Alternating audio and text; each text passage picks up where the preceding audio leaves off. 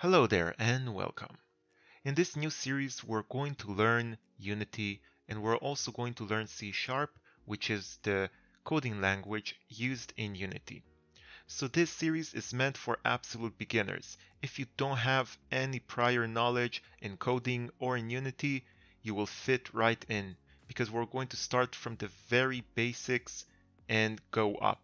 If you do have some coding experience, you may feel like this series is too slow and you may get bored, but maybe you will learn something new so you can check it out and see if it's for you. But it will be very slow paced. We're going to cover all the basic elements in coding in C Sharp and in Unity itself. And we're going to build a small game, a very simple game but the point will be to actually learn coding at least at a very basic level and learn Unity. Later on you will be able to actually go to other tutorials that teach you the specific game you want to build. For example, a 3D survival game or a top-down open world RPG, whatever you want. But you can't really start building games like that without the fundamental knowledge. So I see all kinds of tutorials that teach you how to build a 3D game or something specific and people just start these tutorials and they follow the instructor, they copy all the code and eventually they're just left with this copy of a game and they don't really know what they did inside, right? So when they need to change something or do something that they want to be unique, they don't know how to deal with the code because they don't understand it. They just copied everything the instructor told them.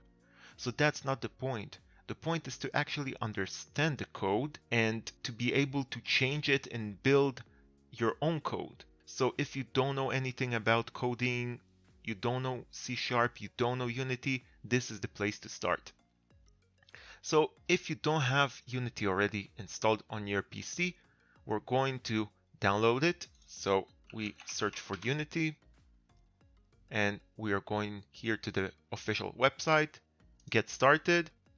And don't be afraid of these numbers because this is for big studios and all kinds of big corporations, but we're going here to the individual tab and we have two options, student or personal. The student has more benefits, but you need to uh, verify, you need to actually prove that you're a student. So if you don't want to mess with all of that, you can just use the personal one and it's very good. You can still do a lot of things with it. You can actually build games. As long as you don't make more than $100,000 in a year, it's good for you. So I think most of us can use it. So we click here on get started and start here. And then we agree to all of these things and it will download Unity Hub. So Unity Hub is the software that is used to actually download the editor itself. So after we downloaded Unity Hub, we're going to open it and we're going to see this panel here. You are not going to see any projects because it will be empty. So all you need to do is click here on new and create a new project. If you're not seeing this option, if there is nothing here, you need to go to installs and here you need to add a new version of the editor. So you click add and you will see all kinds of versions. Usually it's best to use the recommended one unless you really want something specific. So you click the recommended one next and it will download the editor. Then when you have the editor installed, you can go to projects and actually add a new project. So we're going to create a new project you just click here, you select the version, and here you have all kinds of options. We are going to start with a 2D project because 3D is a little bit more advanced, you need to know more stuff, and we really just want to learn coding, we really want to learn the very basic things of Unity. We don't need a 3D right now, okay? So we are going to start with 2D, and this is the location where the project will be saved. So you need to select your own location.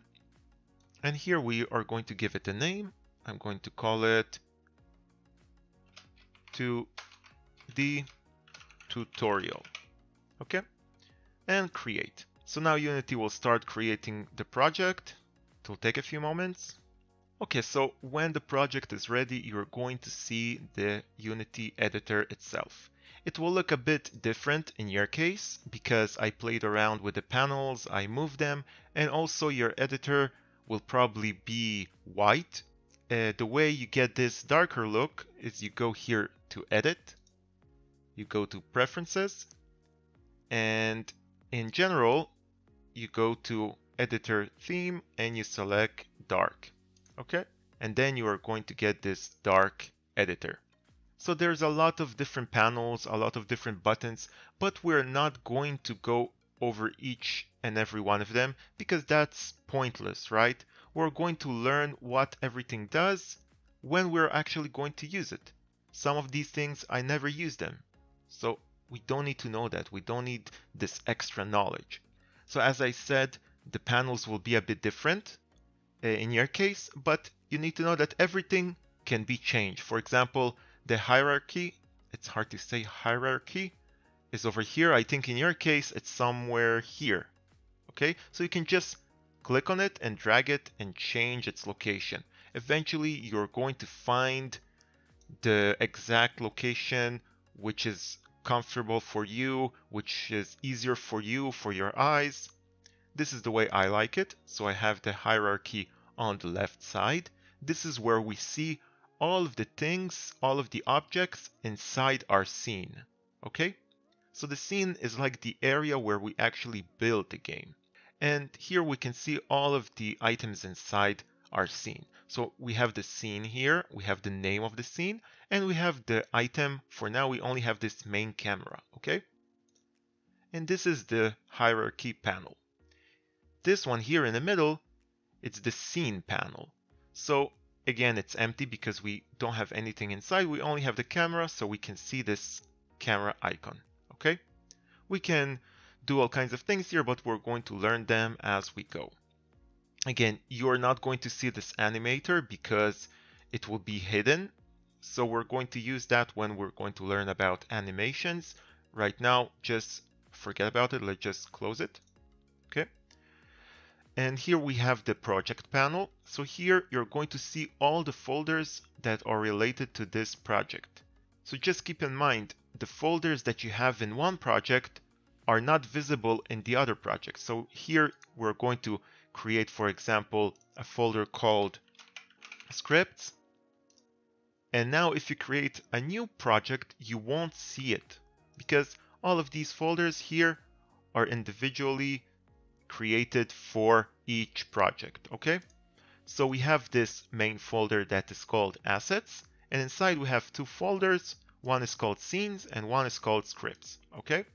And inside the scenes, we can see this sample scene, which is this scene that is opened right now that we are working on. Later on, we're going to have more scenes, but this is the default scene, okay? And in scripts, we have nothing because we didn't create any scripts. And later on, we're going to create even more folders, okay? And packages, you can just ignore it right now. Basically, it's all the things you download, for example, all, all kinds of assets, all kinds of uh, things you can use in your project, but for now, we are not interested in that. So the next thing, we have this game panel. So that's one of the more important panels. We can again make it bigger, smaller, we can change its location. Again, whatever suits you, whatever feels right for you. And this is the place we're actually seeing the game when we want to test it. For example, I change things here in the scene, I move things around, and I want to see how it works, how it actually works in the game. So I go here, and you see this play button. I click on the play button, and it will run the game in this screen. So right now it's empty because we don't have anything in our scene, but later on we're going to see everything inside. And you can also click maximize on play. So whenever we click on the play button, it actually runs the game on the entire screen. So it's easier to see with the resolution. You can also change the resolutions, you can play with all of this, but right now let's just leave it as it is. So I like to put the game here because anyway, I like to test it while it's maximized, so I don't need this panel. Also, these panels, animation, tile palette, you don't need it. Right now, you won't even see it right now. So again, let's just get rid of it. Close tab. We can always open these tabs. We can go here to window and we can find all these windows here. You can see we have hierarchy, inspector, project, scene. We have animation, animator. So we have all of these things here. And the last one is the inspector panel. Actually the inspector and the navigation, but forget about navigation. So the inspector is the place we actually mess around with our objects, but right now we don't have any objects. If we click on the main camera, we can see that all of these settings appear here and we can actually change the transform. We can change all kinds of settings here. So each object in our scene will have different settings that we can play with, okay? So I'm not going to go into these details because as I told you, we're going to learn about them when we actually use them. The only thing I want to show you is this transform part. So each object will have a transform and a transform is the component that deals with the positioning of the object. So we can change the position, we can change the rotation, and we can change the scale and each one has three values. It has the x, it has the y, and it has the z value, okay? So if you remember from school, from geometry, we have the x-axis, which is this axis, okay? It's from left to right, and we have the y-axis which is up and down, right? And z-axis is something that we're not using in a 2D project, but if we are going to use a 3D project, we're going to use Z because Z is the depth of the scene, right? But in a 2D game, we don't have depth, so we're not using Z. We have all kinds of uses. For example, if we want to put something in front of, of another thing or things like that.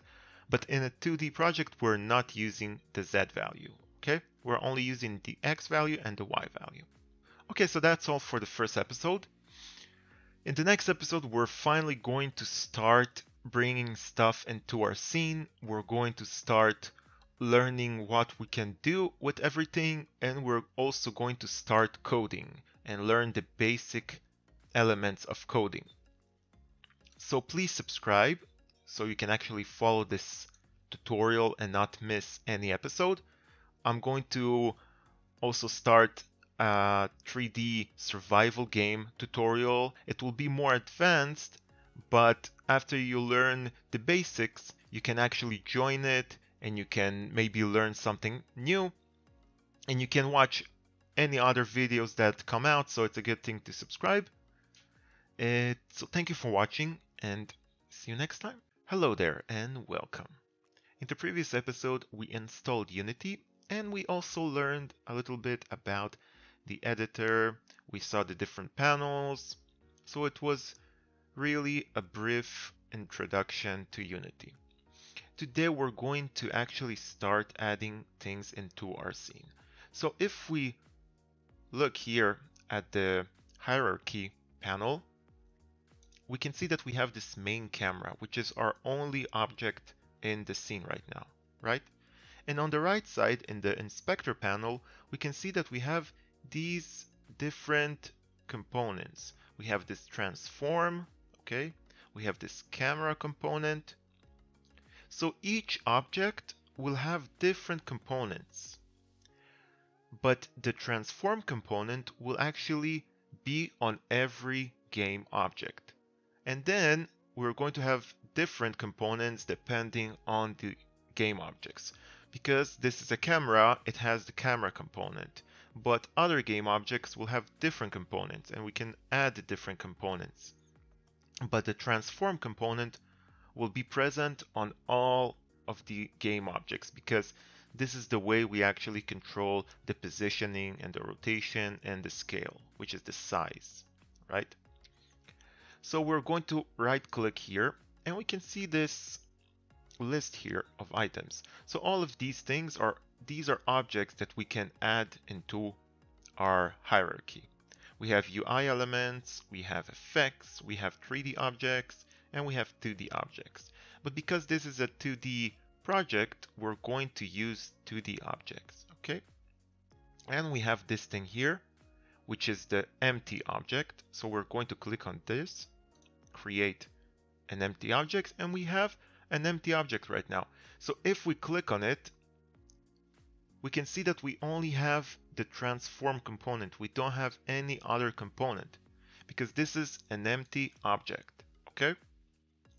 And if we look here, we can see that we have something to move. We can move it on the x-axis. We can see that the x position moves. We can move it on the y-axis. We can also click here on this square and drag it all over the place. And it will change the position, but there's nothing here. We can't really see it, even if we zoom in.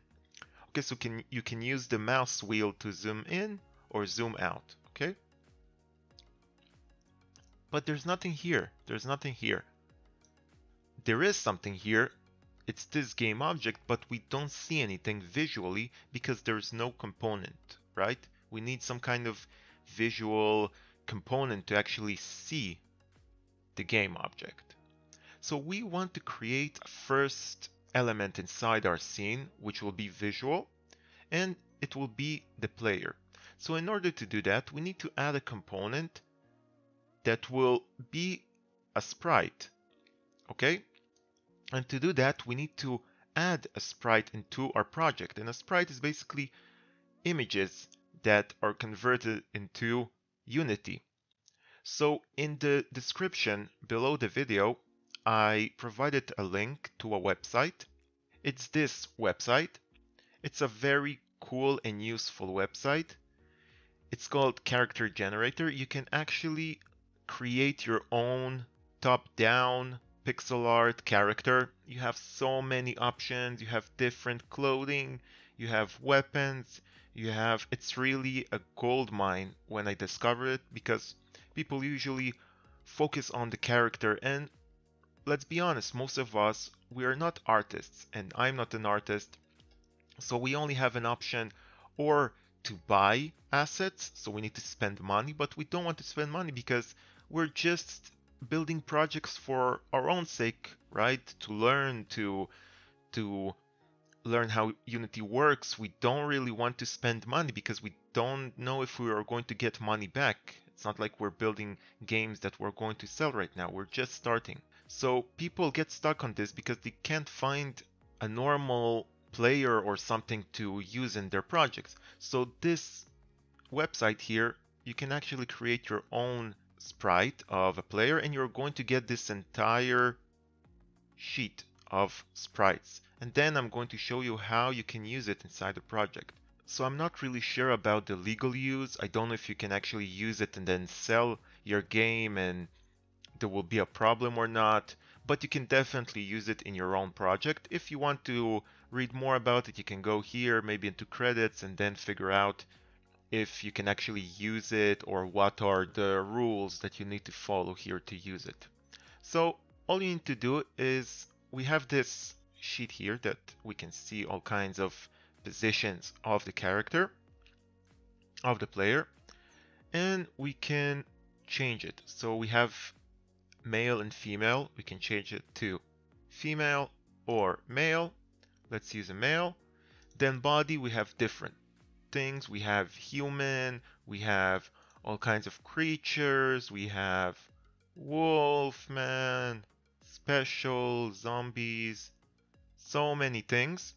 But we're just going to use this standard male right now.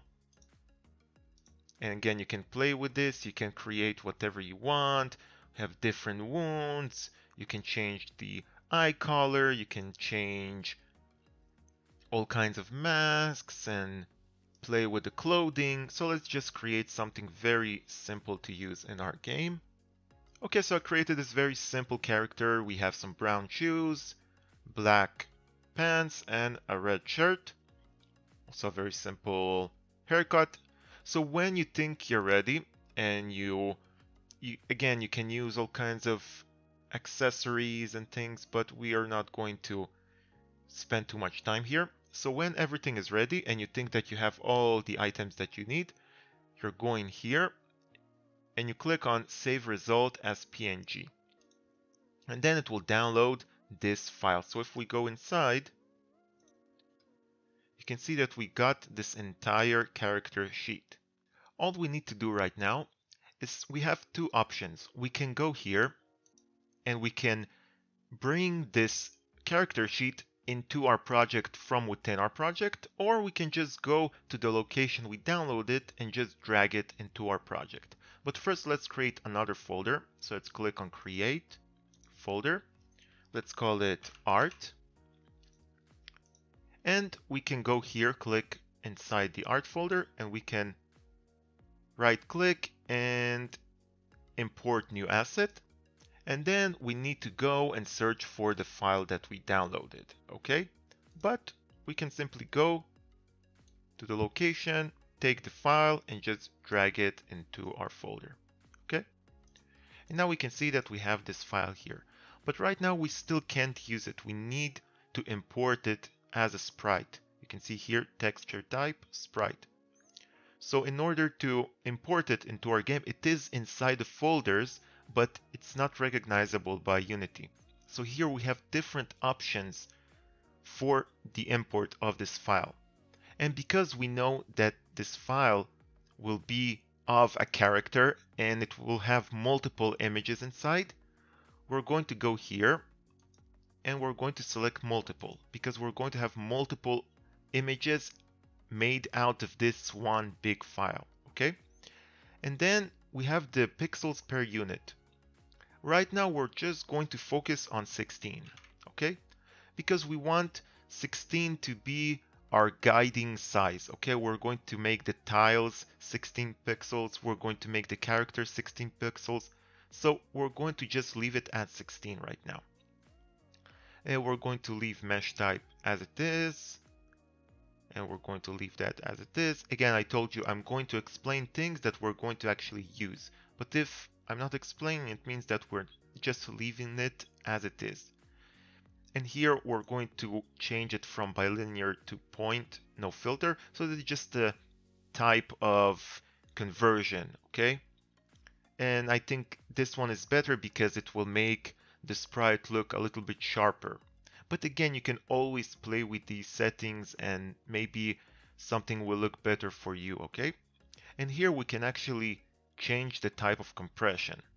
So for example, we have a huge file that weighs a few megabytes. And a few megabytes, it seems not much, but if you have thousands of files, eventually your game will be very big, very heavy. So that's why we have this option to compress it when we import it. So we can compress it on high quality, we can compress it on low quality, and we can compress it on none. So none, it means we're not going to compress it. And if this file weighs like one megabyte, it will stay at one megabyte. So if you don't want to lose any quality of the file and you don't care about the size, or the size of the file is very small, so again, you don't care about the size, you can just leave it at none, especially if it's a small game. If you're going to create a huge game, then yes, you probably should uh, use the compression, okay? Otherwise, your project will be huge. So we're going to leave it at none. We're going to leave everything here as it is, and we're going to click on apply. And when we applied, we can go into the sprite editor. So right now we still can't use it because it's just one big file. We want to take the characters one by one, right? We want to cut them, we want to slice them. So we're going here into the sprite editor. Again, of course, we select the image and here we're going to see all of the characters positions okay so right now we need to slice this image into small pieces so we can actually use each and every one of them. So if you're asking why do I need all of these characters if we just need one player right I can just take one image and use it. But what about animations?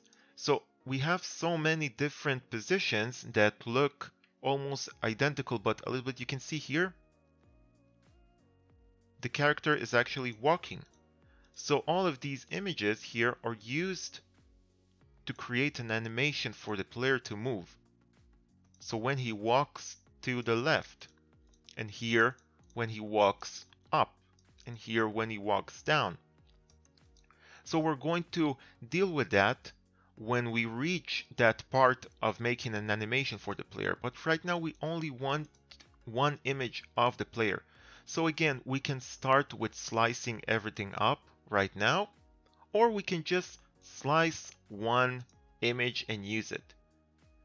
But I recommend slicing it up right now because if you're going to, for example, select one character and just select it, you can see here we have the width and the height of the character and then you're going to click apply. We only have this character right now, this one image and if we click on it we can click on this little arrow and we see that we have this one character. And it's fine and we can use it. We can drag it into our scene, we can drag it into the hierarchy. But the pixels may be different, the cutting may be different. And then when we try to make an animation, it will look weird. So it's better just to cut it from the beginning if we already know that we're going to use all of them. So we just are going to delete that and we're going to go here to slice, click on slice and we have different options to slice this one big file. We can click on automatic, let's see what happens, slice. It will cut all of them and you can see that there's a square all over these characters, but that's not good because, for example, you can see that this one here is smaller than this one. So when we're going to create an animation, it will move a little bit to the side and we don't want the character to move to the side. We want him to stand in one place and just move his arms. So it's not a good way to cut these. If we had like a rock or a stick, then yes, we could just cut it all around it. But for a character, we want all of the squares to be the exact same size, right? So we're going to revert here, revert it. It's like cancel it. Let's also cancel this one. So let's go to slice. And the best way to use, we can also use grid by cell size. So here we actually specify the pixel size. And we can also use grid by cell count. So we have the columns and the rows. So we have, let's see, 1, 2, 3, 4, 5, 6, 7, 8, 9, 10, 11, 12, 13, 14, 15, 16, 17, 18, 19, 20, 21. 1, 2, 3, 4, 5, 6, 7, 8, 9. 10, 11, 12, 13. So we have 13, right? 4, 5, 6, 7, 8, 9, 10. Yeah, 21 by 13. So we can just go here and we can say column 13 row 21 slice and now you can see it sliced everything perfectly so now each square is the same size as the other and the character is exactly in the middle and that's the best way to work especially with characters that you want to create an animation out of later on so if we click on each one of them you can see that it's 64 on 64. 64 on 64. And that's the way this file was made. So this file was made so there will be actually standing in these positions and it will be easier to cut it. So now that we have this cut the way we want, we are simply going to click on apply.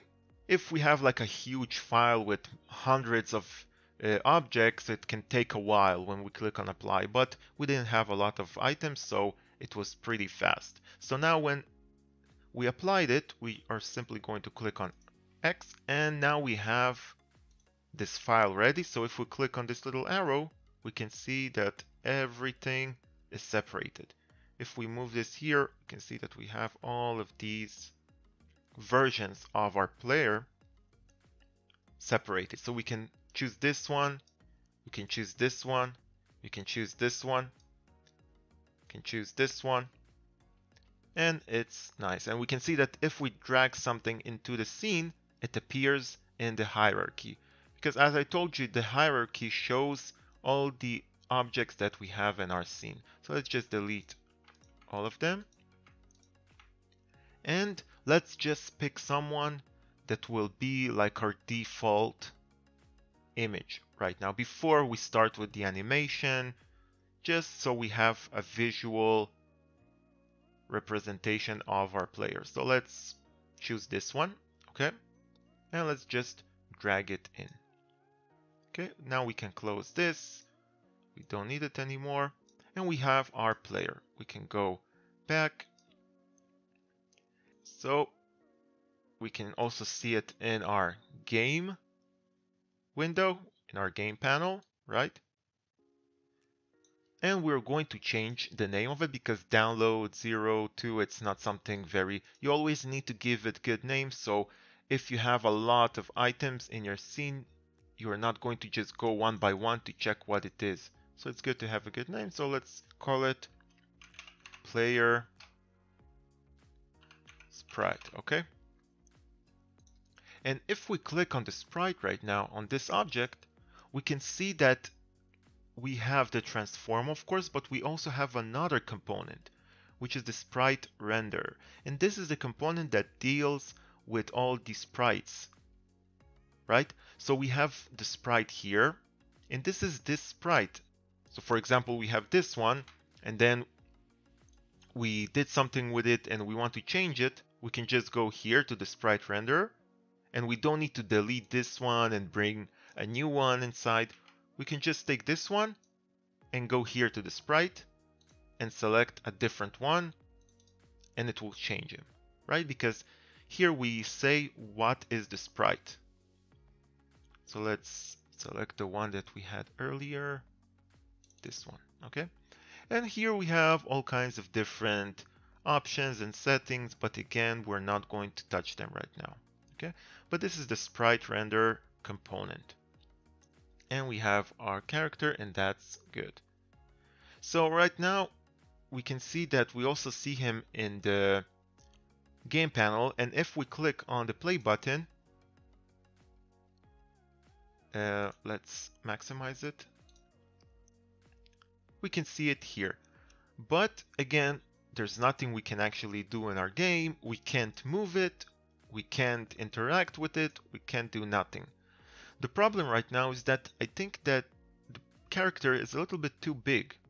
So let's just go here into the camera, into the main camera, and we can see here we have an option to change the size of the camera. So the size will be the distance of the camera from the scene. So if we're going to change it to 10 instead of 5, we can see that the camera became bigger and it means that the character, our player, became smaller. The player didn't really become smaller because the size is still 1. That's the default size. It's still 1. But the camera became bigger. So now in the scene, the player looks smaller. And I think that's a good size. Maybe we're going to change that later. But you can see that you can change the size of the camera and it will affect the way we see the items inside our scene. And if you're wondering how can I change this blue screen behind it, it's just the default way we see the scene because we you can see here that it's empty. We have nothing here. We don't have any grass or some floor. That's just the empty background. So it's blue, but we can change it. We can just click here on this background and change it to white or to black or to this gray. Okay, so we're not confused. Okay, and we can leave it like this gray, whatever you want. And we have different options, as I told you with the camera, but we're not going to deal with that right now. Now we have this sprite, the player sprite, but the right way to work is actually place it inside this game object and rename this game object, call it player. Okay? So now we have this player. Again, you can do it in any way you want. You can take the player, empty object, and you can place and drag this sprite inside. And now you can see that this sprite is a child of this empty object. You can do it with all of the items, with all of the objects inside our scene. You can also take the camera, drag it inside, and it will be a child of the player. So you can see we have this little arrow, we can click on it and it closes it. It's not, uh, we're not deleting it or something, it just hides it, but it's all inside this player object. And we can click on it and it shows all the children inside. So this is the parent object and these are the children, okay? It's called children because they're inside the parent. And this is a good way because sometimes we want to control the parent. For example, we want to control uh, the player. And if we're going to move the player, we want all of these things inside, all the children, to move as well, right? So that's why, for example, we have the camera. And in some cases, you want the camera just to stand still and for the player to walk around inside the camera, right? But sometimes you want the camera to actually move with the player. So you can put the camera inside the player and then when the player moves, the camera will move with him. And you can also create a script, which we didn't talk about, but scripts is the actual coding in Unity. So we can create a script that tells the camera to follow the player.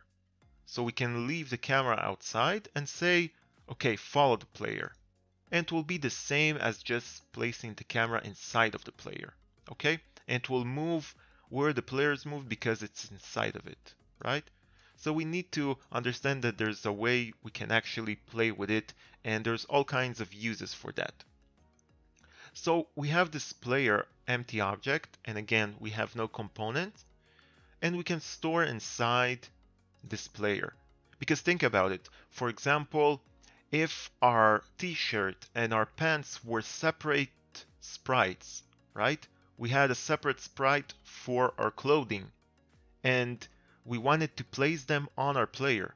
So we could just place these sprites inside the player. We could uh, move them around and set them on the exact position and then it was all a part of the player and then if we move the player these things would move with him for example let me give you a demonstration. If I'm going to take another image here and I'm going to put it in our scene, now it's not a part of the player. So if I'm going to move this one, it will move by itself. And if I'm going to move the player, it will move by himself. It's not actually moving in our game, right? I'm just moving it with my hand. But if I would take this sprite and place it inside the player. Nothing will happen here, you won't see any change, but now this sprite is a child of this player. So now, because it's inside of it, if I was to move this player, not the sprite itself, but this player, the, the main parent, you can see that it's actually in the middle, both of them will move because both of them are inside this one player object. And that's useful. We can do all kinds of things with that. So right now we're going to delete that and we're actually not going to use this player empty object. We're going to take this sprite and put it here. We're going to delete this game object and we're just going to leave this player sprite because we can still add components here and we can use this one as a game object by itself. So it has a sprite render. We can see a visual sprite on him, but we can also add other components here and do all kinds of things with him. So I think this episode was long enough. Again, we didn't do much. We didn't even get to coding, but that's fine. That's the purpose of this series. We really want to go slowly and learn everything. And the more time you spend here in Unity and get used to all of these things, the better. You don't need to rush anywhere because it won't help you if you rush and then just get stuck on something and then just quit. So right now we use the sprites again.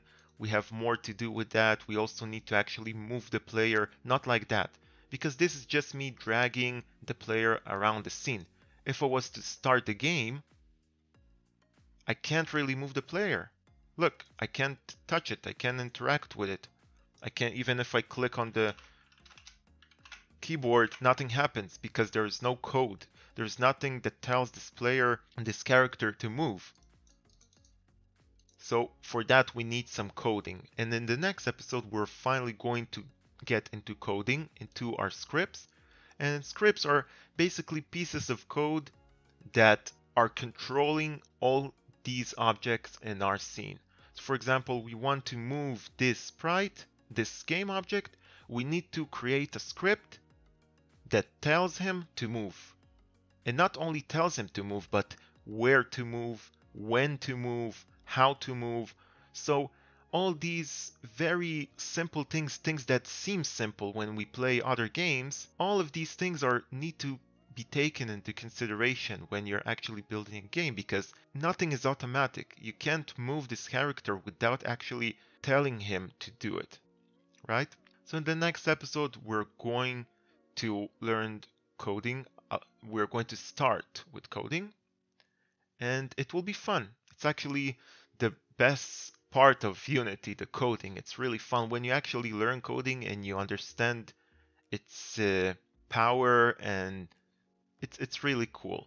So thank you for watching. Please subscribe if you're still not subscribed. And I'll see you next time. Hello there and welcome back. In the previous episode, we imported this character sheet and we learned how we can cut the separate sprites and then we also placed it inside our scene. In this episode, we're finally going to start with our first script with coding we're going to take it very slowly. We're going to focus on the same script for a while until we actually learn the basic concepts of coding and then we're going to advance in our game and add more scripts and more things. So there is one thing that I forgot to tell you in the previous episodes is that we always need to make sure that we're saving the game. So whenever we do a small change, we're going to see this little asterisk appear over here, okay? And what it means is that there been some changes in the project that we did not save. So whenever you see this little asterisk over here or even here next to the scene name, you need to know that something has changed. So it's very recommended to always save. Every time you actually can notice it, just save the project. Because if you're going to do some changes and sometimes you can do a lot of changes in a very short time but then the program will crash or your PC will crash then everything will be lost. So make sure you're saving as much as possible. And to save of course we go to file or save and not save project because these are two things. Save project is saving the entire project, but saving here will save the scene. So that's what we want. And when we click on save, we can see that this little asterisk is gone. So now there, there are no new changes. And we can also do it with Control S. If we don't want to go here and do it like that, we can just use the shortcut. So now when we do another little change, we can also see that it appears again. So this all happens here in the editor. But when we are going to write some code, we also need to save the scripts themselves. So that will be a different thing because we're using a different editor to write down the script. So we also need to make sure that we're saving inside the scripts and that we're saving the scene itself because if we save the script it won't save the scene. Okay so in order to move our character and basically do everything we need scripts. And scripts are simply files that contain some code and the code will affect all kinds of game objects to do all kinds of things okay?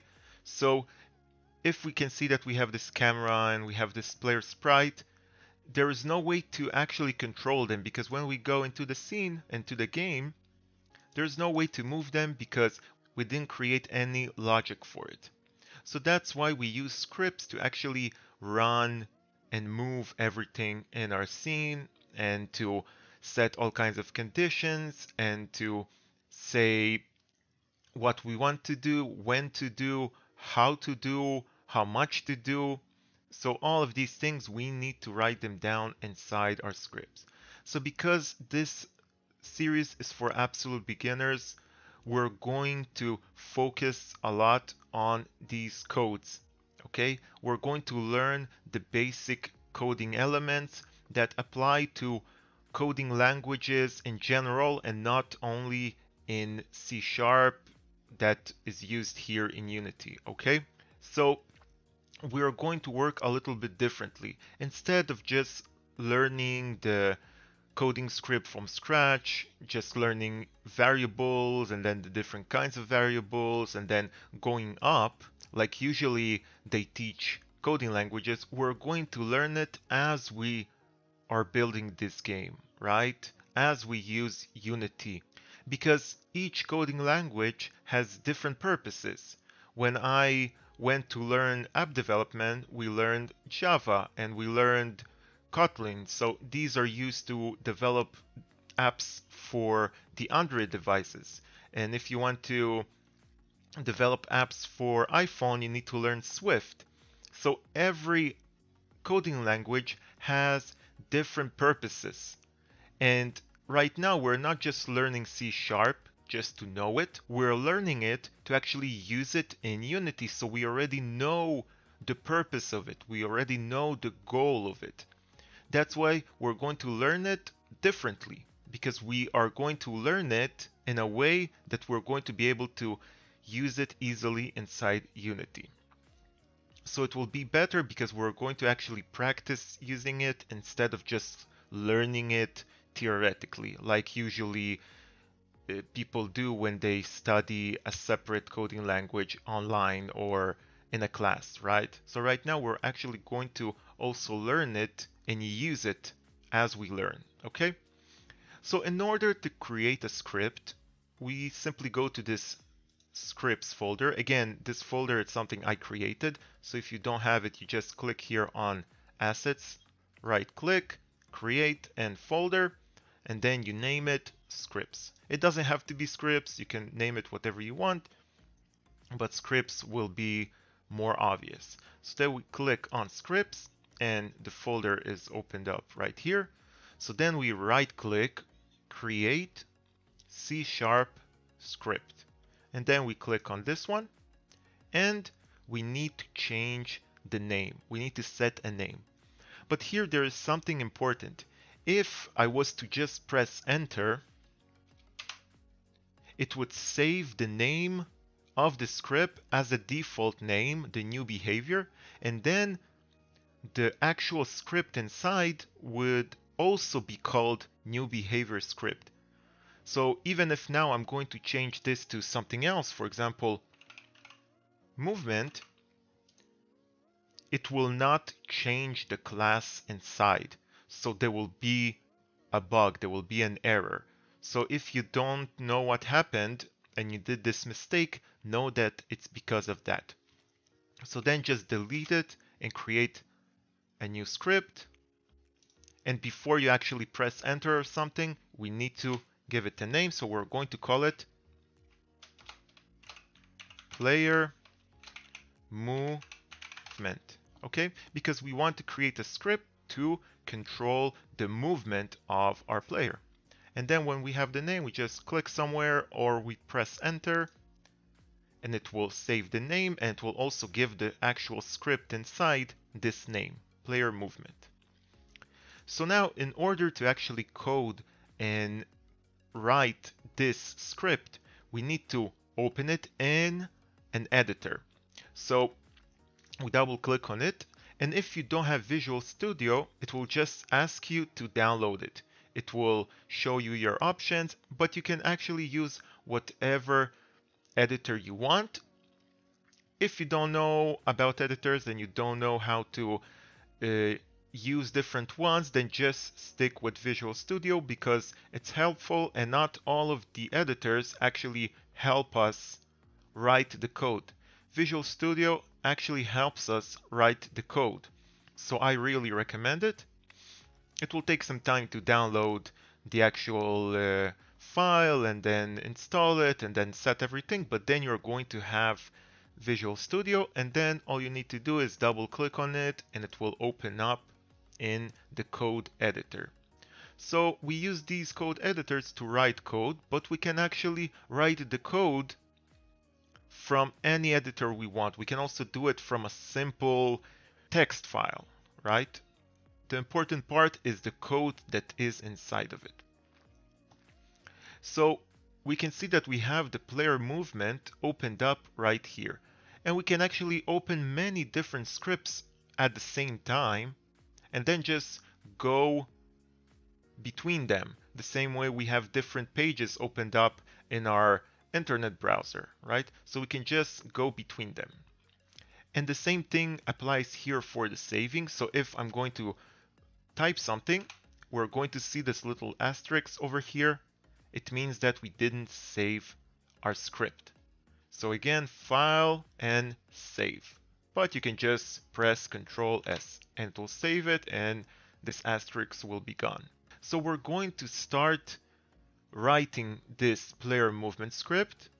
And as we go, we're going to learn all the elements, all the basic things. So we will probably stay in this script for the next few lessons so we can just get the very basic idea of coding because again this series is meant for people that have zero experience in coding so again if you don't have the patience because you already have some experience and it feels very slow to you, then maybe you want to skip a few episodes or maybe you want to find another series, okay? So now we can see that we have this class over here. So this class is the big block of code.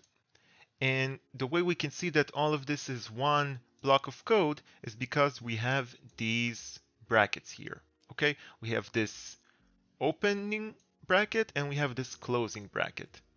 And we can see that we have two more blocks of code over here because we can see two more sets of brackets, okay? So if we go here and we press enter, we can make it bigger, we can put more stuff inside, but this public class and we have the name of our script and we have MonoBehaviour so it means that it inherits from MonoBehaviour but right now we're not going to deal with inheritance because that's more advanced. So we have this big block of code and that's the main block of code that all the other ones will go inside but again this is just the player movement so when we're going to create other scripts to do other things we're going to call them differently and they will contain different information.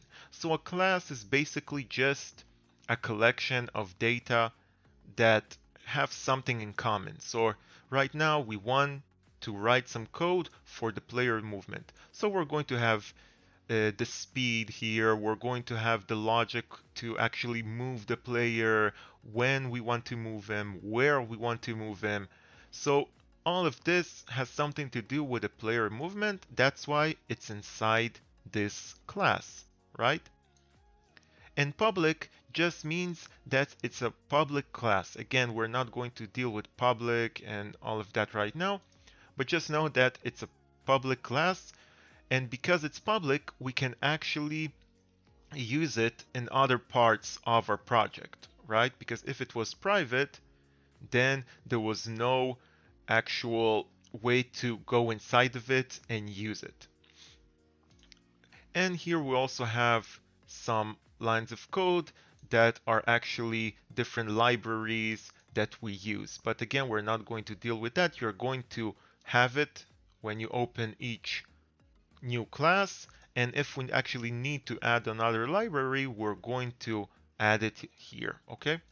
So we're going to go very slowly and we're going to learn all the small thing. And again, if you're not understanding something, if you just get stuck on something, you can always type in in the comments and ask me and I will definitely help you. And that's a very big advantage because usually when you learn something in uh, other places, you don't always have the option to actually ask questions, but I will always answer it, especially now that this series is new, but also after many years, I hope that I will get these messages and I will be able to actually respond.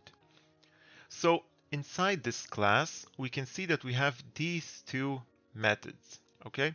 We have this start method and we have this update method. And methods or functions are just blocks of code that are separated, right? And whenever we call them, they will simply run the code inside.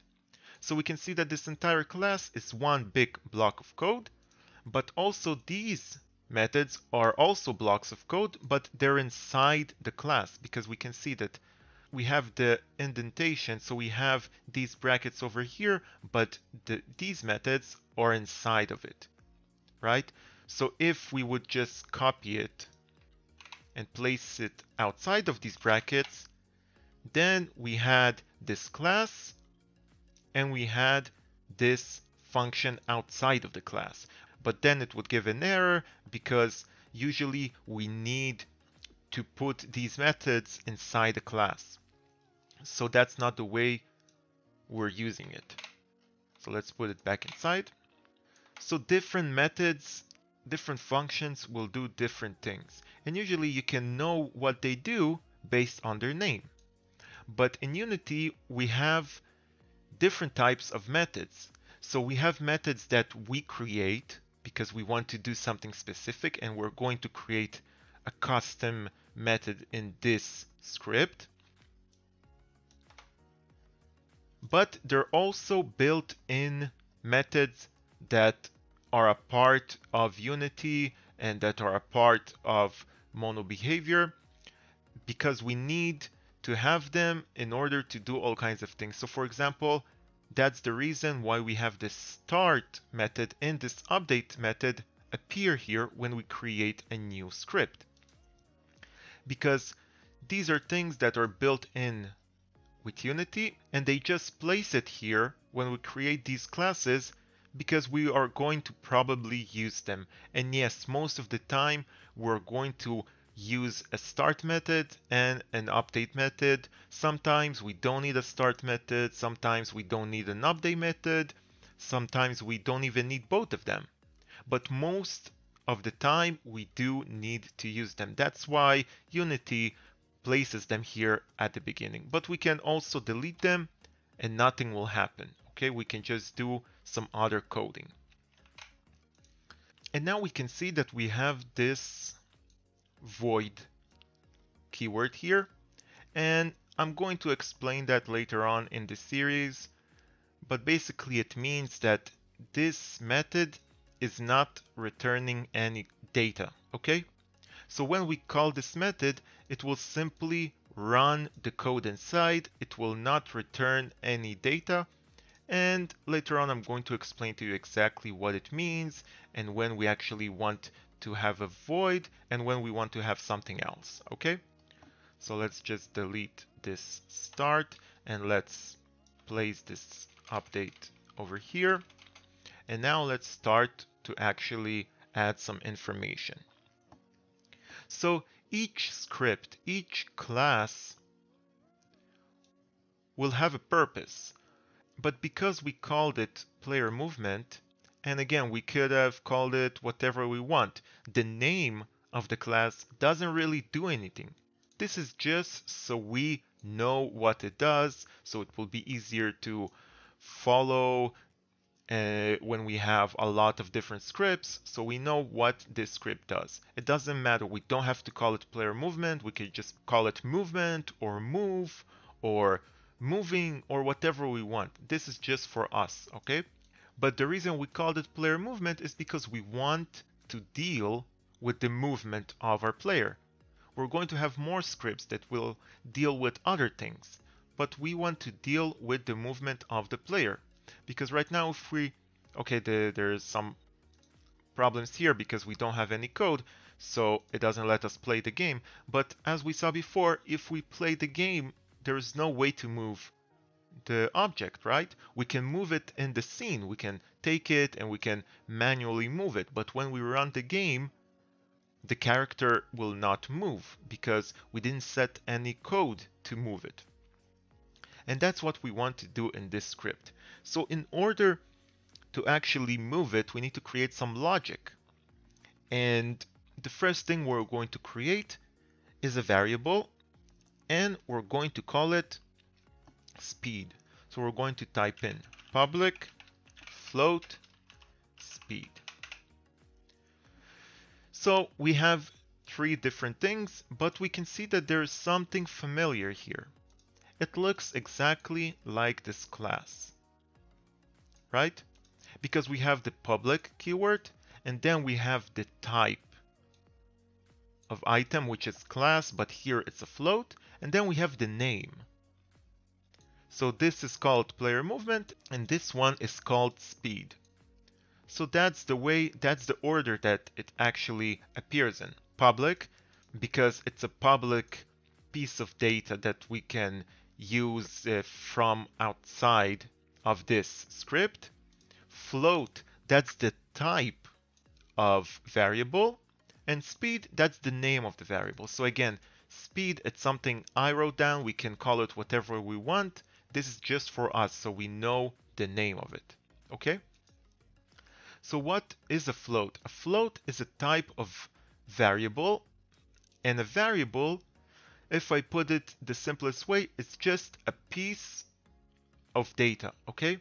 And we can store all kind of information inside this piece of data, okay? So a float, it's a piece of data that will usually store that will always store a number, but it will be a number with a decimal point, okay?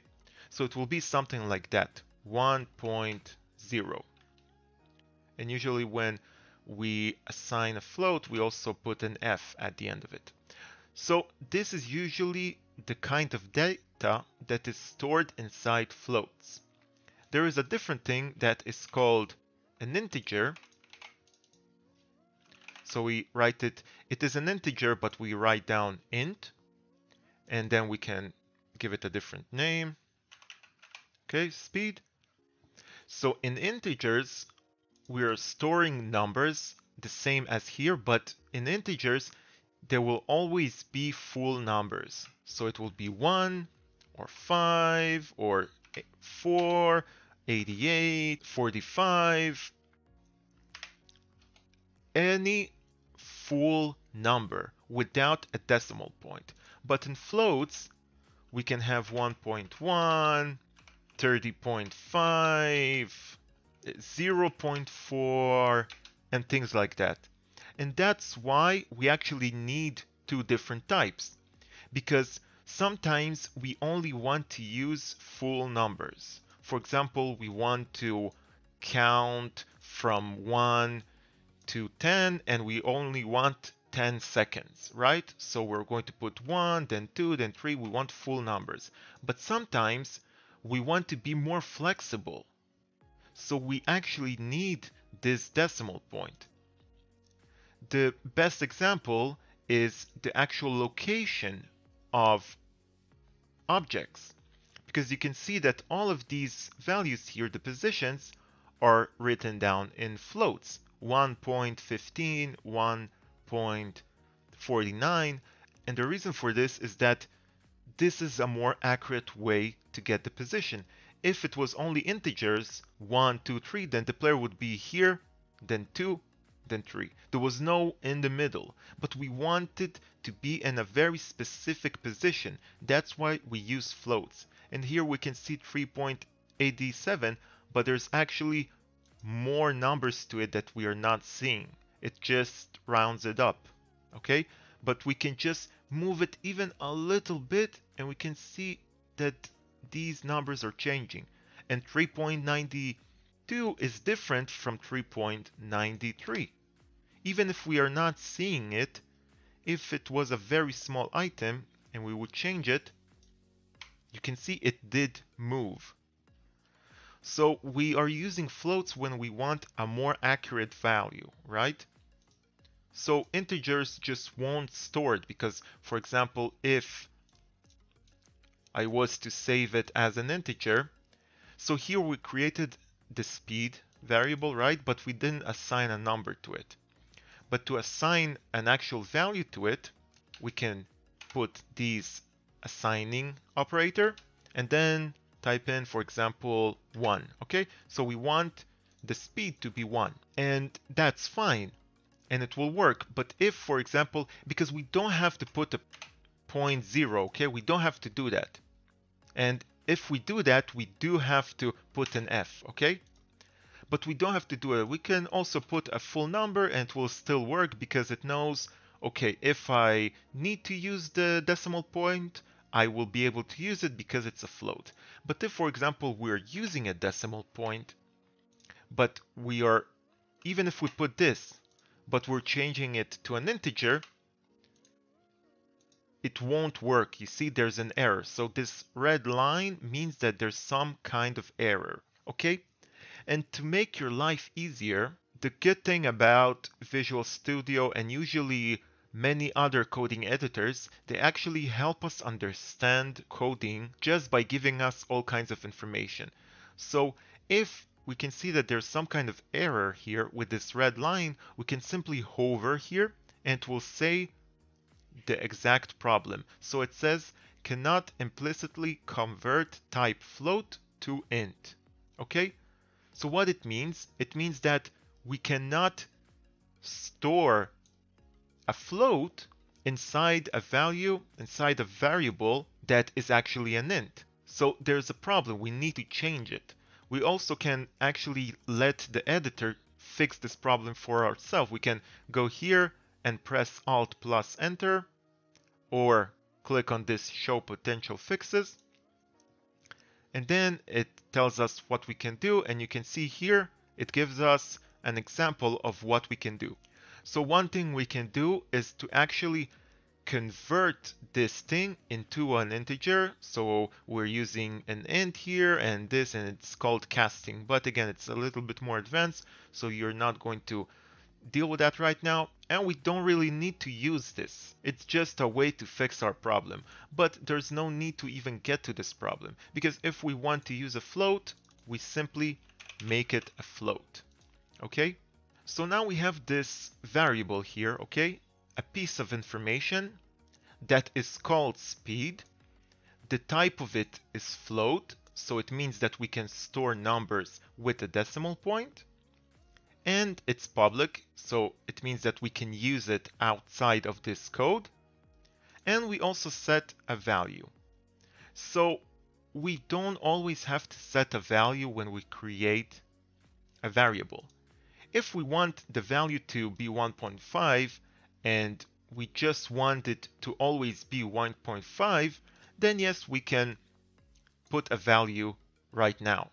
But if we want to change the speed later on and we want to test different speeds, we can simply leave it like that and then we can change the speed later on. We can change it later on in the code or we can actually change it from within the inspector panel. So if we click on our player, right now there is no script on him. But if we take this player movement script and we drag it on our player, we're going to see that we have a new component, which is this script. Okay? And if we're actually going to save it, because right now it's not saved, and we're going to go back into Unity. It will compute it for a few seconds and then we can actually see that now there's a speed variable over here in this player movement component. And now we can also change the actual speed right here. And the reason it happened is because we made the speed public. So it means that we can actually access this class from this inspector and we can change the value. If we would put it as private and save, then we won't be able to change the speed and we won't be able to even see the speed over here.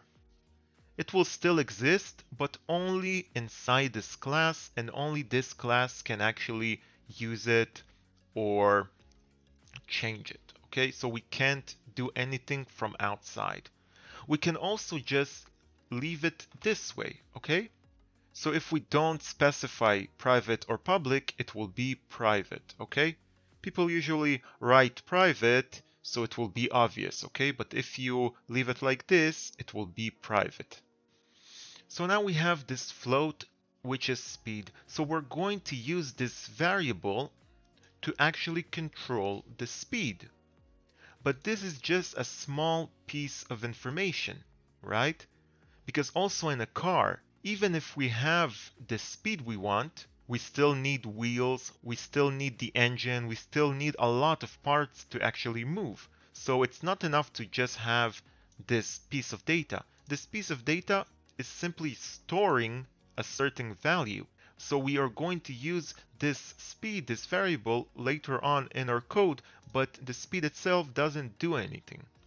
The next thing we want to add is something called a vector.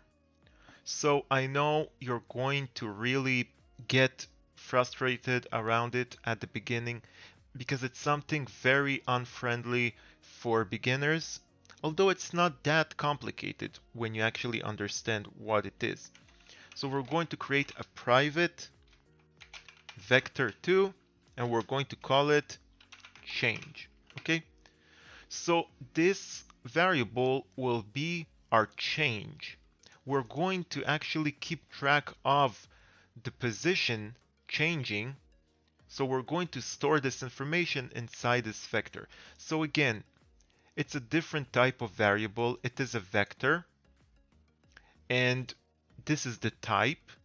And this is the name, change, okay?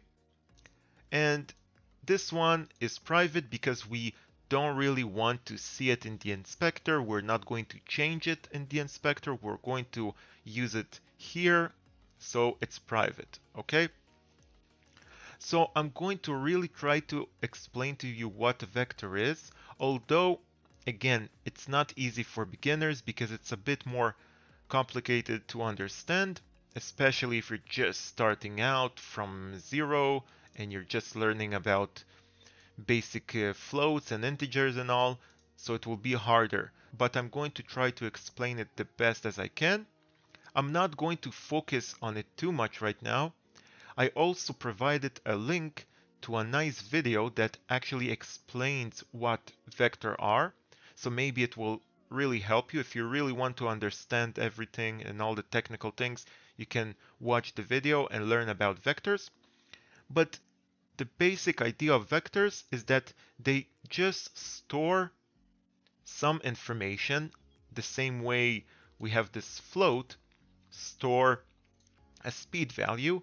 Vectors, they store some information and usually we're storing a position inside vectors, okay? So we have this information here. We have the x position and we have the y position, right? So x is simply the position of the object on the x-axis. So we see this red line here, this red arrow, that's the x-axis, okay? And this green one is the y-axis, right? So if we move him up, we can see that it changes on the y-axis. If we move him down, it will go to negative because 0, 0 is this spot which is the middle of the screen. And also our camera is 0, 0 in the middle of the screen and the sprite is in the middle of the middle. So it's 0, 0, okay? And it's also 0 on the z-axis, but as I told you, it's a 2D project, so we are not concerned with the z value, okay? But this is just the positioning of the object in the world. And if I'm going to move it on the x-axis to the right, it will get a positive value. If I'm going to move it to the left, it will get a negative value because that's the axis. So 0 is here, plus 1 is here, minus 1 is here, minus 2 is here, minus 3 is here. So that's the way we're moving, you can see. And the same way with y. But you maybe remember it from geometry in school that we had our axis, the y and x axis, and we could draw all kinds of figures using these coordinates, right? So we had something like that. We had a value here and we had a value here. So usually this one was the x and this one was the y. So this simply meant that it's on the x-axis on the second point and on the y-axis it's on the second point as well. So it means that it's somewhere here, okay? So a vector is simply something that holds these positions. It holds an x value and a y value. Okay, so we can visually imagine a vector as something like that. Okay, x and y. Oh, what's this? x and y, okay? It will hold an x variable and it will hold a y variable. And usually these variables are floats because as I told you, we want to be accurate and you can see that when we move it, we have a decimal point. So these values are floats because we want to be more accurate, right? So that's a vector. It simply stores information. We can do more things with vectors. So a vector can also hold a position, but we can also use these values to calculate different things like the distance or things like that. But that's more advanced and I'm not going to go into it. If you're going to watch the video that I provided in the description, then they will explain everything, okay? So we have vector 2, but we also have vector 3. And the difference is that vector 3 holds three values, x, y, and z. But because we are in a 2D project, we don't need the z. So we're simply going to use vector 2 because we only want to store the x position and the y position, okay?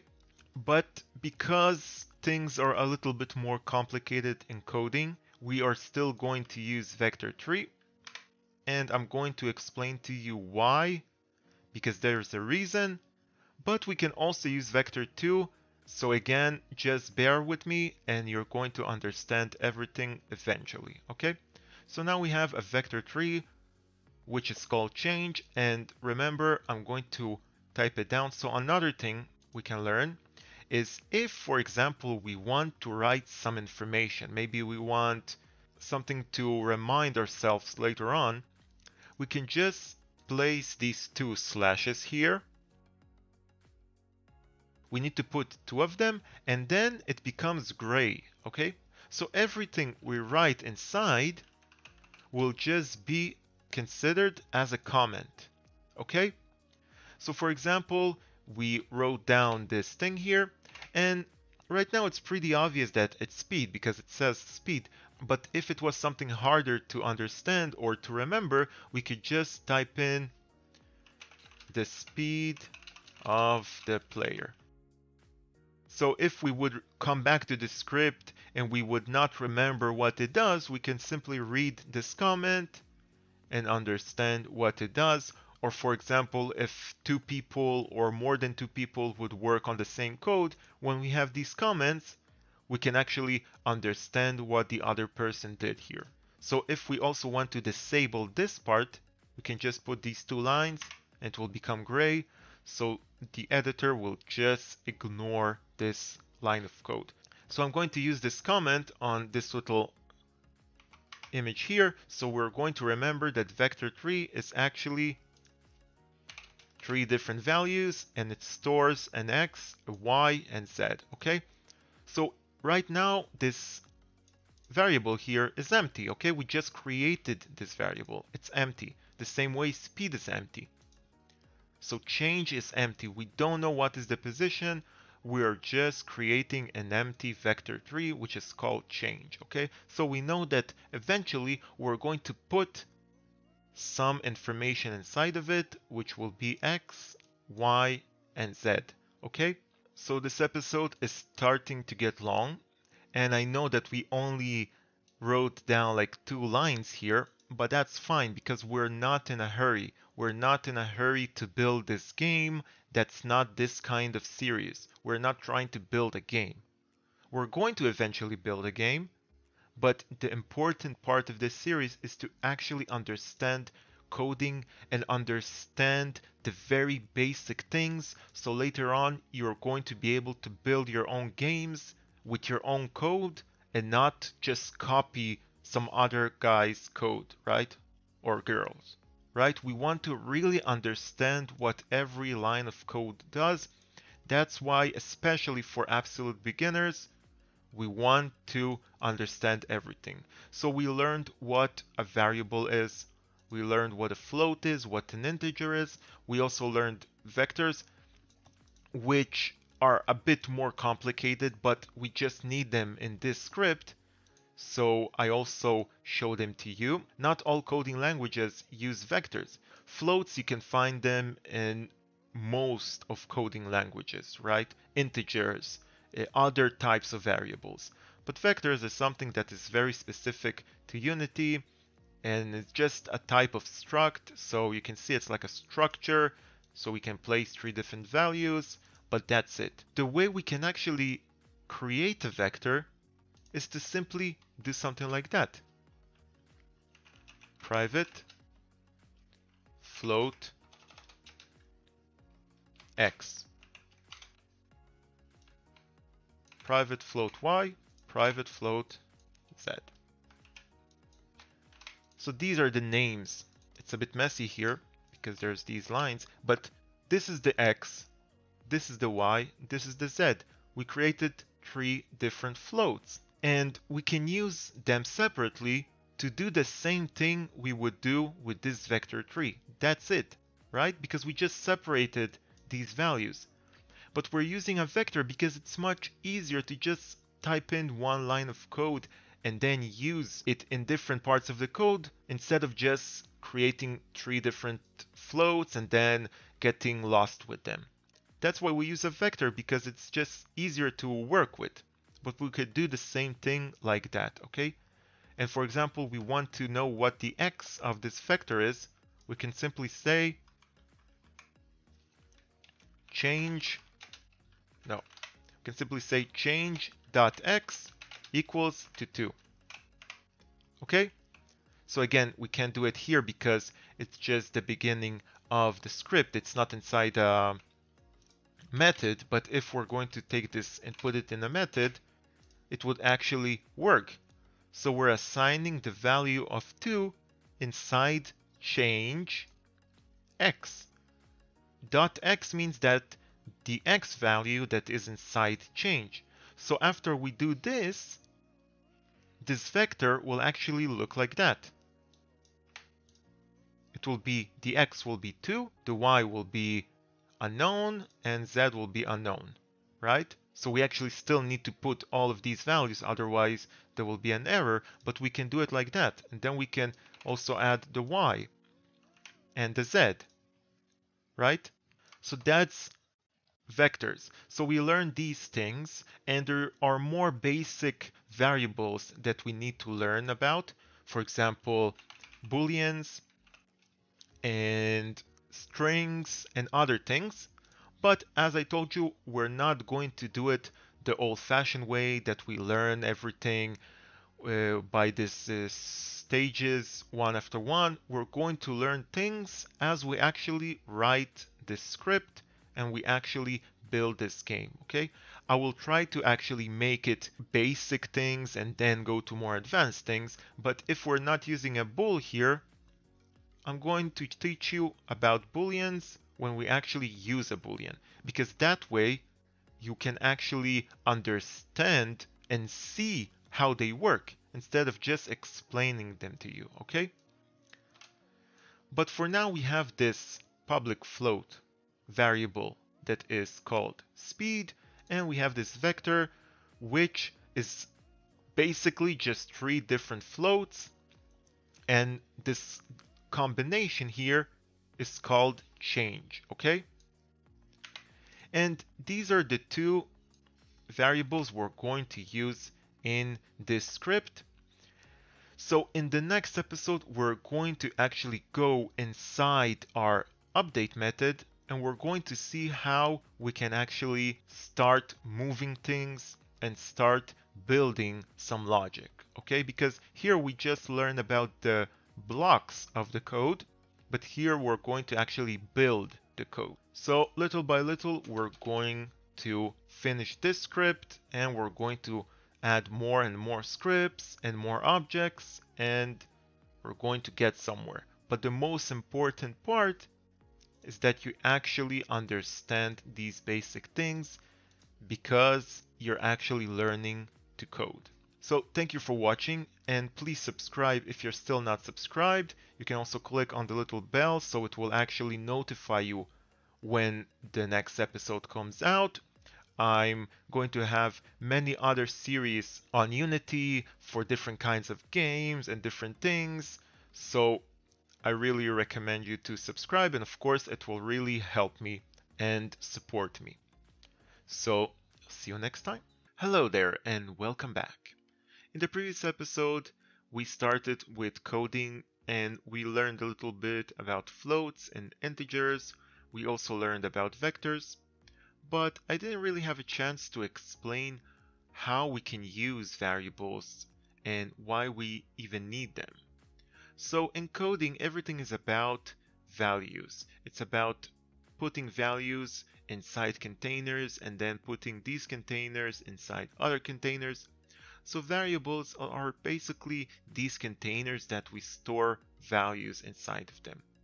Because if we're going to store a value inside speed, we can use speed as a variable to do different calculations later on, okay?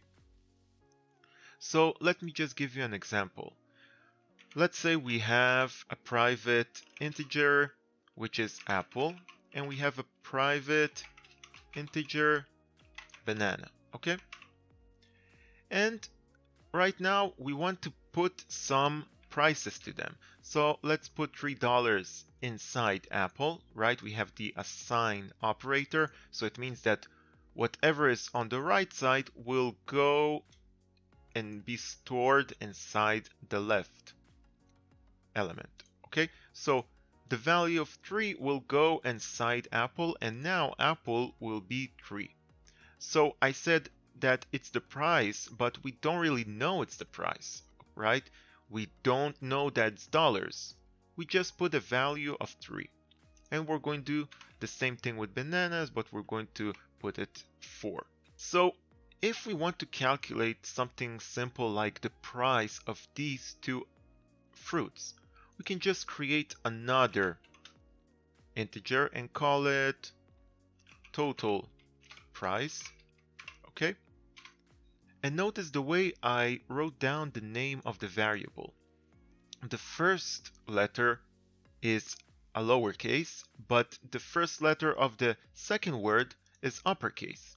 And that's called camel case. And that's usually the way we give variable names in coding, okay? So you can write it the way you want, but that's the standard, okay? Because if I was to do something like that, it would be hard to read, right? Total price, and if we have like a long word, that would be weird. But when we put the capital letter on the second word, it's easier for the eye. Of course, you can also do something like that, and it will be fine, but that's usually how it's done. So now we created this total price variable and in the beginning it's empty. But then we can store some values inside of it. Okay, so I'm simply copying it. And now we can put some values inside of it. So you saw that I created the variable over here. I specified that it's an int and then I can use the same variable to put values inside of it. I can also do it right here. I can put the values right when I create the variable, but I can also put the variables later on in the script. So I can do it whenever I want. It's the same way here. We created speed, but we're not going to place any value inside of it. We're going to do that later on in the code. But if we did not create the variable, it will give us an error because we do need to create it first and specify the type.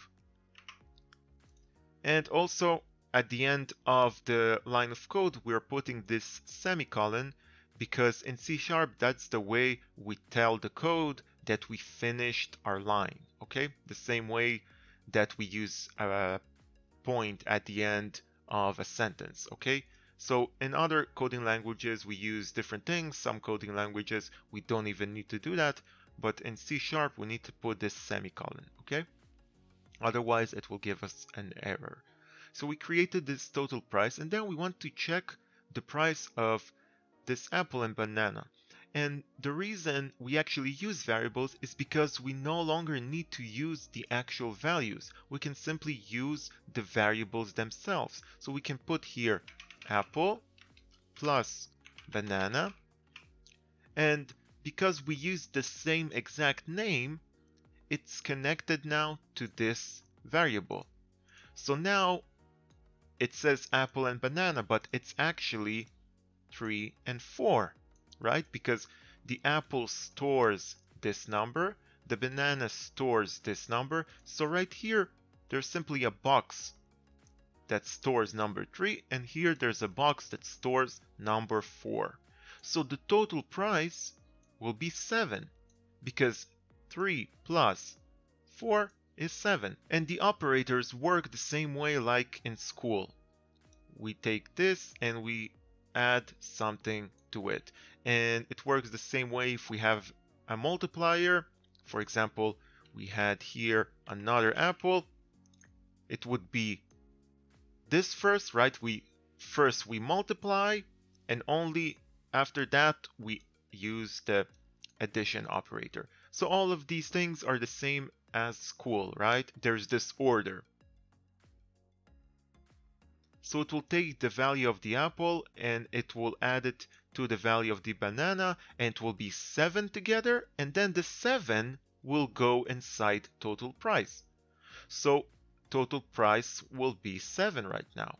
And then we can do something else. For example, we can add another apple to it. So total price and notice how when we start to write the code, Visual Studio actually offers us to autocomplete it. So we can just press enter and it will autocomplete it because it will search for all the variables we have and we'll see maybe we're trying to type this one. So it will just offer it for us, okay? So total price is equals to total price plus apple. So what we're doing here, we're taking the old total price and we're adding another apple to it. So if this one was 7, then this one is 7, but now we're adding another apple, so it's 7 plus 3, it will be 10. Okay, so right here total price became 7, but here total price became 10 because we added another apple to it. And the way we're doing this is simply taking the older total price and adding an apple. We can also do something like that. It depends on you the way you want to write it down. We can do total price plus equals apple. Okay, so it will take the total price and will just add an apple to it. So it's plus equals. And it's the same way if we do it like this. There's no difference. That's just a different way because here we just take the total price and we add an apple and we take all of this and we place it inside total price. But if we do it like this, we're just doing the same thing. We're just adding the apple to the total price. So it's 7 and here 3 plus 7 will be 10. right? But let's just leave it this way because it's much easier to understand it. And that's the way we actually use variables. Of course, these are very simple calculations, but in coding we do very complicated calculations with different types of variables. And of course we're not just adding we can also decrease we can divide we can multiply we can do whatever we want okay? And it gets way more complicated depending on the calculation but that's the very basic way we use variables. So another thing I wanted to show you and it's something usually people don't learn when they start coding but it will be very helpful if you make it a habit to use it. And that's the debugging tool debug.log. So I know you might say, what the hell is debugging? I'm just a beginner. It's fine. Debugging is just the process of finding bugs in our code and getting rid of them, okay? And bugs are simply errors and things that cause our program not to work or to work in a bad way. So we have different tools to find these bugs, but a very useful tool is this debug log. And what this tool does is simply take the data we put inside, inside of these two brackets, and it simply shows it to us when we run the game. And it shows it in this console panel, okay? So maybe it will be here when you just install Unity. Maybe you need to go to window and find it over here. Uh, let's see where it is. Here, general and console. So if you don't see it, you can click on this and then you will see it.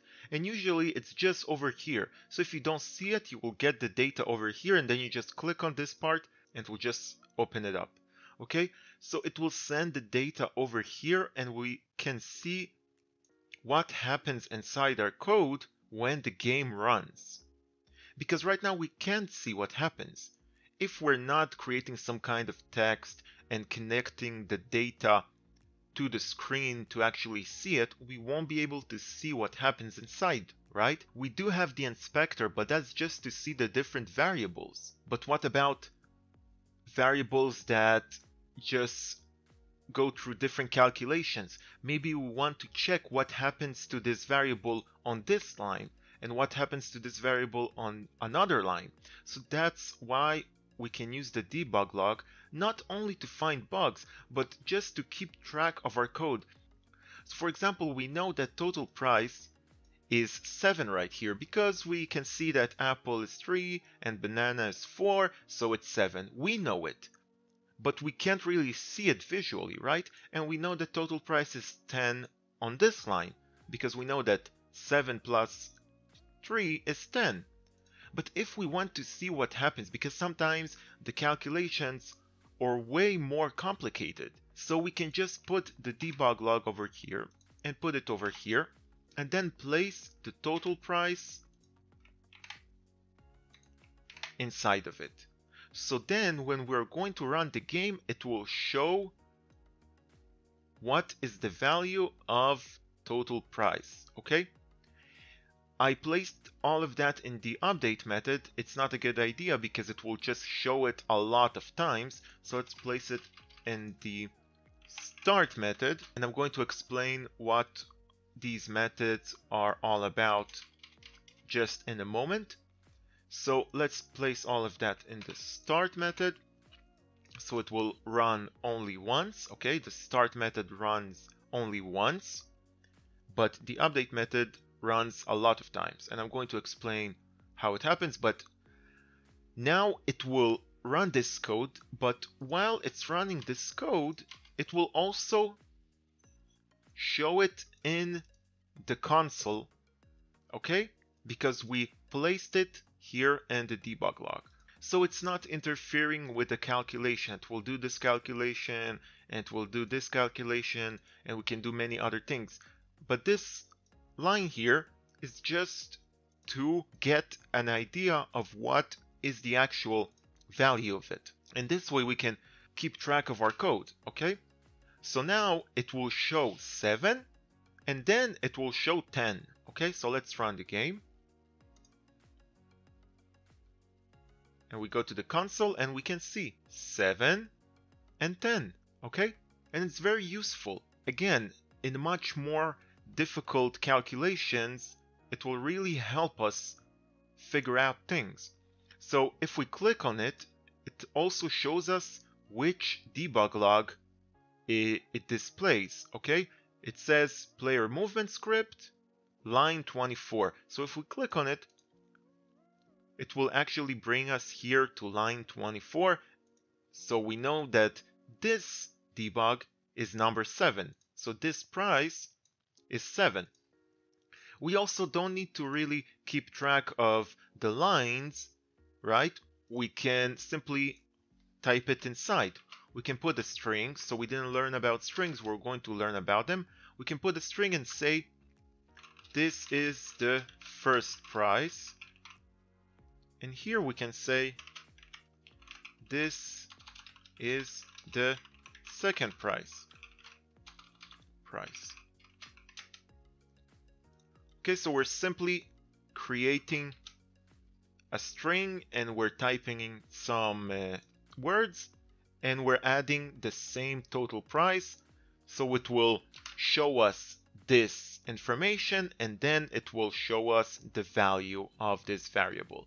So the first one, it will show 7 and the second one, it will show 10. But now we don't need to really get lost and say, okay, what is the line? We can just know because we wrote down what is this price. Okay, so now when we run it, just clear it. We can click on clear and it will clear all this information. Let's just run it again. Console, and we can see the the the is. What did I write here? The is what? Oh. The first price. I don't know why I did that. And I didn't smoke today. Let me assure you. Okay, the second price. Okay. That was weird. So, let's run it. Okay. The first price is 7, the second price is 10. So you can see it just replaced the total price with the actual value. So this way we can keep track of our code and figure out things, especially when we have errors. And we're going to use this debug log a lot, so you're going to get used to it. And that's a very good thing to use, and many people don't use it.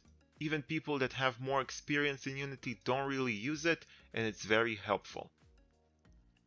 So let's just get rid of that and get rid of that and actually get rid of all of these examples. Okay, so now we have a basic idea of how these variables work and what we can do with them. And of course, there's a lot more to it, but that's the basic idea. So now I just want to talk about these methods. I told you that we're going to start coding the rest of the script, but it's very important for you to understand these basic things and then we can actually start coding the rest of this uh, script, okay? So what are these methods? We talked about these methods in the previous episode a little bit, right? But a method is basically just a block of code that will run at a certain time. And the reason we need these methods is because that's the only place inside the class that we can run the code.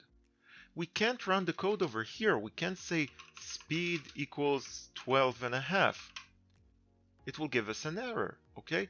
Because this is not the place to run the code. We can create variables and different data types over here, but we cannot run code. We can only run code inside methods. And the reason for that is that methods know when they need to run. Okay, there's some kind of order. If I was to write some code over here, first of all, it wouldn't let me, but it wouldn't know when to run the code. Inside methods, it will work because the, the, the class and the entire system knows which method needs to come first. Okay, so there's this order, and that's why that's the only place we can run the code. So these two methods here, the start and the update, are built-in methods that come with Unity, but we can actually create many more methods, many more custom methods. Void my method, okay? Of course, we need to make it one word. Uh, so I can create a hundred more methods and do different things with them. But these methods are built-in methods, and the reason they're built in is because they actually tell us when they will happen. So we have the start method, and this start method will run its code at the beginning of the game. So if this player movement is located on this player, and it is right now, we can see the player movement script is a component on this game object.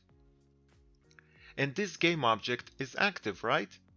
We can also click here on this little box here and make it unactive, right? So now it became gray. We are not seeing this uh, game object and our scene and there's no V here.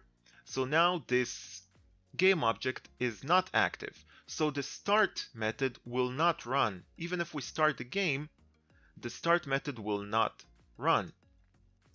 But if we put it back here and we make it visible, then when we start the game, the start method will run and that's the first thing that will run. Well, actually, that's not the first thing.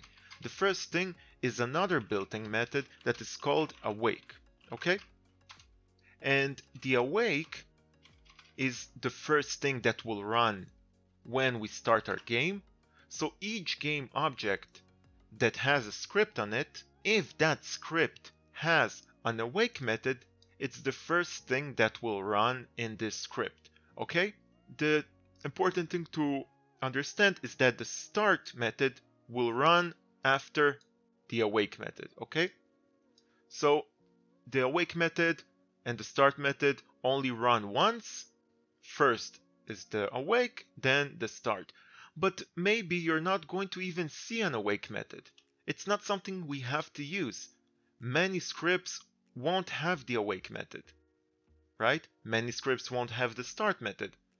But the awake method is just something we can use to run some code before the start method, okay? And it will run the code once. And then the start method will run and it will run once. And then after the start method did all the coding once, it will go to the update method and the update method will run every single frame, okay? For the rest of the game. So what does it mean that it will run every single frame? So let me give you an example of how it works. First of all, in the start method, let's just put a debug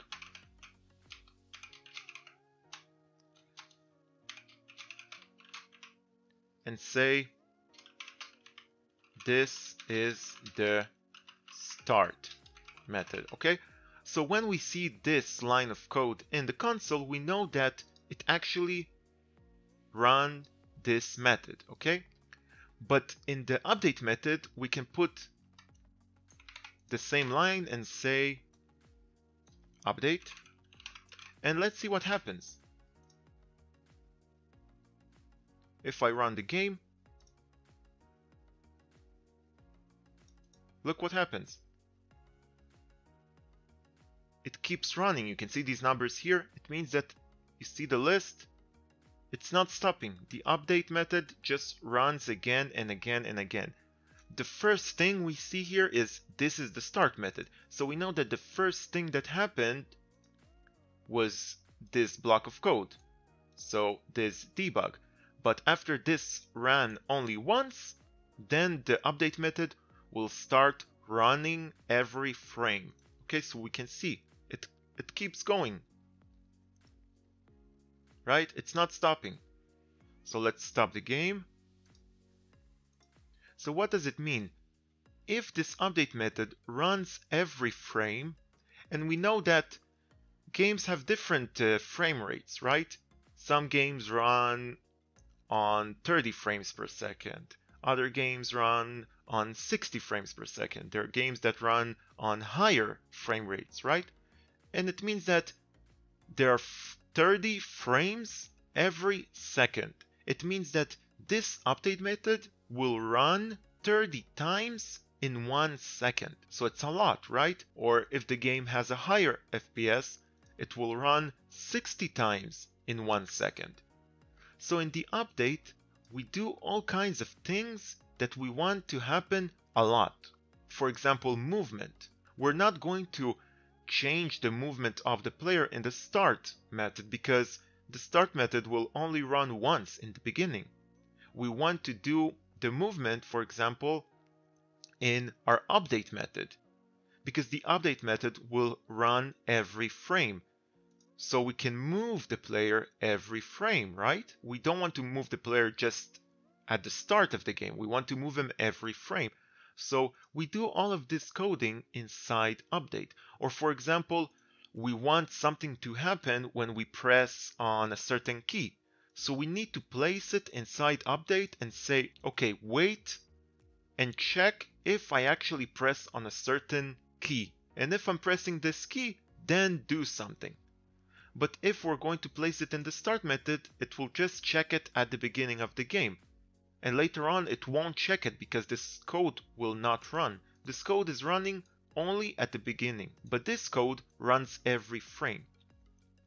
And we can also see it visually. For example, let's put Let's create a variable. Let's call it private int and call it frame. Okay.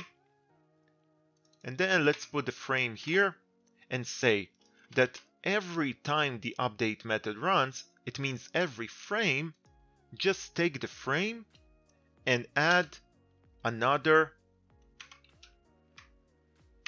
number to it, right? So it will be 1, 2, 3, 4, 5, 6, 7. Each time this code will run, it will add 1 to the frame. Because here it's 0, right? It's not, let's just specify it. So here it's 0. And then when the update will run, it will increase it by 1, okay? And we can also see it happen in live if we use the debug. So we can use the debug and say, show me what the frame value is, okay? So now we're going to see live what is the value of frame. And we can see that we're adding one each frame. So let's see what happens. Play. We can see here, this is the live counter. 170, 180, 140, 200 and 300, you can see it runs very fast because it increases it by one every frame. Not every second, every frame. So that's why it's so fast. And we can see that if we run the game, we can also go here. Here, stats. So we can see that it runs on 36 FPS. So 38 FPS, something like that. Right? So that's why we see that it runs so fast because it actually adds one to it every frame. So we have about 37 frames every second. So every second it will add one to it, right? Because it just runs this block of code every frame. So then you say, okay, but that's not very accurate. What if one person runs it on 30 and another runs it on 100 FPS, then it will be weird. And that's right. That's why we use something called time delta time. Okay? So of course we need to change it to float because it works with floats. So let's change the frame to float. So this time delta time is something we usually use when we want to make the speed or the values be consistent with the frame rate. Because if it's going to run 30 times every second and for another person it will run 60 times every second, the game will look weird, right? For one person it will be slow, for the other person it will be faster. And we don't want this. We want that the speed will be the exact same speed for every person. So it doesn't matter what is the FPS.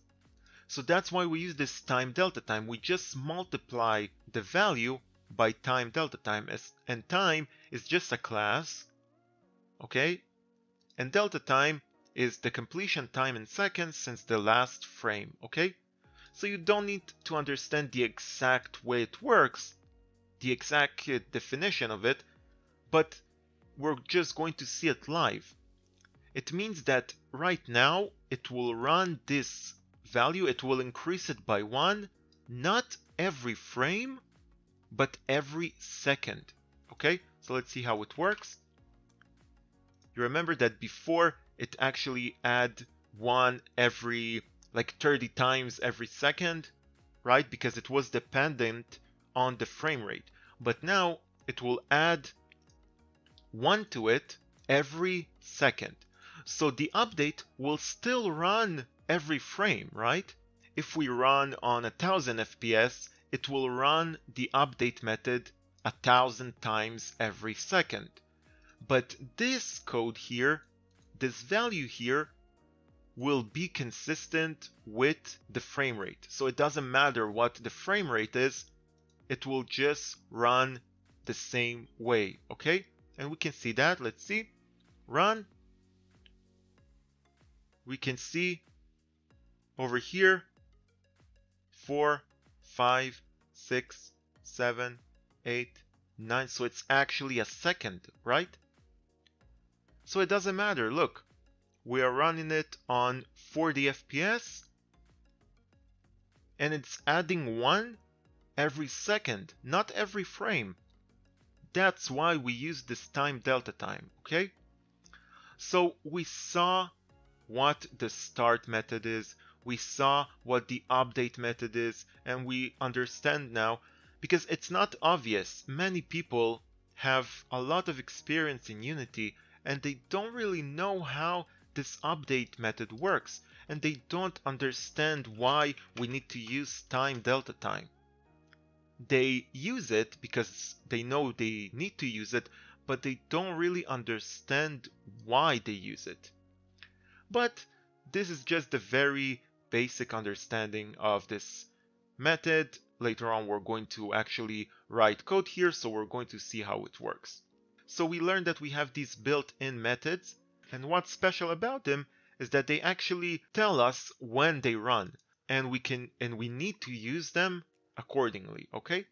But then there are our custom methods. So methods that we want to create for different purposes. For example, I want to create a method to calculate something. Calculate price. So you can see that method names, we can use capital letters, right? So it will be easier to distinguish between them and variables. So we can create a custom method to calculate the price or something, and we can do as many as we want. But now there's a question, so when do these run? We know that the start method runs at the start. We know that the update method runs every frame. But when do these custom methods run? These custom methods will only run when we tell them to run. Okay? And the way we actually call them, okay?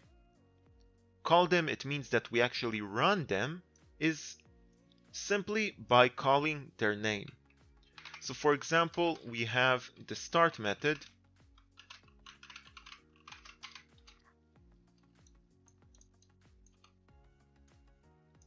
and we want this method to run at the beginning of the game. So all we need to do is take the name of this method and place it here and put a semicolon. So right here we don't have these brackets because we don't need to write any code. We're just calling this method, okay? And then it will start, it will run this code right at the beginning of the game. It will start the start method, it will search for some code, and it will reach this line, and it will know, okay, I need to run, I need to call this method. And then it will simply go here and it will run the code that is inside this method. And when all of this code finished running, it will come back here and it will just continue with these lines, okay? So if there will be another thing here, it will first do this, it will call it, it will go here, it will run this code, and when this code is finished, it will come back here to the next line, and it will go to this code, okay? But remember, if we place this method in the start label, it will only call it once at the beginning of the game.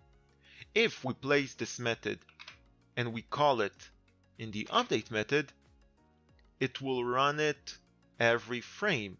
So we can also see how it works. We can go to this calculate price and simply say int price equals to apple plus banana and before that also apple equals 5 and banana equals 5 okay so the price should be 10 and then we simply use the debug log so we can actually see the price visually and we place the price inside so the price should be 10 so all this method does is calculate the price and shows us the price in the console. But now, when will it run this code? It will run this code because if I was to just take this code and run the game like that, even though we have this code over here, it will not run the code, okay? Let's see it. We don't have it here. We don't have it here. We do have this debug log. I saved it. Let's run it. Let's just delete all of that because that's from earlier. Let's run. There's nothing here. There's nothing in the console. Why? We have this debug log. Why we can't see the price in the console? Well, because we didn't even call this method. We created it, okay? We created it inside the class, but it doesn't know when to run this code. Because as we said, every method has a certain time to run. This will run at the start. This will run every frame. But this one is a custom method. So we need to call it. But we're not calling it. We're not calling it in the start. We're not calling it in the update. And this is just a method by itself. So in order to actually call it, we need to call it. Or start or update. If we place it in the update and we call it in the update, it will go and call it every frame. So now let's save. Let's go here. Let's restart play and we can see that it actually runs it every frame. 10 10 10 10 10 and it keeps doing it every frame. So it's not stopping you can see. It keeps going and printing it frame after frame. 10 10 10 10 10 10 10 because it goes to the update method and the update method runs every frame so it just runs and calls this method every frame. So methods that we created by ourselves, we have to call them by ourselves, okay? Unity will not know when they should run without us calling them, okay? So now that we actually learned about methods and how to use them, we learned about variables. In the next episode, I promise we're going to continue with this script and write the code to finally move our player. Yes, it is a series for beginners and the important part is to learn the basics, but we also want to continue with our game and we don't want our player to just stand here. We want to be able to move him because that's the whole point of gaming. We want to be able to do something. We want to be able to use this code to run this visual object, okay? We want to run the game and we want to be able to control the player. We want to be able to do all kinds of things. So thank you for watching. Please subscribe if you still did not subscribe. It will help me a lot. It will also help you keep track of every new episode. So see you next time. Hello there and welcome back. In the previous episode, we learned a bit more about variables. We also learned about methods and how we are actually using them in coding and that methods are used to execute some code in a specific time. So we have built-in methods like update and start that happen in a specific time and we have custom methods that happen that run whenever we call them and they will not run if we are not calling them. Okay, so in this episode we're going to continue with the player movement script and after we finish the script, we're going to go back into Unity and do some things that are more related to the actual software. And we're always going to go back into the code and go back into Unity. So we're going to learn both of these things simultaneously. But the code is very important because most people get stuck on the code. They're not getting stuck on the software because the software even if it has all these different features, it's pretty easy. But the code is where people get stuck because they can't understand it. Not only that they can't understand it, but they can't just go forward and build their own code. Maybe they can copy some code and they they can understand it, but they cannot build their own code and then they just get stuck and they quit. So learning the code is the thing that will ensure you that you will actually progress more than just the average person that starts and quits. Okay, so that's why I really want to make sure we're learning the code very good and Unity will just happen by itself. We're definitely going to use all that we can and we're going to see different features like animations and things like that but we're going to focus on coding as much as we can. Okay? So in order to continue with our player movement script, we need to write more code, of course. So right now we have a variable that will control the speed. We have a variable that will store some values to keep track of some position, right?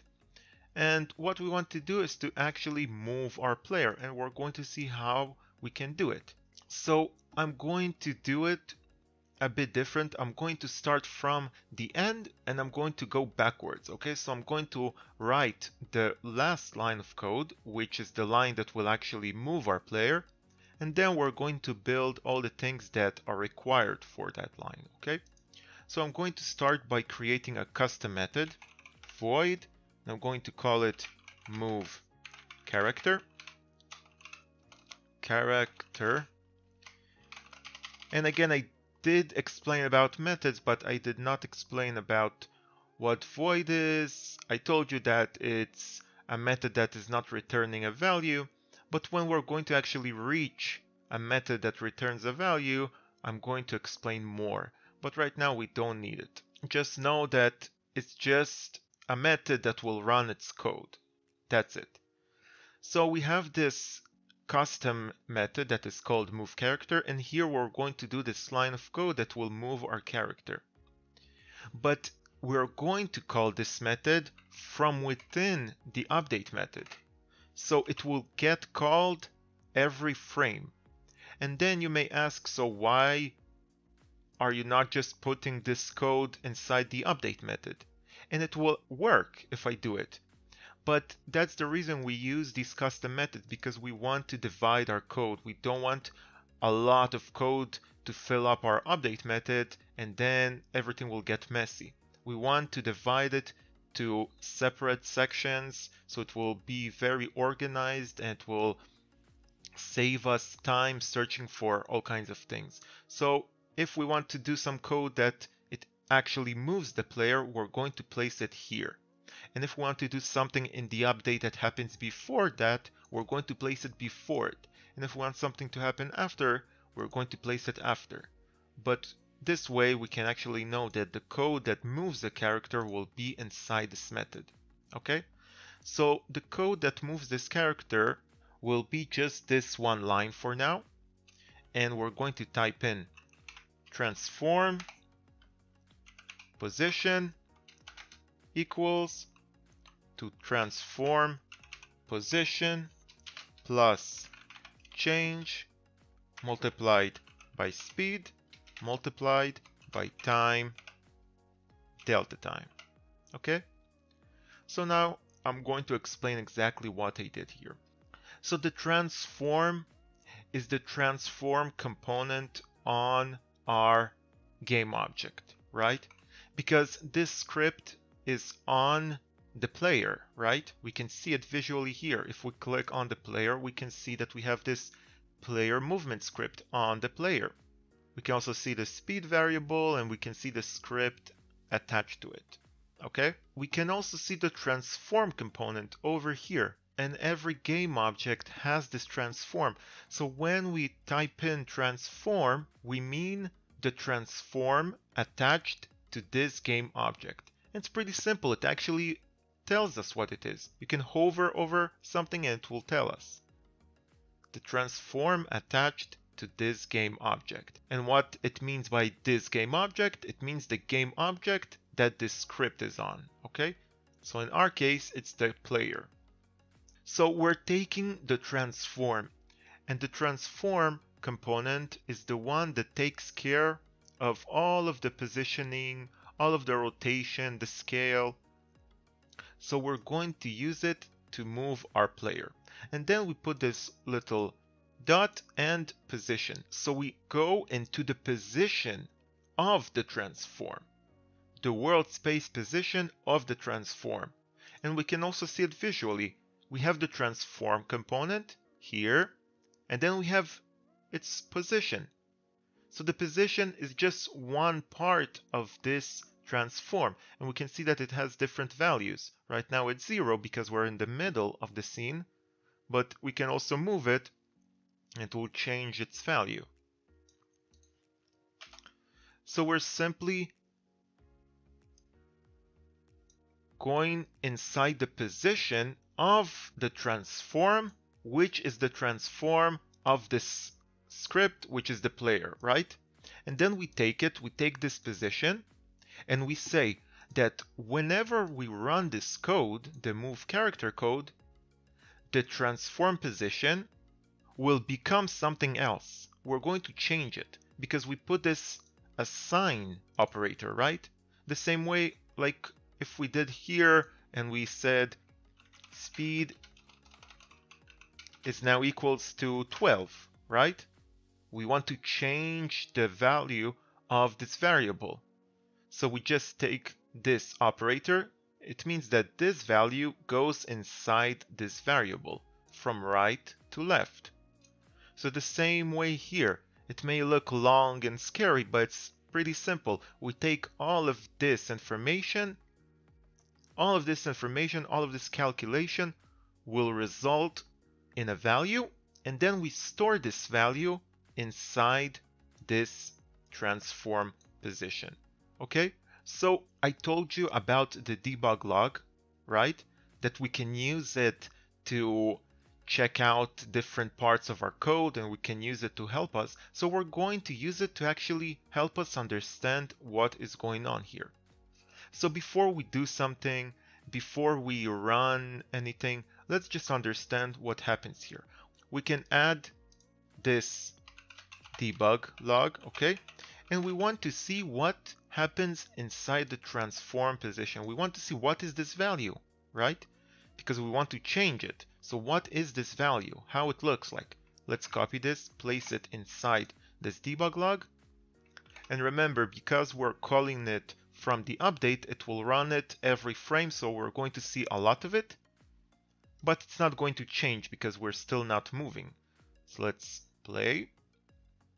And we can see here on the bottom left side, or we can just go into the console, it says 00, 00, 00, 00, 0, right? Because it simply stores these values, the X position, the Y position, and the Z position. So it's 0, 0.0 because it's a float, right? Remember floats are numbers with a decimal point. So it means that the X is 0, the Y is 0, and the Z is 0. And it's right because our player, we can see if we click on the player, the position over here, it's 0, 0, 0. So it simply shows us the position of the transform, right? It's 0, 0, 0. So the transform position right now is 0, 0, 0. That's it. And what we're actually trying to do, we're trying to move our player. And to move our player, we need to do something to change its position, right? So if we want to move it to the right, you can see the X position is changing. And if we're going to move it to the top, then also the Y position is changing.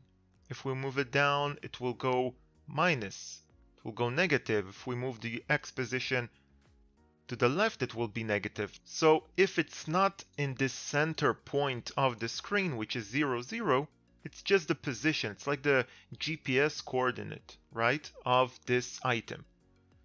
So every point on the map will have a different coordinate, a different x and a different y, exactly with these lines like I told you, like I showed you with the x-axis and the y-axis. Each position will have different values, okay?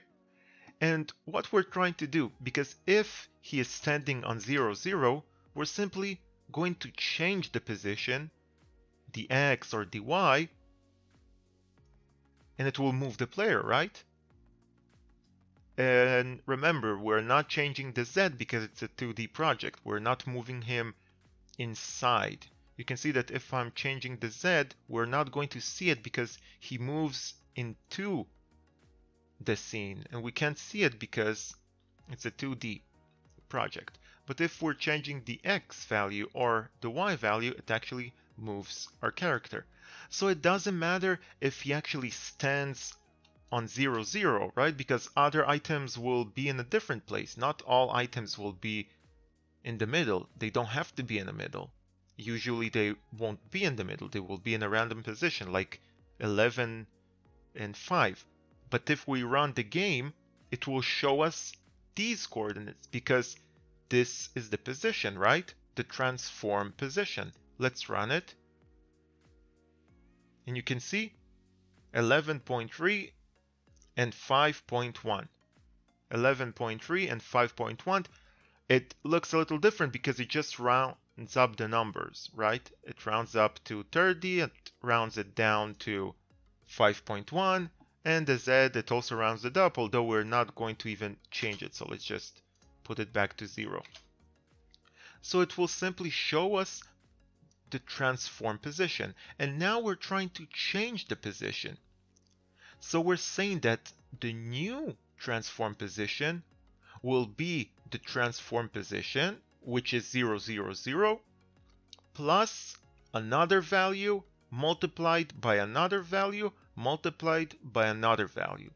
So all of this calculation will change the position of the transform and then it will all go inside the transform position and it will simply move our character because the transform position will be different.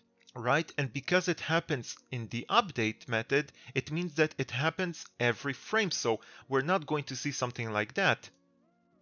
Okay, he's not going to just appear or teleport himself here, but he's going to move there. It will look very smooth and natural because it happens every frame. Okay, so that's what we're doing here. And we're taking these values, the original transform, the position that the player is at now, and we're simply adding to this transform position. So we're moving it, okay? We're changing it. And for example, we're going to do it very simply. We're going to put some change, and the change can be anything. The change is this vector, right? So this change will have some change that happens to the transform position. So we need to change this change, okay?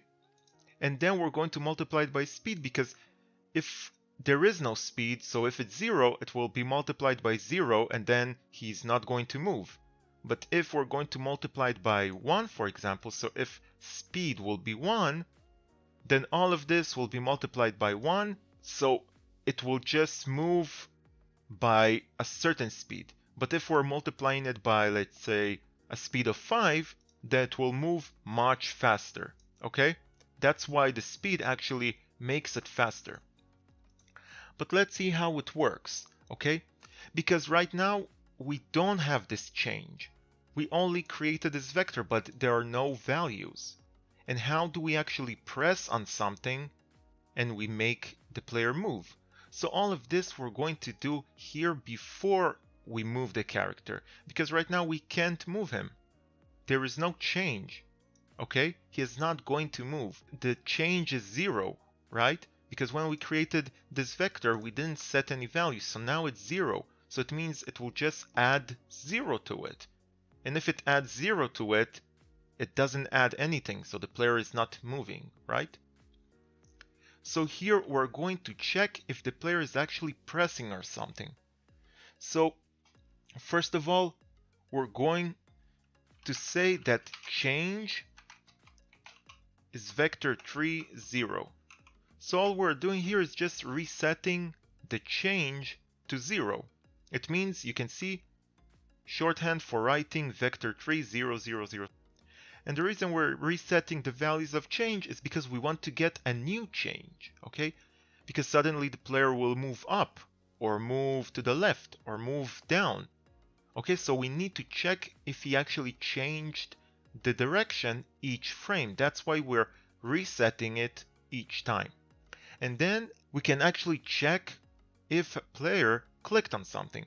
So we're going to take the change x. So this is simply the x value of change, right? Because it's a vector 3 and it has these three values. So we're simply going to change the x. So we're doing change.x and we're going to change the value into something and the something will be input get axis raw and we're simply getting the axis of the horizontal. So what it means? It means that all the keys that are associated with horizontal, if the player presses on them, it will give us a value, and then this value will go into change x, okay? So if we go here into edit, project settings, and then we go into input manager, we can see that we have different axes. So we have this horizontal axis and we have this vertical axis. So if we expand this horizontal axis, so we can see that it actually has different buttons. It has the left key, it has the right key, it has the A key, and it has the D key. If we press on A, it will move to the left. If we press on D, it will move to the right. So these are the default keys for moving. You can always change them. You can just go here and change it to something else. But these are the default ones because usually these are the keys to move the player left or right. Okay? So then we're looking for any key that is the horizontal axis. So here we're simply checking each frame if the player is pressing on A or D or left or right. And the reason it says negative button or positive button and it says alternative negative button or alternative positive button is because if we press on right, it will return the value of 1. If we press on left, it will return the value of minus 1. And the same thing here. If we press on A, it will return the value of minus 1. If we press on D, it will return the value of 1. And we can see it because now if we stand in the middle, if we go to the right on the x-axis, you can see it's positive, right? And if we go to the left, it's negative. And the same way, if we go up on the vertical axis, if we go up, it's positive. If we go down, it's negative. So we're going to get one of these values, plus 1 or minus 1, okay? And with this value, we can actually understand what is the direction the player is moving. And we can use this value to move our player. So here we're simply taking minus 1 or 1 and we're placing it inside change.x. So now change.x will be either minus 1, 0 or 1, okay? And then we're going to do the same thing with change y. Because if we go here, project settings, input manager, we want to get the vertical axis. So if we press on the down key, on the up key, on the S key or the W key. So vertical, okay. So now it will check if we're pressing on one of these keys and it will also take the value and place it inside change.y. So then it takes these two values and it stores them inside change. So for example, here we're going to press on going right, then dx will be 1, right?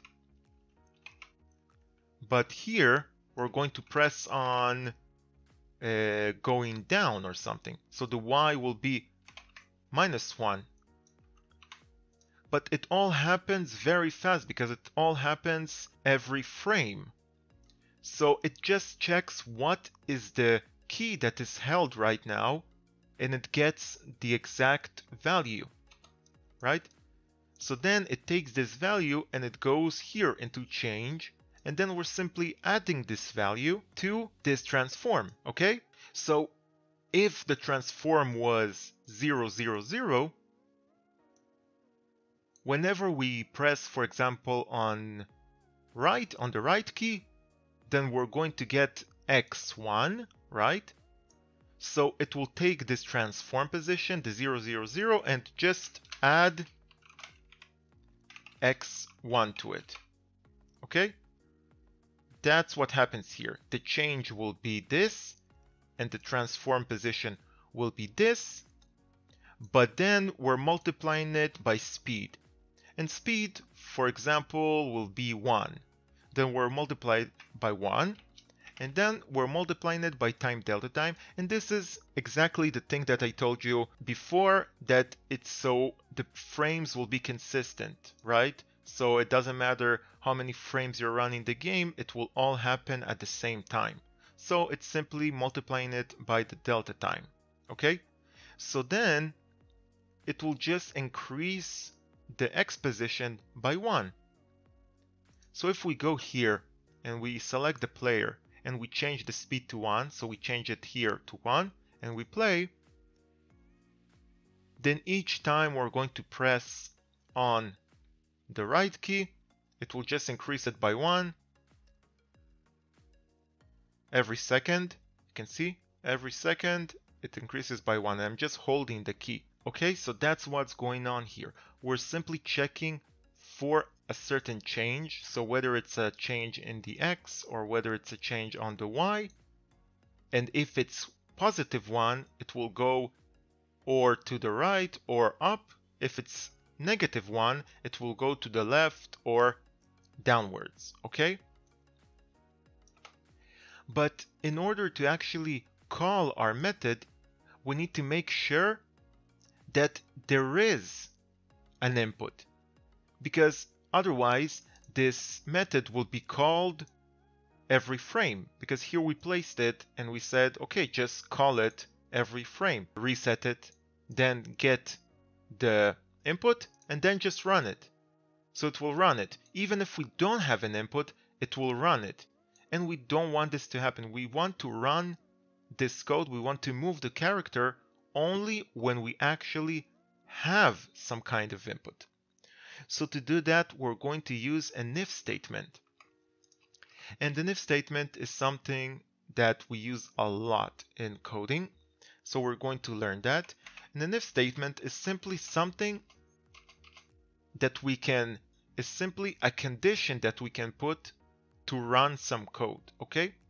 So we do it like that. We type in if, then we put these brackets, and then we put these curly brackets.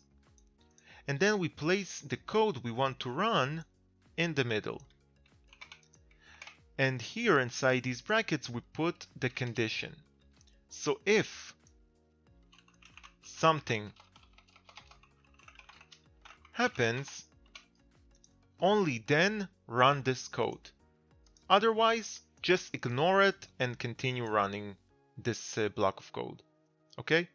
So if this condition is actually true, if this condition actually happens, then run everything that is inside these brackets. If this is not true, then just skip it and you're not going to run this code. You're just going to continue here if there is something here. If not, then just don't do it. Okay? So what we want to put as a condition to move the character, we want to check if the change is actually changing, right? We want to see if there is actually some change because here we're putting it to zero and here we're waiting to get some kind of values.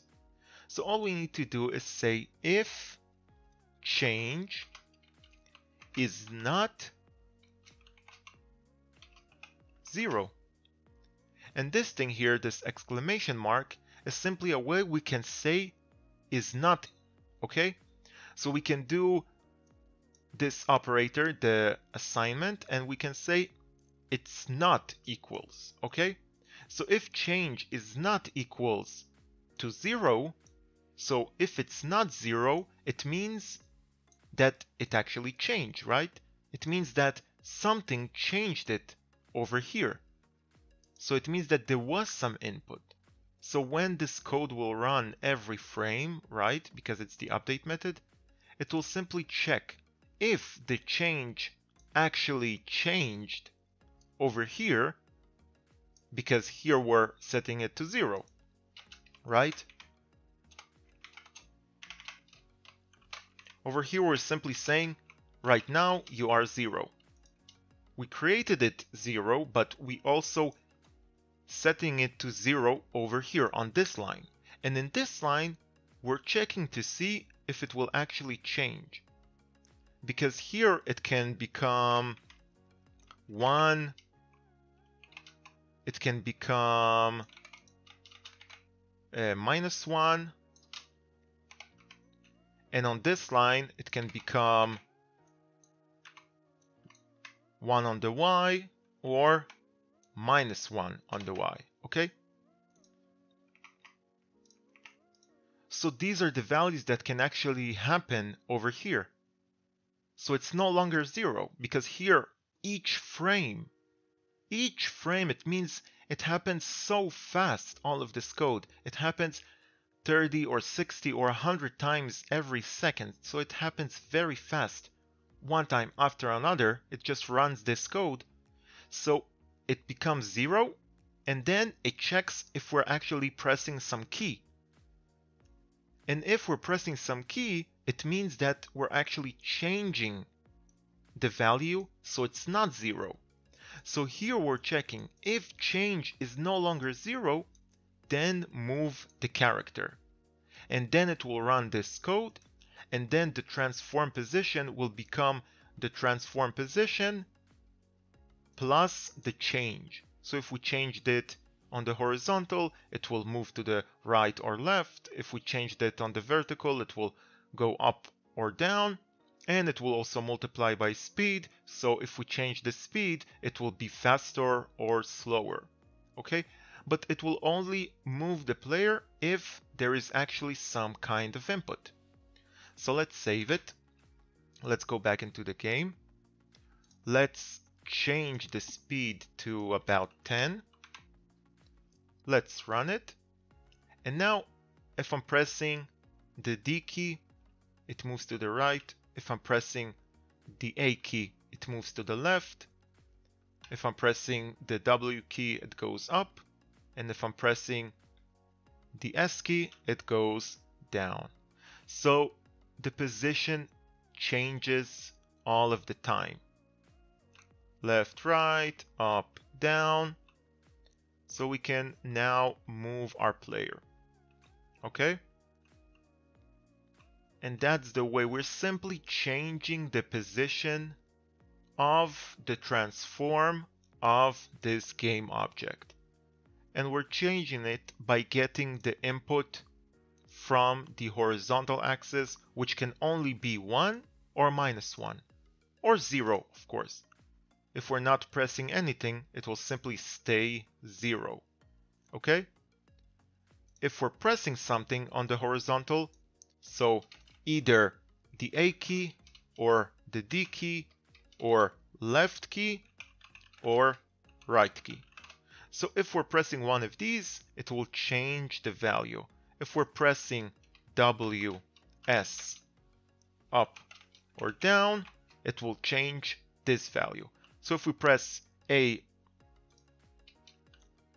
or left, A or left will give us minus 1.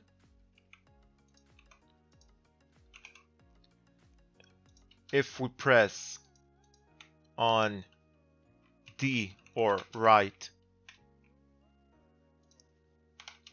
it will give us 1, positive 1. And here, if we press on W or up, it will give us 1. And if we press on S or down, it will give us minus 1. So here the Y will change and here the X will change. Okay, so it simply searches for an input and it does that every frame so it happens very fast. So each frame it looks for some kind of input. So that's why we can move and then move and then move and then change the position and change the direction very fast because the code runs even faster than that. And if there is no change, if we're just standing still, it means that change is zero because we didn't change it and it will come here and it will see that it's zero. So it will ignore this code and it will not run this code. So it will just go here and end and then it will come back to the update method on the next frame. And it will of course happen very fast. But we'll run this method, it will call this method only when this condition is actually true. Okay, so that's the way we use the if statement. And there are a lot of ways we can use the if statement. We can also do something, if this happens, do this. And if something else happens, do something else. So there's a lot of ways we can use this if statement and we're going to use it a lot. So don't worry about that. But that's the way we can control doing something if something happens or if something is not happening, right? Because here we said if it's not zero. So if it's not happening, then do this. And this is the way we are actually moving our player. There are more ways to move objects inside Unity. We use the transform, so that's the most basic way. We can also change the position of the game object by moving its rigid body, okay? But we still did not talk about rigid bodies. So when we're going to talk about rigid bodies and actually use them, then we're going to see how we can move it using the rigid body. So a rigid body is simply a component that we attach on our object if we want to use some kind of physics on him. So if, for example, we're creating a platform game and we want the player to jump and then fall down, or we want something to fall or roll or bounce, things like that. So we use a rigid body component on our object. So if we have, for example, a ball, we can put it on the ball and then the ball will do all kinds of things. So we can actually move the actual rigid body, but if we don't have a rigid body, we can move the transform. And in our example, we don't need a rigid body because there are no physics right? There is no gravity. The player can't really fall because we're standing on the ground, right? It's a, it's a top-down game. We're looking at this player from top, so he's not really going to fall. He's just standing on the ground. So we don't need a rigid body. So this is the basic way to move objects. And the speed, we didn't change it inside the code, right? But because it's public, we can change it here in the inspector. We can also make it 100 and then it will be very fast. See?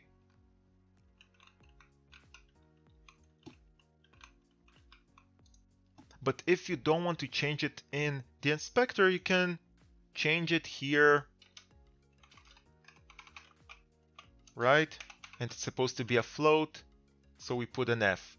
You can also change it actually here in the actual calculation. You can put 100 instead of the speed. But the problem is that this way it will be hard coded. And hard coded means that we set the code here and we can't change it. I mean, we can change it, but we have to go here and actually change it manually. But if it will be 100 here, we can't change it here. We can change it, but it won't change it, right?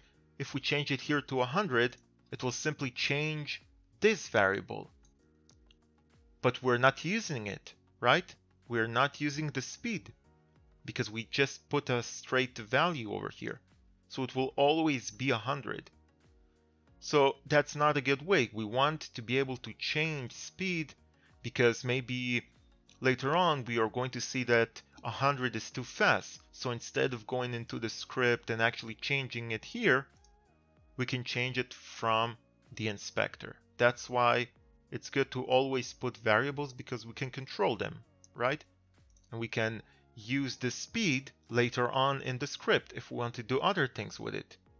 So instead of writing 100 and then some other value, we can just put speed here right? And it will know that it's this speed and it will know that it's this speed. Okay, so let's put it back to 10. Let's run it again. And now we can finally move our player. And remember, this is just the scene view. So this is the scene view of the game, but here in this little window or this big window, this is the actual game. So this is the way it will look inside the game. We're not going to see these lines, the axis. We're going to just see this, okay?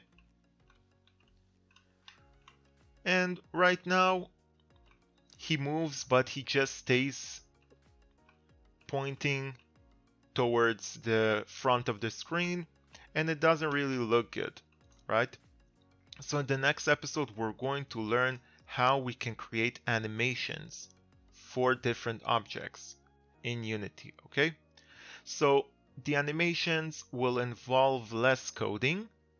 It's something that we do in Unity itself, but there's some coding involved because we need to actually set where the animation will start and at what point. So we're going to place it inside the script after we actually created the animations. Okay. So thank you for watching. Please subscribe if you're still not subscribed. It will help me a lot. It will also help you keep track of this series. And little by little, we are actually learning to code. And if you didn't understand something, so please type it in the comments. I will try to explain it even better. Let's just remove these things, or we can just leave them for now so you can read them later. And see you next time. Hello there and welcome back. In the previous episode, we finished our movement script, so now we can move our player. And in this episode, we're going to start learning about animations because right now, although the player can move, it still looks weird and with animations, we can make it look better. But before we dive in into the animations, I have something that I forgot to show you here in the script so I told you that we have this vector 3 and we also have vector 2's, right? So vector 3s have x, y, and z, and we usually use them in 3D projects, and vector 2's have x and y. So you may be wondering, why did I use vector 3 over here if we didn't even use the z, right? We changed the x and the y and we used both of them to move our player. We didn't even use the z. So why did I use vector 3 over here? And there's actually a reason. I didn't do it just because there is a reason. So the reason is that if I used a vector 2, it would just give me an error, okay? And the problem is this part over here. Because if we hover over this transform position, we can see that it's actually a vector 3. And it makes sense because the transform position of the player has these three values, 0, 0, 0. Or if we move the player, it has different values. Even if the Z is not uh, used in this project, it still stands at zero, right? So the transform position is a vector 3. So here, when we try to change it by adding this change vector, if it was a vector 2, it would just give us an error, and we can see it. Let's change all these vectors into vectors 2. So over here, there will be no problem because we simply created the vector. Then we set it to 0, so it doesn't matter if it looks like that or if it looks like that, right? Because it's still zero. We just care about x and y over here. So it doesn't give us an error. Also here we check if it's not zero. But here it gives us this error because it says operator plus is ambiguous on operands of type vector 3 and vector 2. Because it says, well, you can't add a vector 2 onto a vector 3. Because the position is something like that, right? 0, 0, 0. And then we're trying to add a vector 2 to it. So for example, we want to add 1 on the x-axis. So this is how it would look like, right? The transform position is 0, 0, 0. And the vector 2 would be, for example, 1 and 0. Then okay, we're going to add this one into the x. The y will not be changed because it's 0. But what about the z? Even if we're not changing it, we still need to notice it. It will just say, okay, what about the z? It will just give us an error because we can't add, there's something missing here, okay? And that's why we can't use a vector 2 over here. We have to make it a vector 3 even if we're not really using the third value. Okay? So if you were wondering, that's the reason. So now we can start with the animations. In order to create an animation for any object in Unity, we simply need to select the object and go into our animation panel. So we don't have these panels yet because when we install Unity, they are hidden. So all we need to do is go to Window, Animation, and we're going to add this animation panel. And we're going to drag it and place it over here. I like this location. You can place it wherever you want. Then we're going to add another panel, and it's this animator. Okay? And the animator appears here next to the scene. So there's another tab over here. So this animator panel, it's where we're going to create all of these connections of our animations to the object and set all of these transitions. When will it happen? How long will it happen? The animation panel is where we're going to actually create these animations, okay?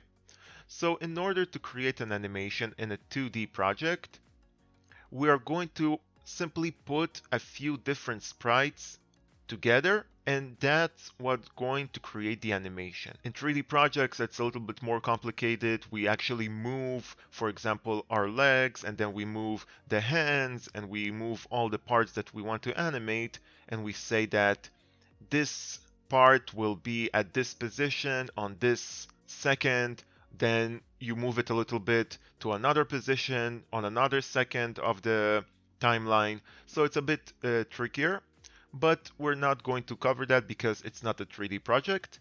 In 2D projects, it's simply about using different variations of the sprite. So we have all of these here, and the sprite sheet that we downloaded has different animations. So it has these walking animation, all kinds of uh, attacking animations. We can also download weapon animations in that website. But we can see that we have many different variations and it's all one animation, okay? So in order to start with the animation, we're going to simply select the object that we want to create an animation for. And we click here on create. So it says to begin animating player sprite. Create an animator and an animation clip. So when we click on create, it will ask us to select a folder to store all these animations. So we're going to simply create this folder,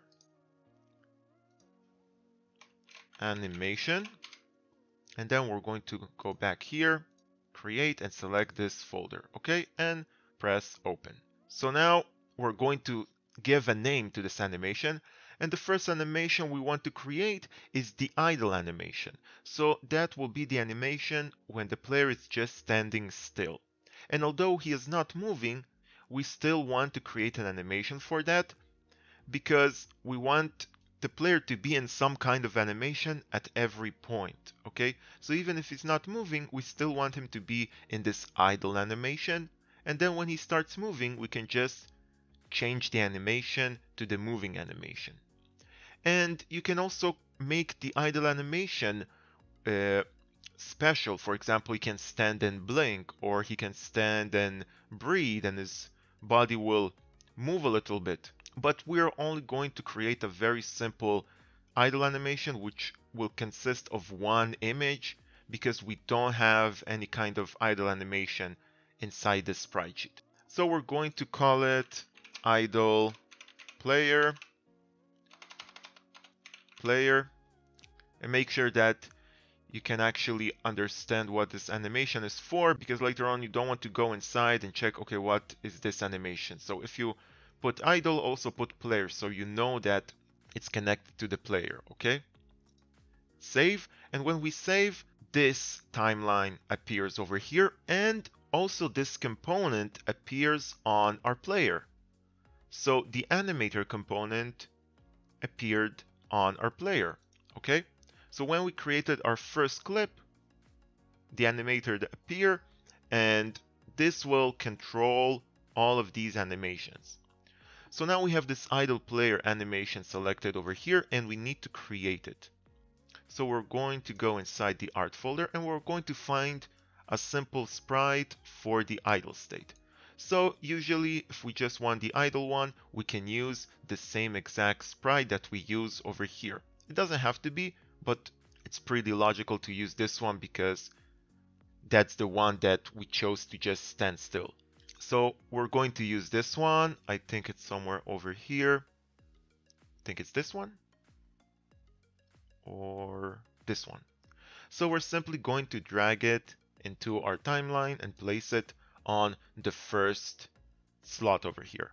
You can always change the way you see this timeline. You can go here and change it from seconds to frames, okay?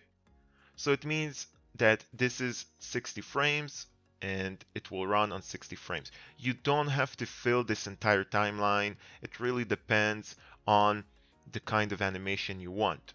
For example, in 2D projects, and especially with this pixel art style, you never really get to a lot of frames because you can see they just gave us these nine variations of every animation. So it means we can only have nine different frames. So it won't be a full 60 frame animation. If you had something else, for example, a fire or something like that, and you want it to be very smooth and very animated, then you can have maybe 60 different images and then place them on every frame and fill this entire timeline.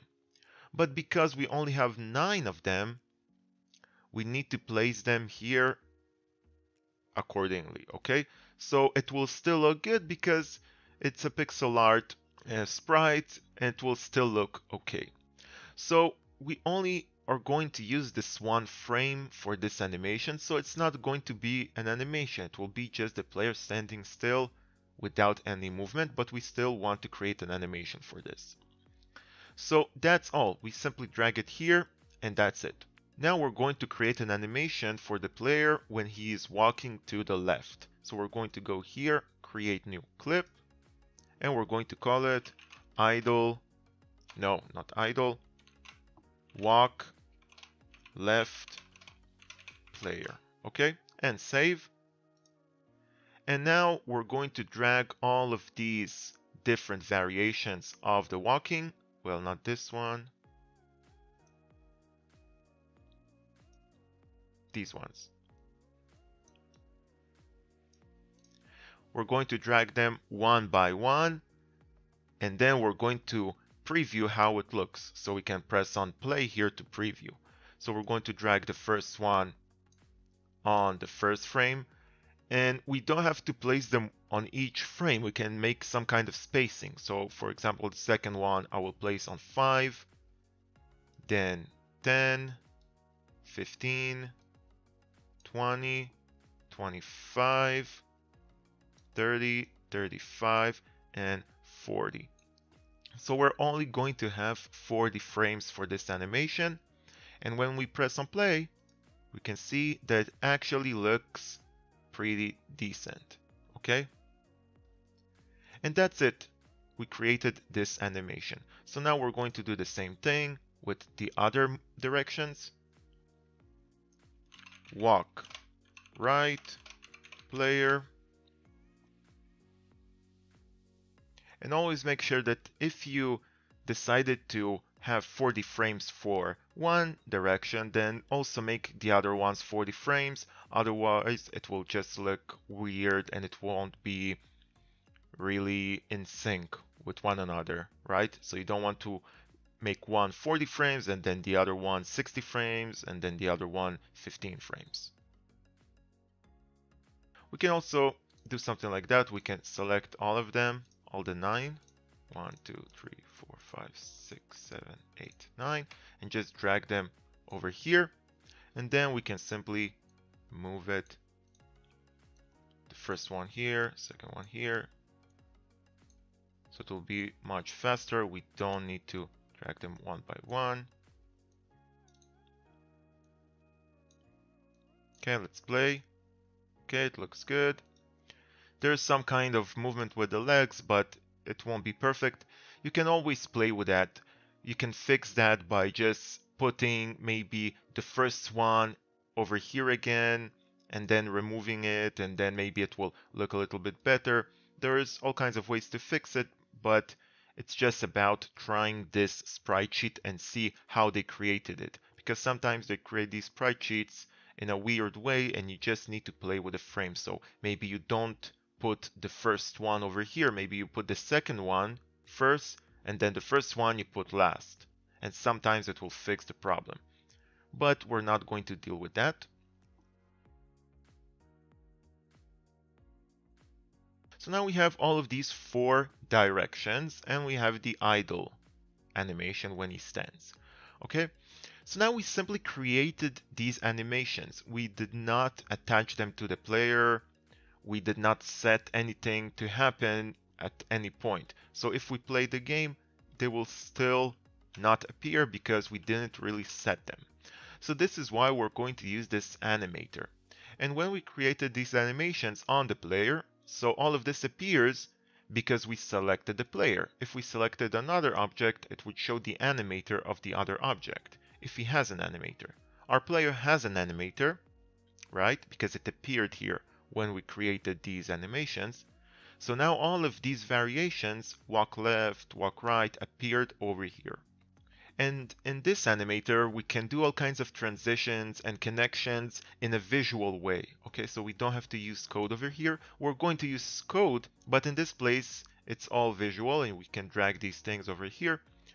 But we're not going to use these ones. We can use them in a very simple way and it will work.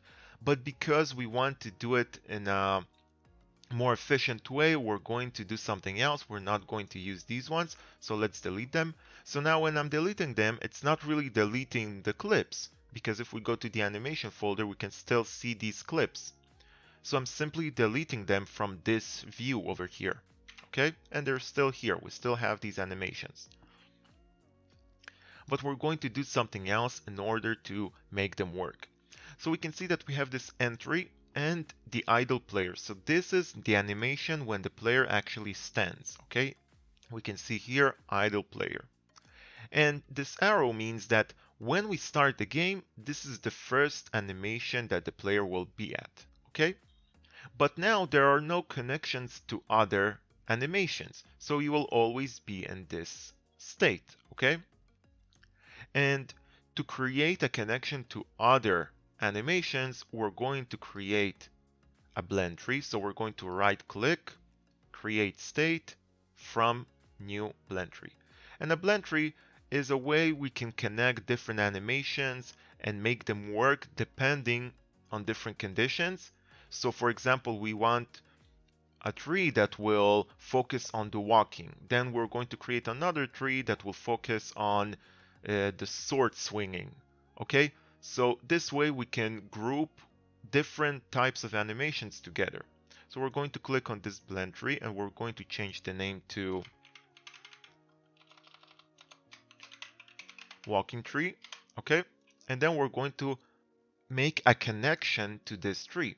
So all we need to do is right click on idle player and select make transition.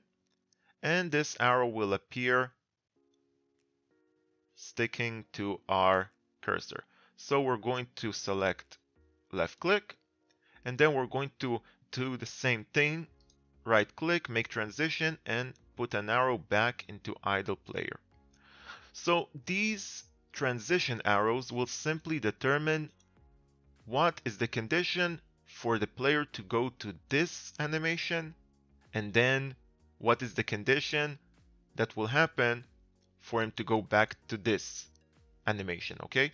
So we still did not connect the walking animations over here, but we want some kind of condition to go over here, okay? So when we click on one of these arrows, we can see this thing here and we can see conditions.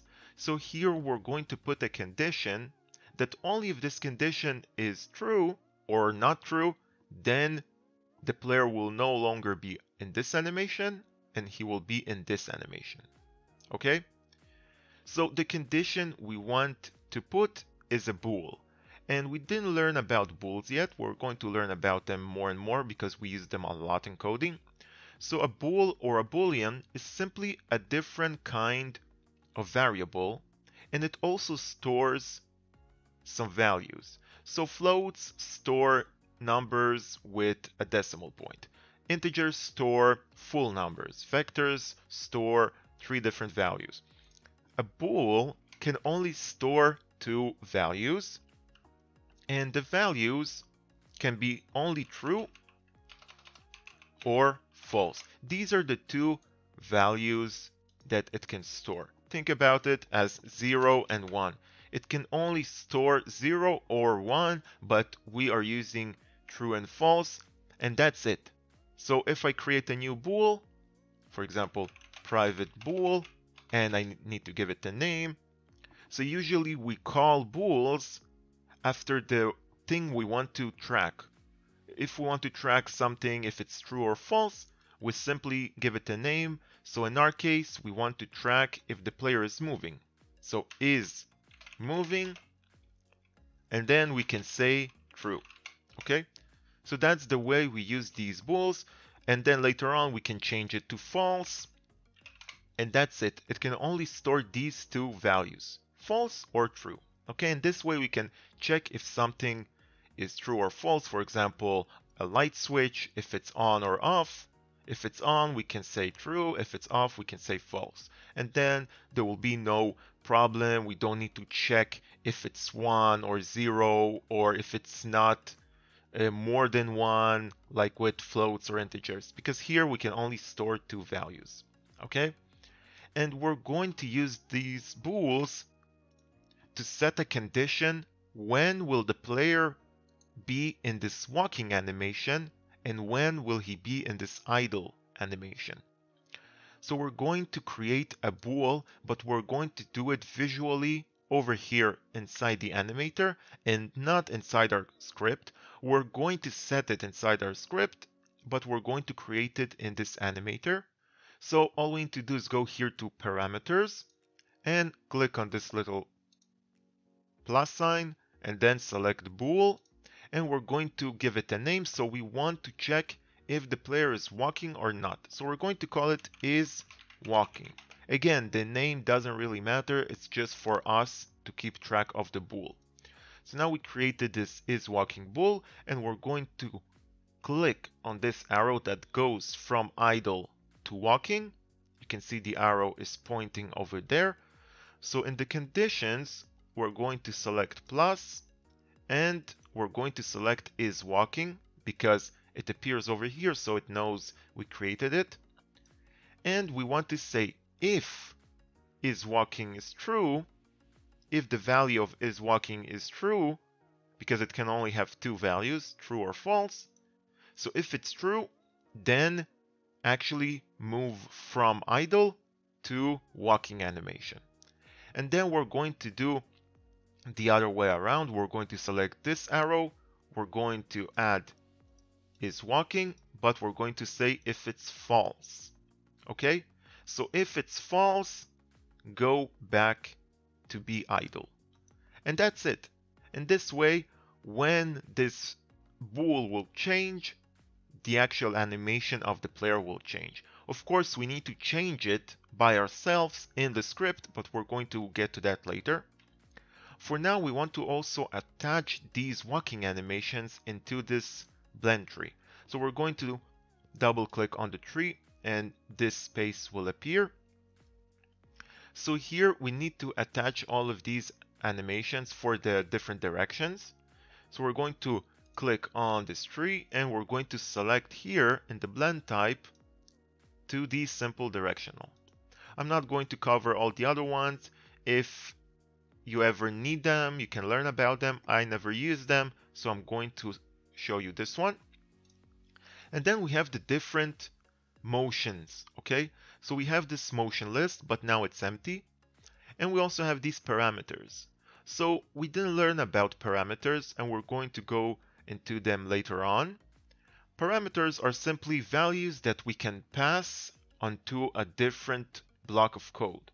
So for example, we want to pass some kind of information inside this move character so we can place this information over here and then it will get it from within this method okay so these are parameters of course I'm going to explain it much better later on but right here we need to create two parameters that will help us decide when to activate these different animations. Because what do we have here? We have four different animations and each animation is basically a different direction, right? So using this blend tree, we can activate them according to the direction we're actually walking. So we don't need to create more bools and then say, okay, if the player is walking to the left, uh, then is left, then if it's true, then activate this animation. If he's walking to the right, then set is right to true. We can do that. We can definitely do that, but it's really pointless because we can do it in a very simple way using this blend tree. So we're going to add these motions into this list. We're going to click on this plus, add motion field, and we're going to create four of them because we have four animations, right? The idle player we already have here, so we don't need to touch it. So we're going to add four different motions, but right now they're empty. And then we also have this screen that will help us visually see the direction.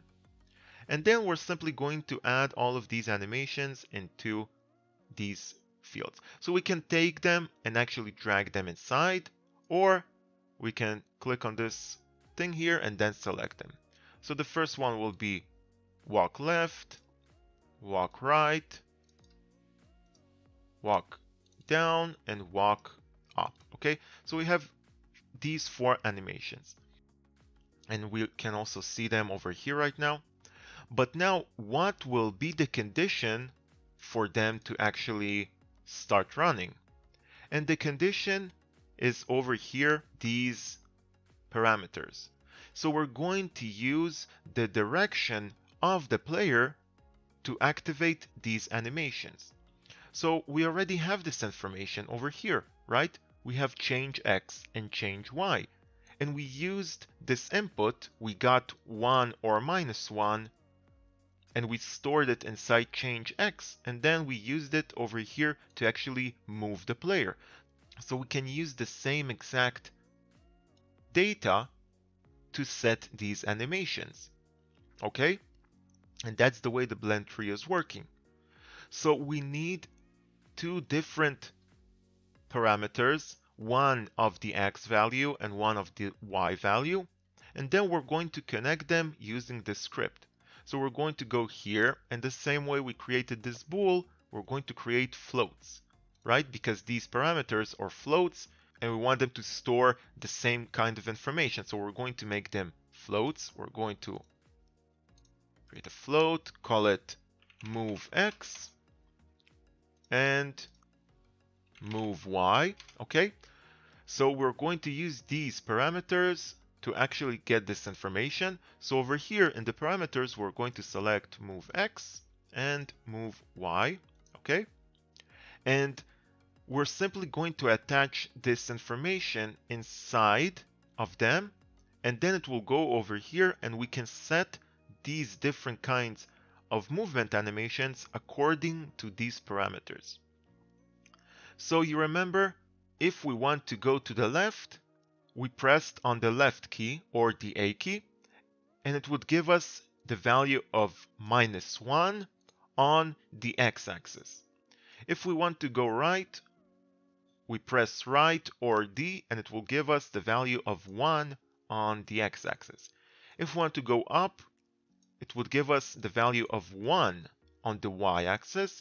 And if we want to go down, it will give us the value of minus 1 on the y-axis. So we're going to use the same values to control and set these animations. Okay? So over here, we need to set these animations according to these values. What do we need to activate the left animation? If we want to go left, we're simply going to use the same thing we used here, right? Minus 1 on the x-axis. So we're going to place it here, minus 1. And the y should be 0 because we're not moving on the y-axis. If we move to the left, we're not moving on the y-axis. And then what do we need when we move to the right? 1 on the x-axis, right? You remember? 1 on the x-axis and then and 0 on the y. And then what happens when we go down? Minus 1 on the y-axis. So on the x-axis it's 0, on the y-axis it's minus 1. And to go up, 1 on the y-axis. So 1 on the y-axis and 0 on the x-axis. And you can see that all of these little blue dots also appeared in this way. And now this blend tree simply says that if it will detect this value inside of x, inside of move x, it will activate this animation of the player walking to the left. If it will detect the value of 1 inside x, it will move to the right. It will set this animation, right? It will not move. We are going to move it over here, but it will set this animation. So as long as we're moving to the right, it will also set this animation. And when we move down, it will set this animation. When we move up, it will set this animation. And that's the way these blend trees work. But we also need to connect our script with this animator because it simply says if you have these values, then run this animation. But we didn't send these values to the animator, right? Because these are parameters. We need to send this data to this animator from within the script, okay? So to do that, we're going to get the reference of the animator and we didn't get references before, so we're going to learn about that. So to get a reference, we're simply going to find this component of the animator on our player, okay? The same way we got the reference of this transform when we wanted to move the player, right? Over here, we said transform position. So because this script is on the player, it means that if we say transform, we mean this transform. So we're simply getting this reference. And reference means the connection, right? The connection to this transform, to this component. And then we also set position, so it means that we went inside the position of the transform. So the same way we're going to get the connection or the reference to this animator component. And to do that, we're going to create a variable of this animator. So this thing here, unlike these two, unlike the float and the vector that are variables, the animator is a class. That's why it's uh, in a different color. So it's a class that is built in inside Unity and the same way we have this class player movement, animator is simply a different class that we can't see that is a part of Unity, okay? And it's also a component because we can see that it's a component that controls these animations. So we create this public animator and we're going to call it player animator. It doesn't matter again, it's just the name. So we need to make this connection so we know that this animator is this animator. Okay, and to do this connection, we're going to get the component. So we're going to do that inside the start method because we only want to get this connection, this reference at the beginning of the game. We don't want to do it every frame, right? It's pointless. We don't need to get this connection every frame 60 times a second. We only need to get it once at the beginning to set the connection.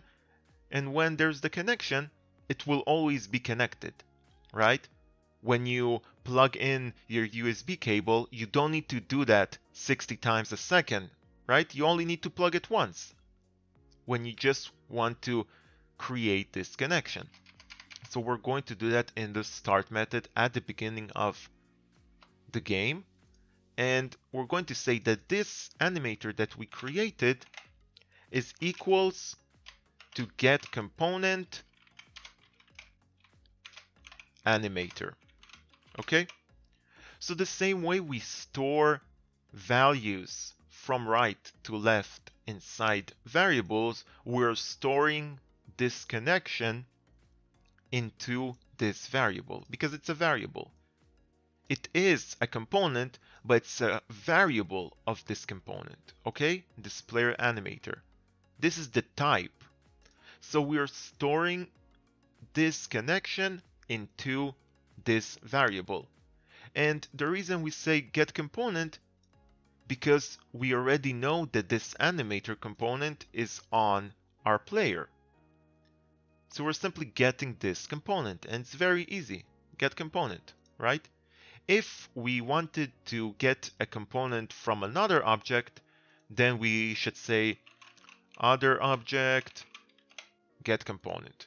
So get component from another object. But because we're referring to this object, the player, right? Because this script is on the player, we can simply say get component animator and then it will find this animator and it will get this component and get this connection.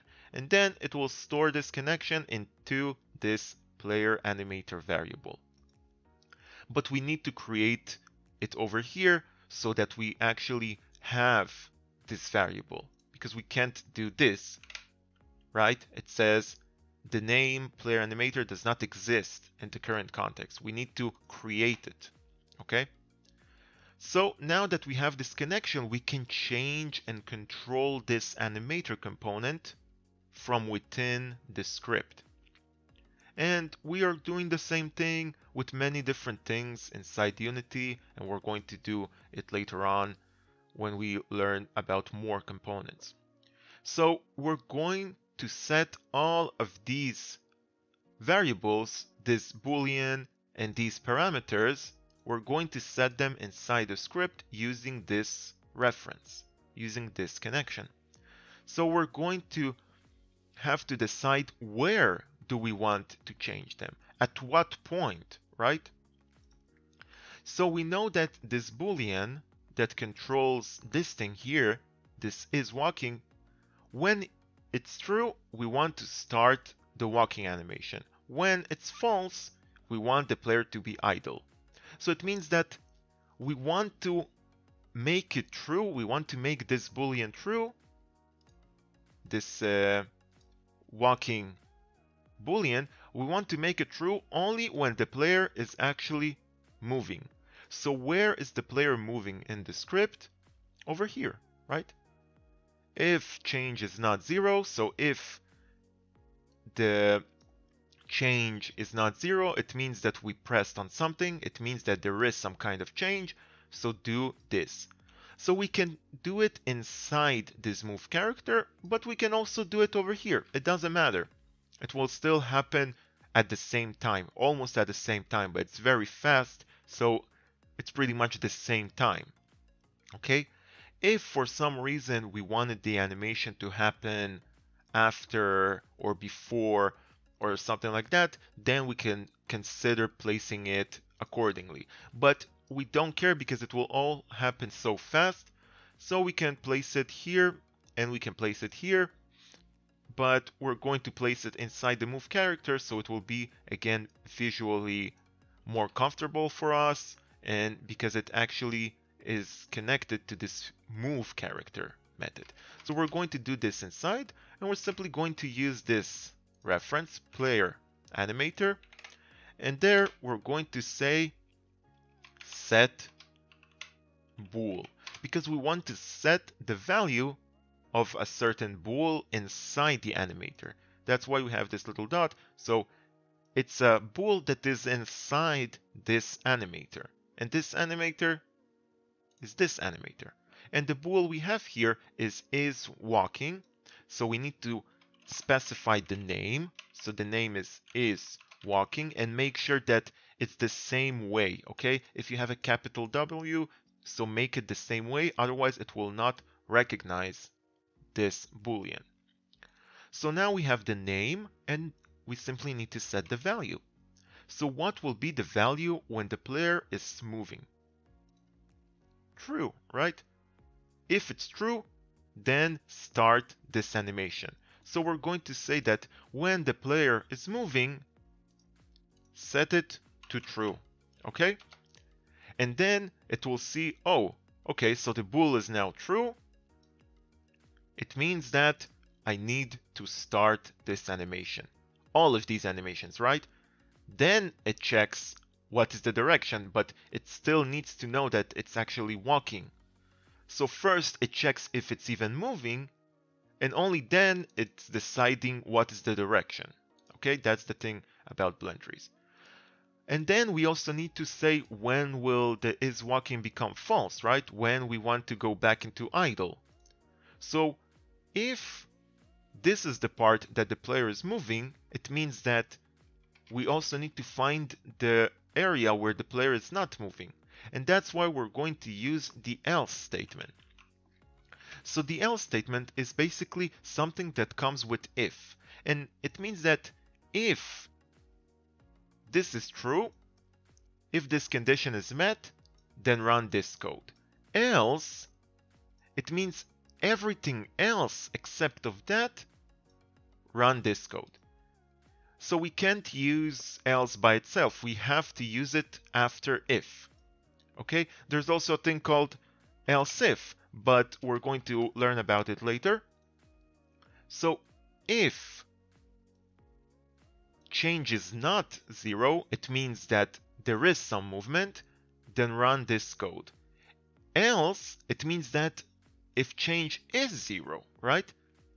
Because if it's not not zero, it is zero, okay? And then it will run this code. So here, we're going to place this thing because over here it will run it when the player is not moving okay so player movement but this time we're going to set it to false okay so if there is some kind of movement some kind of input then run this code and then it will set it to true and the animation will be walking else it means that there is no change, so the player did not put any input, then set it to false, okay? So now we are changing the value of this boolean is walking whenever we need to. So we don't want him to walk over here and we want him to walk over here. Not actually to move, but to just walk animation wise, right? And then we also need to set these two parameters, move x and move y. So we're going to set them to actually figure out what is the direction the player is moving to set the according animation. So we're going to do that also over here because if the player is moving, then set it to true and then decide what is the direction. So we're going to do the same thing, player animator, but this time it will be set float because we want to set the float. So what is the name of the float? We have two of them. We have move x and move y. So again, it has to be the same way. This lowercase m and then the uppercase x. So move x. And what is the value we want to put inside? It's this value because here we're going to get 1 or minus 1 and we'll go inside change x. So this is the value we're going to put inside. I mean, we can't go here and put a value like that because then it will always be 1 and we don't want it to always be 1. We want it to change in real time according to the actual input. So we're going to place change x. And that's the beauty about variables, that we don't need to put information by ourselves. We can just use these variables and they will do this for us. Okay, so the value of change x will go into move x. And the same thing we're going to do with move y, but change y. Okay, so this information, this value will go inside move x, this value will go inside move y, and it will happen every frame because move character is called within the update method.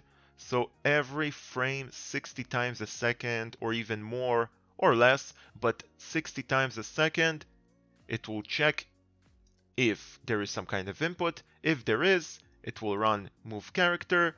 If the character is moving, then we also want to set the animation to be walking and then we are also going to change the direction animation based on these values, okay, on these inputs. And if the player is not moving, then we're going to set it to false. And that's it. And that's the way we control these animations using this animator component. And right now, it should actually work, okay? Because we have all of these connections. We can go to the scene. We can save. Of course, don't forget to save your scene. Then when we play, let's just go into this game window. When we play, there's actually this animation. When we walk up, it goes up. When we walk down, it goes down. When he stands, it's just idle. But there is something weird. I don't know if you're noticing it because you can't see my keyboard. When I walk and then I release the key, he is still walking for like half a second.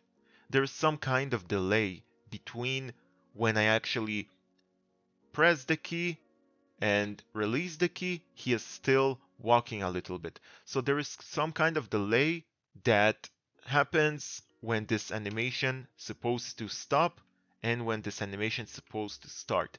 And it's actually something we can change because right now it's not I want him to stop walking when I release the key, not half a second afterwards. So the way we're changing it is by going back into the animator and when we click on these arrows, we can see this blue thing here, and it says has exit time. Okay, so this is a way to control all of these transitions. And if we want some kind of delay between the, the different animations. Okay, so we have different settings over here. Transition duration, transition offset, fixed duration, exit time. So we don't want any of them right now. For all kinds of situations, maybe you want to play with these settings, but we don't want them. So I'm going to untick this box, I'm going to untick this box, and I'm going to set this to zero. And I'm going to do the same thing with the other arrow. Untick, untick, and zero.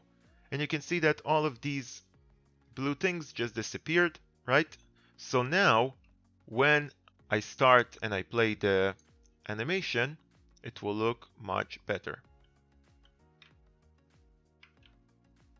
I'm pressing, I'm releasing. I'm pressing, I'm releasing. I'm pressing, I'm releasing. I'm pressing, I'm releasing. So it responds to the actual keys in real time and there is no delay. And now it looks very good and very nice and it feels good. And now we have this character that actually walks. There is some life into him. And all of this coding and all of these pipes became something that actually lives and walks. And that's the way we do animations. Of course, there is much more to it. We can also animate other things, for example, a campfire or some kind of uh, effect if we want to animate a tree that his leaves are just swinging around. We can do a lot of different animations on different objects. And of course, we can also animate the player because we need to animate him in order to make it look good.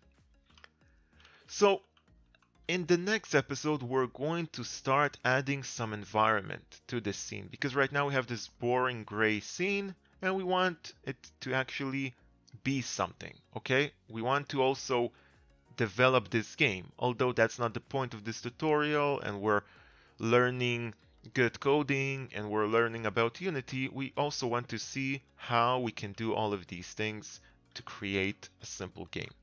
So we're going to learn that in the next episode. Thank you for watching. Please subscribe. If you still have any questions regarding to the script or anything else, you can ask me in the comment.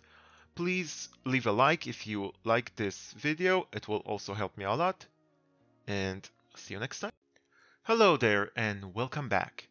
In the previous episode we learned about animations, we saw how we can use the animator to set different conditions that will determine when we run a certain animation and we also added these animations to our player so we can walk around and we can see that these animations appear when we walk around. In this episode, we're going to start creating our environment. So there are a lot of ways we can create environments and it really depends on the type of game. We can have huge open worlds and we can also have small levels. But in this game we're going to do something very small and I'm going to show you the tools we usually use to create these environments. But before we get into the actual environment, we need to learn a few basic things and then I can actually show you the tool we use to create the environment. So the things that we need to learn, let me just write it down over here, is sorting layers, rigid body,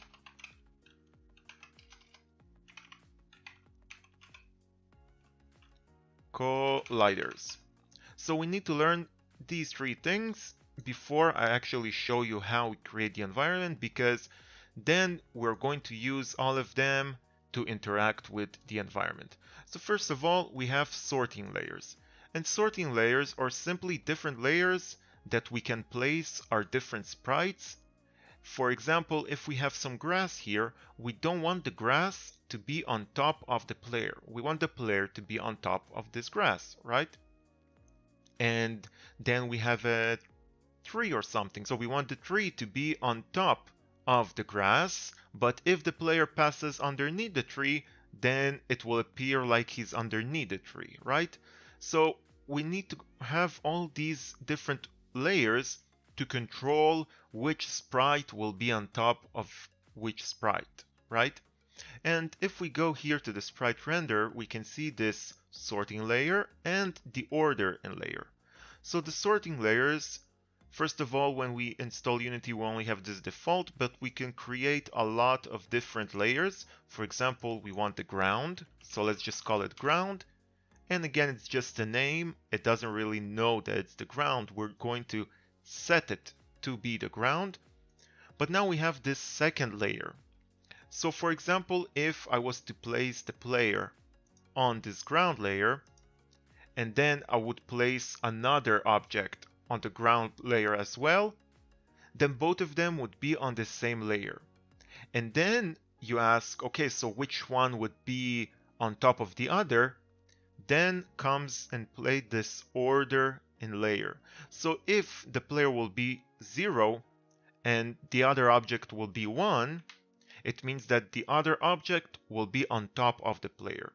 And if there will be a third object that will be number 2, then the number 2 will be on top of all the rest. And I'm going to show you it in a minute. But these are the sorting layers. But then we have these two different layers. And if we go inside, we can see that this layer, the ground layer, is created after the default layer. So it's underneath, but actually it means that the ground layer is on top of the default layer. Okay, so all the items that will be on the ground layer will actually appear on top of the items that are on the default layer. Let's see how it works. First of all, I imported this tile set that we're going to use in this project. So it's really the same principle like this uh, character sheet.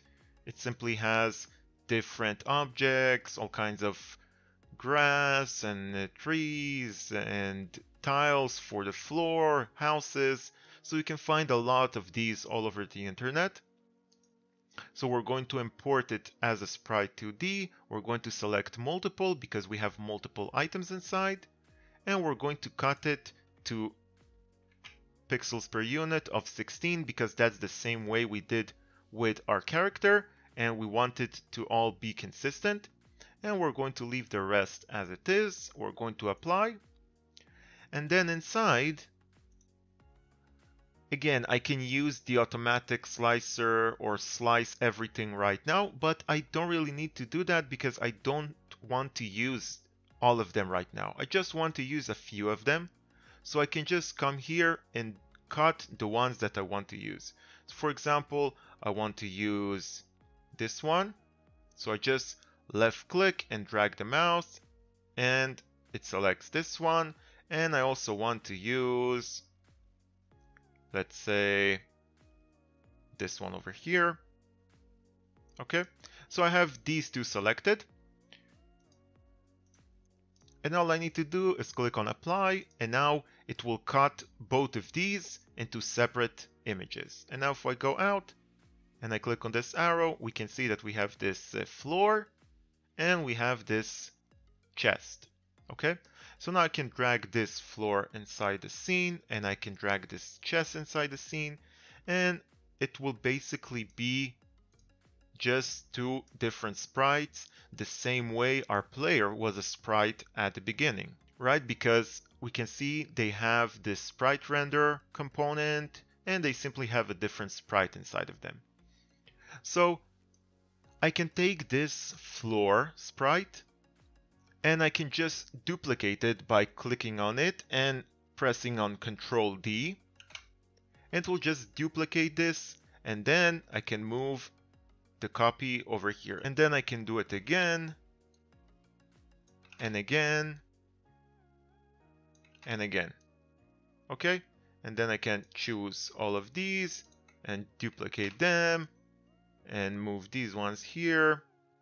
So this way I can actually create some kind of floor. Of course, this is not the way we actually build scenes and backgrounds in Unity because it's not an efficient way and it's definitely not a fast way.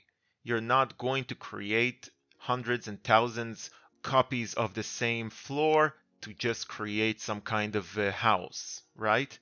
It's not efficient and it's very slow. So we're not going to do it this way, but I'm just giving you an example for the sorting layers.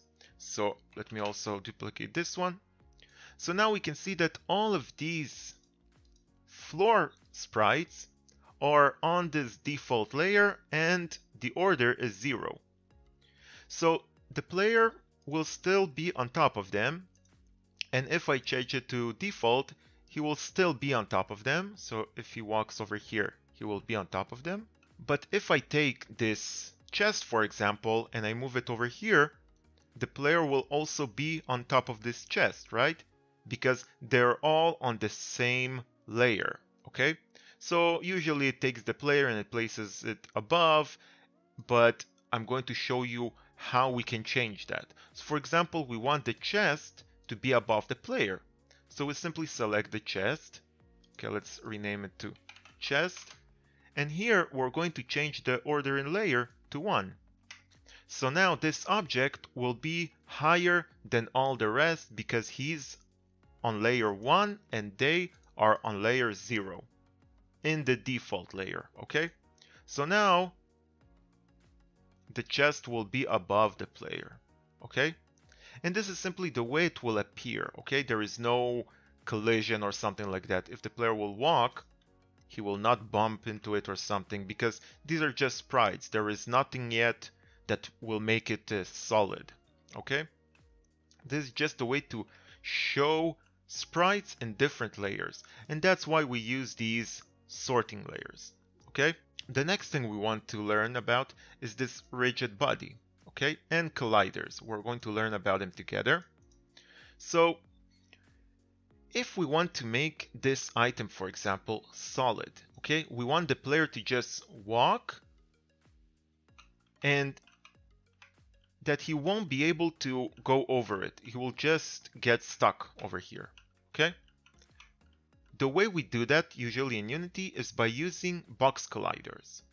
And not only box colliders, but any type of collider. The box collider is simply a rectangular collider, and we have circle colliders, sphere colliders. It, it really depends on the type of collider you want to create.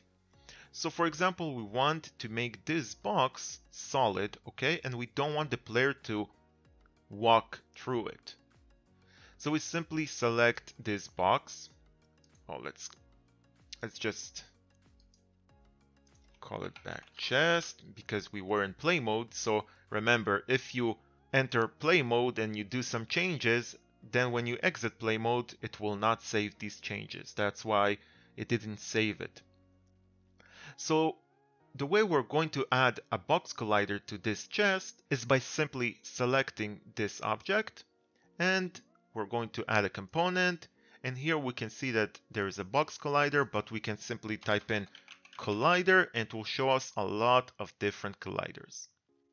So a box collider will be square, a circle collider will be circle, and we can choose whatever we need. We are going to stick with box collider because it's the easier one to use and it fits the shape of this box, right? And of course we want the 2D version because this is a 2D project. So let's select this one and now it will add this component to this game object, which is the chest, right? And we can move it around and we can see this green outline on the chest. So it means that this green outline is the actual box collider. We can always change this size. We can press on this thing here, edit collider, and then we can just drag and change the size of it. So usually we want the box collider to be the actual size of our object. Sometimes we want it to be bigger, sometimes we want to be smaller. It really depends on our need, okay? And that's it. Now we have this box collider. But right now the player will still be able to pass through this chest because the player is still just a sprite, right? The player doesn't have any box collider and the player is just a piece of sprite. So when we run the game and we just pass through this box, it won't stop us.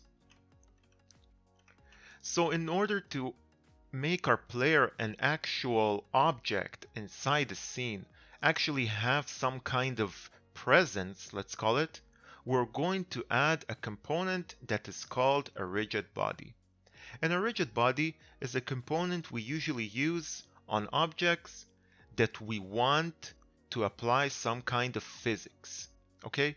So if we want a ball to just bounce or roll or fall or something like that, we use this rigid body. Because we can see that these sprites don't have a rigid body and they just appear over here. We can change the position, but there is nothing going on with these ones. Also our player, he's just a sprite and we use the transform to move it all over the place. But now when I add a rigid body to this character, so we click on add component and we type in rigid body, we're going to use the 2D version again. Now we have a lot of options that are related to the physics of this object. Okay, so now if we run the game, look what happens. The player actually falls. Because in this area, it doesn't really know that we are creating a top-down game. It thinks that there is some kind of gravity, right, that will pull this object downwards. So to prevent this, we can go here to gravity scale inside the rigid body and just change it from 1 to 0. We can also put a different value to get different results.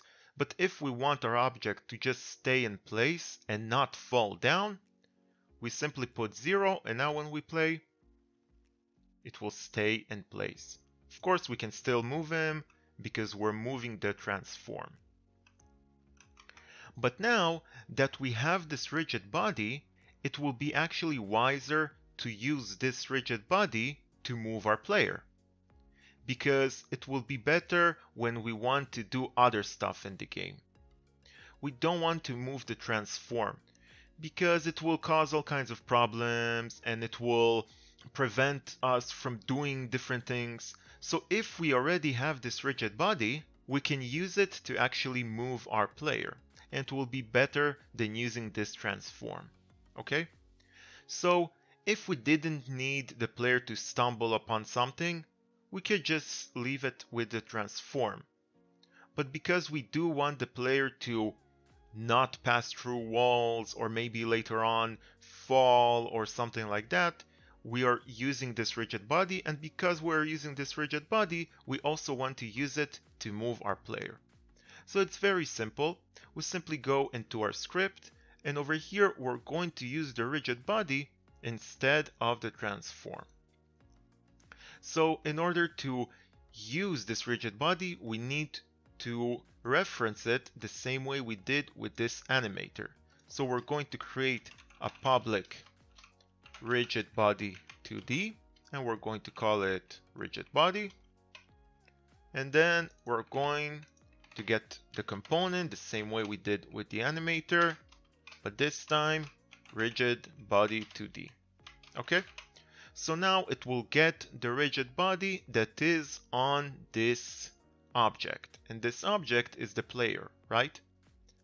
And now we can use this rigid body over here. And inside the rigid body, there is a method that is called move position. So it says moves the rigid body to a position. And we need to provide it a vector. So we're going to press enter and we need to put some kind of vector into these parentheses. So this vector will be the position the rigid body will move. And we already have a position, right? This updated position. So instead of moving the transform to this position, we're going to move the rigid body to this position. And again, it will happen every frame.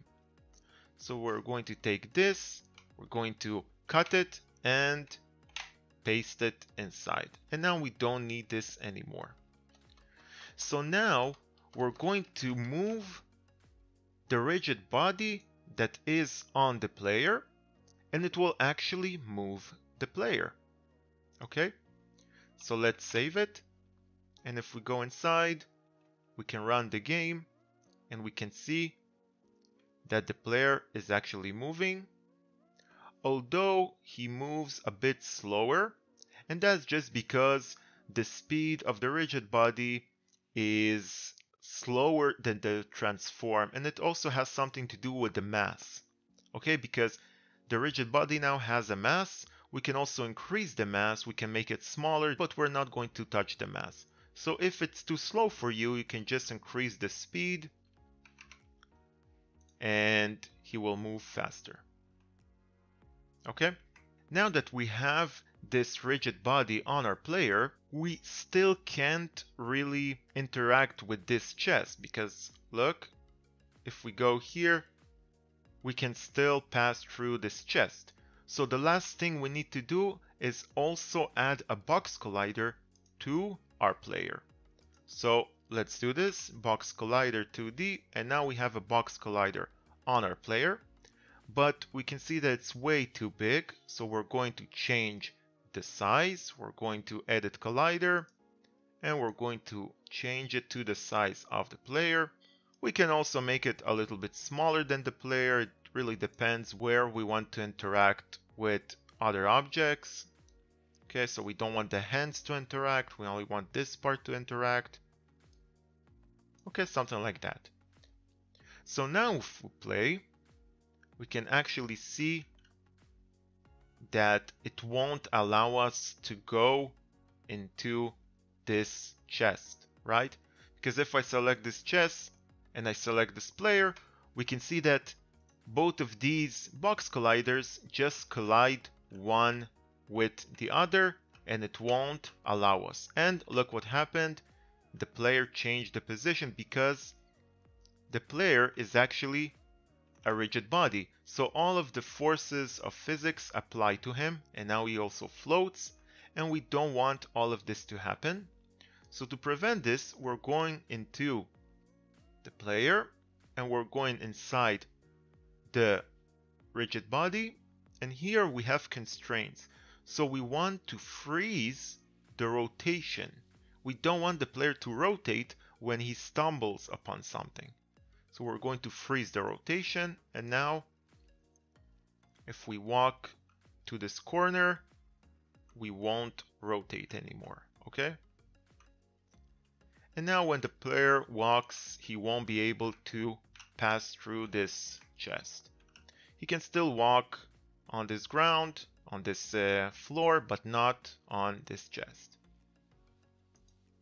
So now that we learned what are sorting layers and what are rigid bodies and box colliders, we can start with the tile map.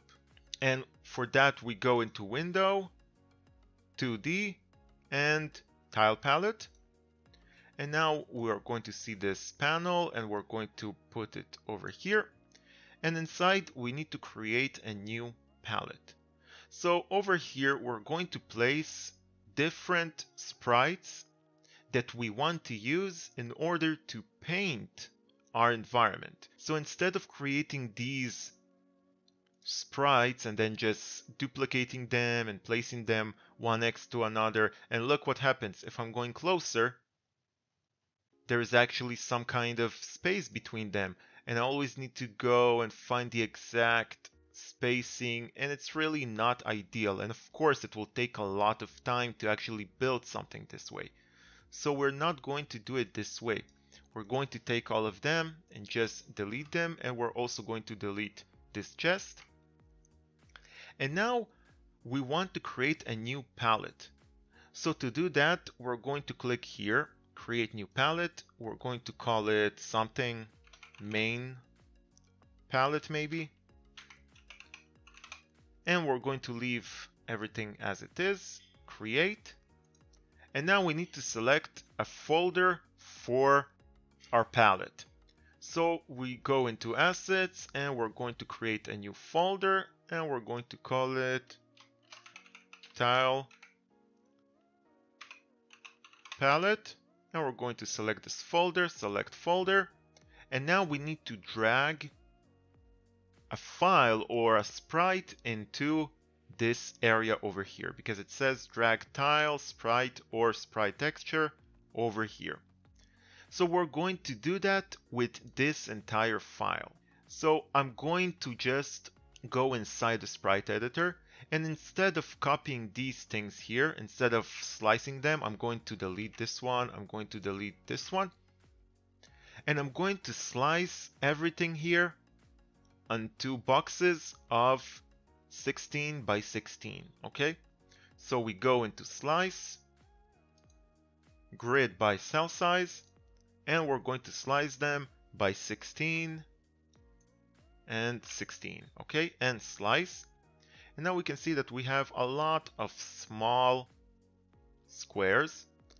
And right now we can see that these squares are even smaller than the actual items that we want because this little cube here this little piece of floor is made out of four of these little cubes and that's fine because for example this table here we want to be able to paint all of it with these transparent parts.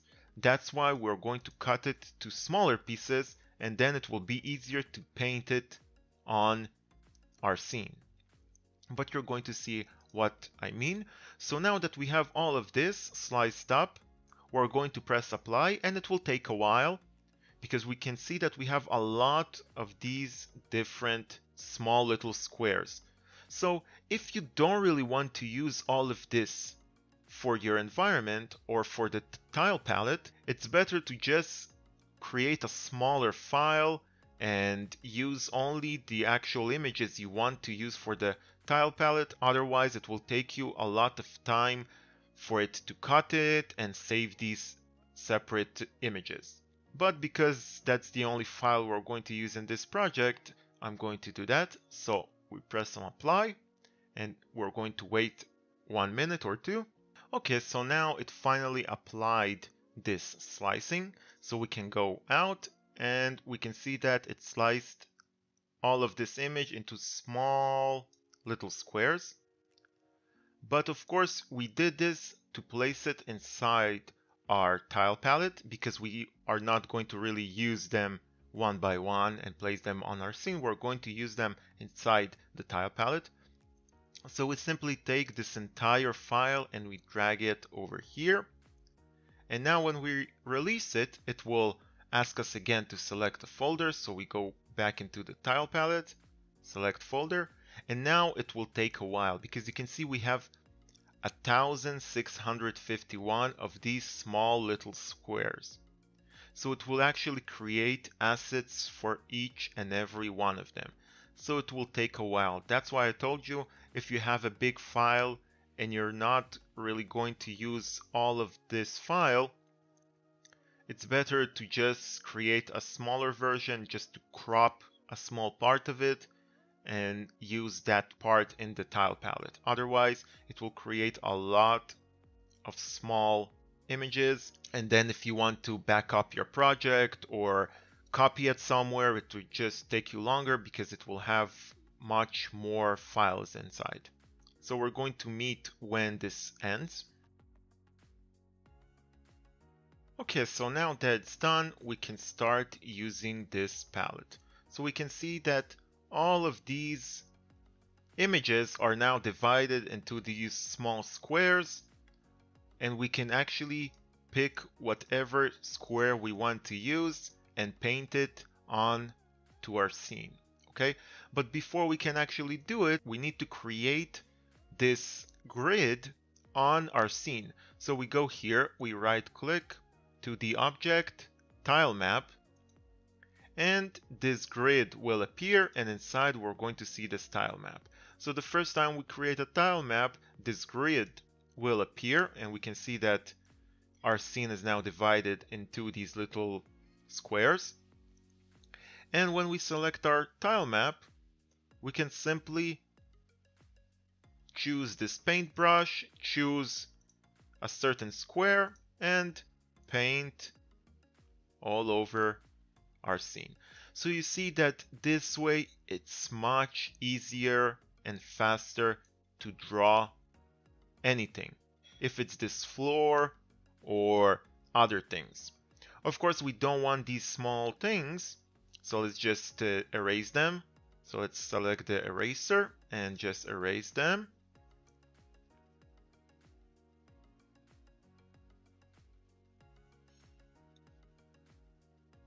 And if, for example, we don't want to just paint one small square, what if we want to paint all of this floor piece. So we simply select the paintbrush and then we select all of these four squares. And now we can paint this floor and see how easy it is. We simply click and it created this floor. And now we don't have many game objects for every piece of floor. It's all inside this tile map. Okay? And if we want to make it even faster, we can delete this and select this tool over here. And now we can simply drag and draw all of this. So it's much faster. We can just do it in a matter of seconds, right? So that's why this tile palette is much easier than just creating separate sprites and placing them together and it doesn't really make sense to do it after you know how to use this tile palette, okay? And for example, let's make it just this size. And now we can go and select something else. We can select these fridges and place them here. But notice something, if for example I select this little plant here and I want to put it on the floor, look what happens there is this transparent background and it will just cut through this floor. So we don't want this. And that's why we can simply create another tile map. Okay, we click here on the grid 2D object tile map and we can give them different names. For example, this one we're going to call uh, floor and this one we're going to call items or something like that. And then we can simply say that floor, and we go here to the render, will be order in layer 0, and the items tile map will be order in layer 1. So now all the things that we paint on this tile map will be on top of this tile map, okay? because if I'm going to paint it on the floor, it will still cause this problem. But if I'm going to paint it on the items tile map, it will paint it on top of it. Okay, so you always need to notice on which tile map you actually paint and you need to select the one you want to paint. Another thing we can use is this thing here, focus on. So if we select tile map, so it will show us all the things that we painted on the floor. And then I'm going to select items. It will only show us in color the things that we painted on items. And this way we can see, okay, these are all the items tile map, and these ones are all the floor tile map. So we can use and create more tile maps depending on the layers that we want to create. And for example, we want to create walls.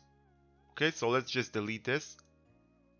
And if we want to delete something from one tile map, we need to select the tile map because if I'm going to select a different tile map and I want to delete this one, it won't allow me. So we need to select the appropriate tile map and then we can actually delete this. And let's also delete these plants. So we go to items. And now, for example, we want to create walls and we don't want the player to pass through these walls. So we're going to create another tile map and we're going to call it walls. And on this walls tile map, we're going to select, for example, this thing here. And then we can just paint it like this.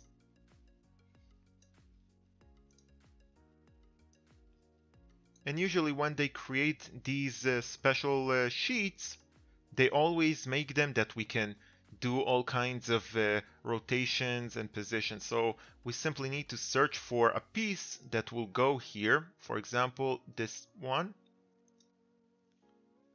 And place it here and then continue with this one and select this one and then go and select this part here. So simply need to search the part that you think should go here. This thing here. Then we need to select this part here. Then we can create some kind of door, for example, something like that. And then this part. And then this part and then again we have the corner so we're going to select this part and this part and then this entire wall okay so now we have all of this on the walls tile map but we can also put it on a different sorting layer. We can put it on number 3 or we can create a different sorting layer. It doesn't matter. The way we're actually going to make these walls so that the player won't be able to pass through them because right now if we play you can see that he can still walk past and they're actually above him but it doesn't matter he can pass through them so the way we're going to make them solid is by simply selecting this tile map and over here when we go to this component because each tile map is a separate game object. So if we want these walls to become solid, we simply select this game object, the walls, and we add a box collider. Actually not a box collider, but a tile map collider 2D. And now you can see that this entire part, this entire tile map, the walls tile map, is filled with these green outlines and it means that there's a box collider or simply a collider on top of these walls. So now if I play, I actually can't pass through these walls. Okay. And of course we can also 0 and let's put the player on 1 because you can see this part here. Okay, so now the player can't move and can't pass through these walls. And then If we want to create other objects that the player can't pass through, we simply need to draw them on this tile map. So we go here to tile palette and we select, for example, this uh, fridge. Okay, but we only want this part. And also let's uh, change it to, let's change the floor to be in a different uh, layer because we played a bit with it. So the walls were zero, the walls will be one, the player will be two, and we can also create a different sorting layer, but I don't want to add something else, so we're just going to play with these numbers. So the player will be number two, walls will be number one, and the floor will be zero, okay? And now we can paint this fridge over here. And, well, we don't want it to be on the floor, so let's select the walls tile map, and now we can paint the fridge. And if we play, we can see that the player can't move through this fridge because it also has this collider because it's a part of the walls tile map. And this is a small level.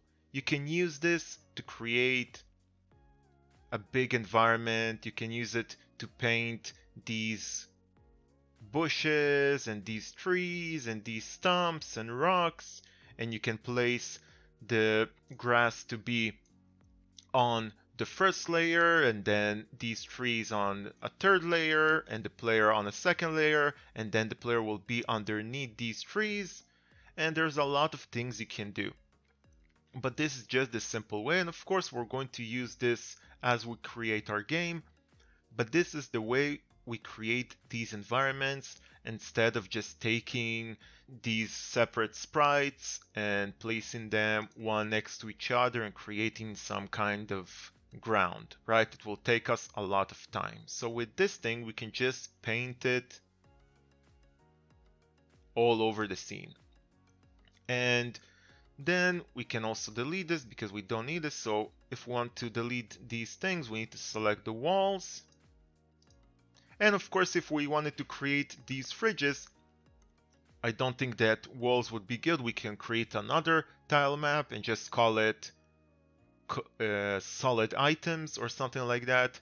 And then we know that we have a separate tile map for walls. We have a separate tile map for uh, solid items. So everything will be organized and there will be no confusion, right? So let's just delete this because we don't want the walls. And let's just leave this ground for now, okay? So you can always come back and use this tile palette. You can continue and work on your scene. You can go back to the game. You can uh, do whatever you want. But when you want to paint something, you can just go back to the grid and paint whatever you want. Of course, you need to understand that some items we don't want to paint them. For example, if we do want something to appear over here that the player will actually interact with, we are not going to paint it as part of this tile map. For example, if we want the player to open this chest. So in that case, we really need to go inside this tile set and go to sprite editor and select only this chest and then press apply and it will take some time and then this chest will appear over here and then we can drag it into our scene and we can actually use it as a separate game object and we can place all kinds of scripts on this game objects and this way we can actually interact with this game object. So all the things that you just want to paint, for example, the ground or bushes or everything that won't really be interactable, you can do that inside this tile map. But the things that you do want to interact with, you need to actually create these separate game objects and then you will be able to interact with them. Okay, so just notice the difference. So I think that that's all for this episode. I just showed you the way we do this and we're going to use that later on when we develop this level. So this game won't be some kind of open world because it's really a simple game that I just want you to see how we create simple things in Unity and it's really for beginners so you're not going to get lost in some kind of huge game that we will never finish, right? So we're going to create small levels and we're going to be able to enter these levels through a main menu and then when we actually finish a level, we're going to get some score and then we can go back to this level or we can unlock a different level. So it will be this kind of game and you can see how we can go from one level to another level, how we can create a menu, and we're going to learn all of that in this series. Of course, for different kinds of games, you need to find other kinds of tutorials, but the point of this tutorial is to learn the basics of Unity, so the game is not really important right now. But it's going to be a cool game. It will be some kind of game with mazes, and then you need to finish the maze as fast as possible, and there will be all kinds of obstacles and all kinds of puzzles. And I think that it will be cool even if it's just for an example to show you how to use Unity in a very basic way as an absolute beginner, right? So thank you for watching. Please subscribe if you're still not subscribed. It will help me a lot. It will also help you to keep track of these episodes. Also leave a like if you enjoyed this episode and see you next time. Hello there and welcome back.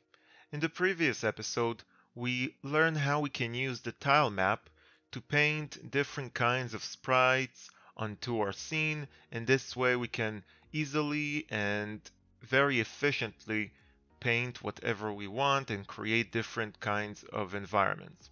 In this episode we're going to start creating the layout of our first level and we're also going to create a few other scenes that eventually will all be connected and then we can just skip from one scene to another. So many Unity tutorials wait until later in the series to teach about scenes, but I don't think that it's something that we should wait with. I think we should create these scenes right now and learn how we can move between these scenes. So before we create other scenes, we're going to build the layout of our first level. So if we go here into the scenes folder, we can see that we have this sample scene and we can also see this name over here. So it means that all of this scene is actually this one scene. And we use different scenes in Unity to separate different locations, for example, or different menus in games.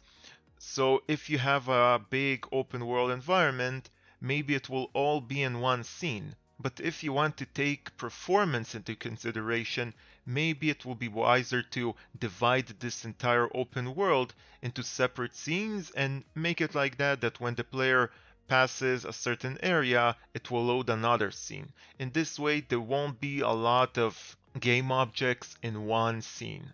Okay? But of course, other games have separate levels. So in that case, you will definitely put each scene for a new level. Okay, and then we have the main menu, which will be a separate scene, and then we also have the selection menu that will be a different scene. So this way we can go from one scene to another instead of just creating everything in one place. Because you're not going to create the game over here and then just go here and create another level and just teleport the player from this place to this place. Theoretically you can do it, but that's not the way we do it. We create different scenes and then we just move from one scene to another. So because this scene will be our first level, we're simply going to rename it over here and we're going to call it level 1 and now we can see over here level 1 okay so we know that this scene will be level 1 And after we finish with the layout, we're going to create the main menu and we're also going to create the selection scene. Okay, so we're going to have the screen where the player can actually go to options or exit the game or enter into the selection scene. And then we're also going to have the selection screen where the player can actually choose the level he wants to play. And then when we enter into a level, it will actually load one of these scenes. So you can use these scenes in different ways. It really depends on your game. Maybe in your game you will have some kind of house. So when you go into that house, it will simply load another scene and the scene will simply consist the interior of that house so you can do whatever you want. But I'm just showing you the basic way we use these scenes. So in order to create some kind of layout, and again, I'm not going to finish this level right now. I'm simply going to create some kind of layout. Later on, we still need to add things into the scene, objects. We need to put all kinds of uh, variables that will store all kinds of information. So there's a lot of things we still need to do in this level, but before we create other scenes, I just want to create the basic layout of this level. And to do this, I'm going to use an image to use it as a reference. So inside the art folder, I just imported this image of a maze. Okay, it's some maze that I found somewhere and I'm going to use it just so I'll be able to build our level according to this map. So you can create your own levels, you don't have to use any reference. I just think it will be faster to do it this way and later on maybe we're going to have more complicated mazes. So instead of just building our own mazes, we can use this one so it will take less time. So then after we have it in our art folder, I'm going to drag it into our scene. Right now it's very small, so I'm going to just drag it and make it bigger. And we need to decide what will be the size of our level, okay? So we want to create our level according to this image. We're not going to use this image as a background. We're only using it to get some kind of reference to the size and to the walls themselves. Okay, so in order to make it uh, more easy for us, we're going to delete these floors. Okay, so we go to this tile map that is called floor.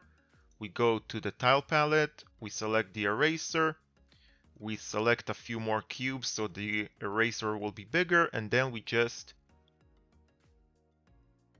erase these floors. So now it will be easier to see this image behind us. And now we need to decide what will be the size of this level because right now this is our player, okay?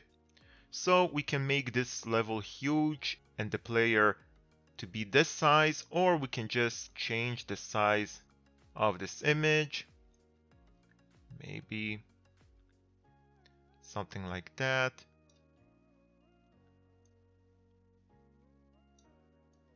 I think this could be a good size, okay? Something like that. So now we have this size here and what we're going to do is simply paint over this image to create ourselves this level, okay? Again, it's something I'm doing so it will be easier. We definitely don't need to do it every time we create a level. I don't think other people do it this way. It's just something that I thought will be very easy for us to do. So now I go into this grid and I go into these tile maps. So I can delete them again, but I can also use these ones. We have the floor, we have the walls, and we set the walls to be with a tile map collider. So we know that the walls will be collidable. So we can just paint on this tile map. And before we paint the floor, we can start with the walls. So let's select some kind of sprite that will be the walls. Maybe we can use the same tiles we used in the previous episode. So I'm going to select this thing here, going to do it this way, and you can see it also fits this image. so we're lucky. Okay, so I'm just going to paint it here and then I'm going to take this part, paint it like that. Then I'm going to take this part. And again, it doesn't have to be exactly the same way. I'm just using it as a reference, okay? So this way you can also, if you're creating a game with a maze, you can sketch your own maze on a paper and then just take a picture of it with your phone and import it into Unity and then use it as a reference so you don't have to build this from scratch. So let's just, of course, we can drag it. And over here we need to find something that will, for example, let's see, this part here.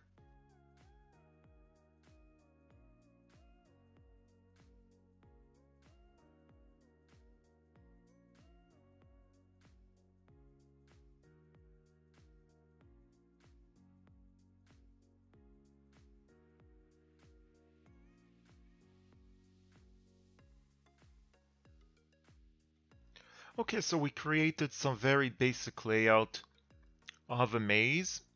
And now we have all of this on our wall tile map, so everything is collidable. The next thing I want to do is just paint the floors. So I'm going to do the same thing with the floor. So I'm going to this tile map that is called floors, and I'm going to select something, maybe this one. Okay. And this time I don't need to spend too much time. I can just do it like that. And we'll fill this entire area. Okay. And now that all of this is done, we don't need this reference anymore. So we can just delete this image behind the tile map. And now if we select none and we go back into our game, select the player, we can see that we have our level over here. So we still have some little cuts here and we're going to take care of that later on. But if we play the game right now, we can see that we have this maze that the player can walk in right now. But we have a little problem and the problem is that the camera just stands in one place. So if the player goes out of the view of this camera, we can't see the player anymore. So what we can do, we can create a script for the camera to follow the player. And maybe in a different episode, I'm going to show you how to do that. But a simple way we can fix it for now is just to take the camera, drag it into the player and make it a child of the player. And now let's also do it outside of play mode. Let's just drag the camera into the player. And now because the camera is a child of the player, it will actually move with the player. So the position of the camera will move with the player. Okay, so now if we play, you can see that the camera actually moves with the player.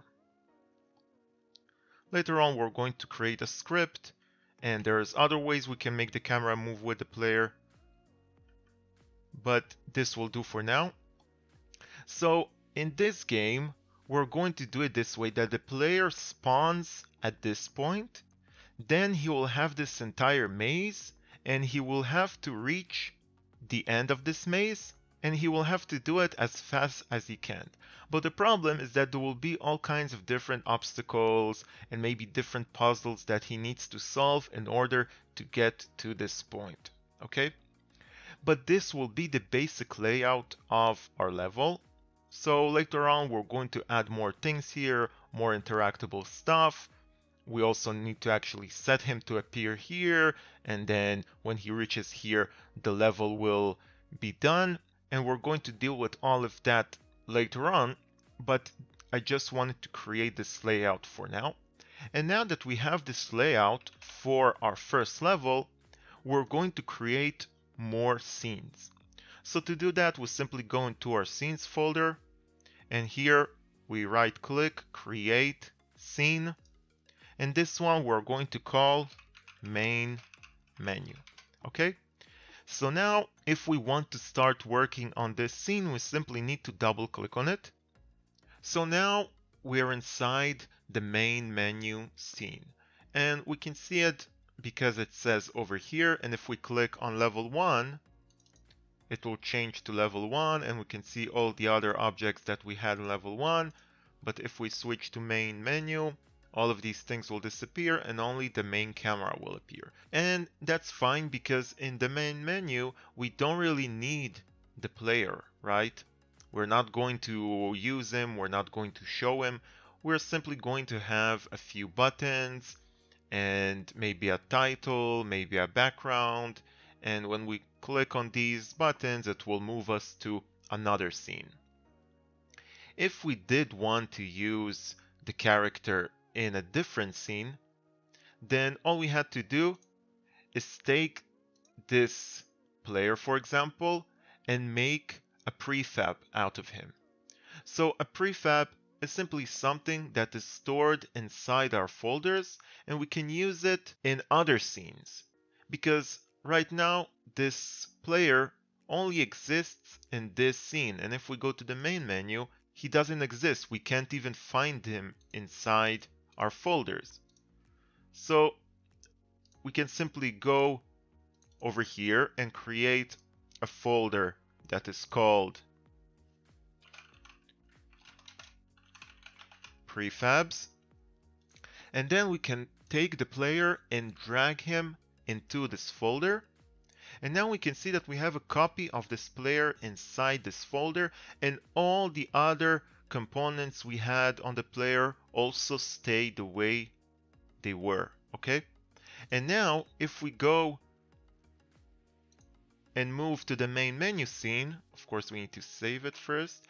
If we go to the main menu scene, now we can find the player inside this prefab folder because all of these folders are part of this entire project. And we can take this player prefab and drag him into the main menu and now we have him in the main menu and also in the level 1 okay so usually in the main menu we have a few buttons that when clicking on them move us to a different scene for example to some kind of level selection scene and over there we can choose a different level or for example, we can select options and then move to the options screen or we can exit the game. So we're going to do all of that in the main menu. And then we're also going to create another scene that will be the level selection scene. And in that scene, we're going to actually be able to select the level we want to play in. So let's make it simple for now. Later on, we're going to focus more on the art. We're going to make it look better. For now, we just want to put the basic elements. And the thing we're going to use to create this main menu scene and to create these visual elements, we're going to use the UI. So the UI is something that is used to display things to the user and the user can also interact with these things and he can click, for example, or input things or just get the information. So if, for example, we placed the UI over here, it would be on top of all of the other objects that we have in the scene. So we use UI, for example, to display a health bar or maybe if we want to display some score. So all the things that we want to display on the screen that are not actually inside the scene. So in order to start with the UI, we simply right click and we go to UI and we have all kinds of UI elements. So the first thing we need to have is the canvas, but we don't really have to create it because when we create another element, it will automatically create a canvas for us. So first of all, we want to create a button. So if I click on button, it will automatically create this canvas and will simply place the button to be a child of this canvas. So all of our UI elements are going to be children of the canvas. And the canvas will appear as this big white rectangular and to actually view it, we need to zoom out using the mouse wheel. So this is our camera, right? This is our scene. But this is the actual canvas, okay? So that's the way it works in Unity. It's this big rectangle with these uh, white outlines. And inside of it, as a child, we have this button element. And we can use it, and we have all these guidelines that help us position it correctly. And when we move this button, we can also see the way it will look in our scene, okay? So for example, if we place the button over here in the middle, it will be in the middle of the scene. But if we move and increase the size of our game panel, we can see that the button actually looks smaller. And that's because it's all about the ratio. So the screen, the canvas is actually not resizing with the screen. So in order to do that, over here in the canvas scaler component, we're going to go to UI scale mode and we're going to change it to scale with screen size, okay? So we click on this and now the button will be the actual size according to this canvas, okay? So then even if we move and make this screen bigger, it will stretch according to the size, according to the ratio, right? And that's the way we want it. So now we position this button in the middle of the screen. And of course, we can also change its size. So we simply go here and we can increase its size, position it, and then we can also duplicate it. So I click on this button, Control D, and now we have another button, and I can move this one here. So just notice how these elements are organized. Both of them are children of the canvas. So now if we want to create another text over here for the title, for example, we're not going to place them inside the button because the text is not really related to these buttons. The text will be related to this entire canvas. So we're going to make it a child of this canvas. Right click, UI, text. And now we have created this text. So we need to position it can also move it around. And maybe we want to place it somewhere here. Okay, and the next thing we want to do is also add a background. So we can use this background that appears behind the camera, right? We can click on the camera and we can change the color of the background, but we don't want to do it because we maybe want to put an image or something like that. So the other thing we want to create, we right click UI and we create an image. And then we can drag this image to fill the entire view, actually the entire canvas. But look what happens now, this image covers all the other elements. And that's because it's over here under the canvas. So if we want it to be behind the other elements, we should put it to be first underneath the canvas. So when it's the first child, it will be actually behind the other things. So I'm going to provide a link for a package that we can use for free. And this package contains a few different UI elements. Of course, in your game, you can use whatever UI elements you want. So we're going to use this CGA UI Gold pack and inside we can find many different UI elements, all kinds of buttons, arrows, panels, coins, and we can play with them and create a very basic uh, UI.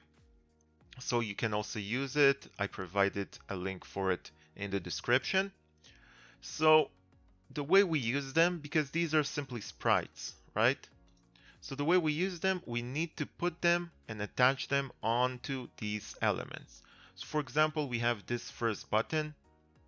Over here, we can see the source image. So in the beginning, when we just created, there is this default UI sprite, right? It's this white sprite. So to change it, we simply need to drag one of them. Let's choose this one. We simply need to drag it into the source image and it will change the button over here. Let's do the same thing with the second button. And we can also change the color of the background because we have this image so we can change it over here, right? We can change the color to what we want. But if we want to put some kind of picture, I'm going to use this background. So we drag it into the source image and it will change the background into this gradient green thing. Okay. And of course the text, we can also change it and stylize it. So we click on text and here we have different options. We can change the font size. See as I drag it, we can change the actual box and then we are going to have more room. So we can increase the font, we can change the alignment, so we can choose it to appear in the middle of this box or on the right side or on the left side. We can also change the way it will appear on top of this box or in the middle. So I'm going to put it on the center and also here at the center so it will be on the actual center of this box. And we can also change the color over here so I'm going to change it to something more orange. And again, we're not going to focus on this too much. Later on, I'm going to change it to something. And we're going to give it a name. So let's just call it our first game. Later on, I'm going to think about a name. And we can also, so sometimes when we use these text boxes, we are going to actually put the text over here in the inspector. But other times, we're not going to put any text over here and we're going to change this text using a script. Okay, so for example, when we want to display some kind of score on the screen, we're not going to go here and change it because we can't do it when the game runs. So we're going to use the script to change this text that appears as part of this UI, right?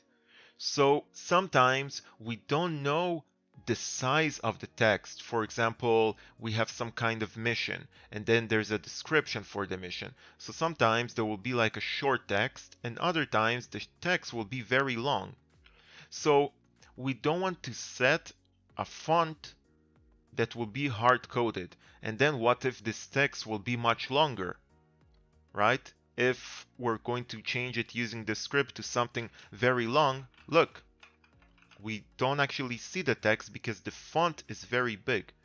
That's why there is something handy that is called best fit. And if we click on best fit, we can put two different sizes. We can put a minimum value and a maximum value. So it will calculate the best size according to the amount of text we have, okay?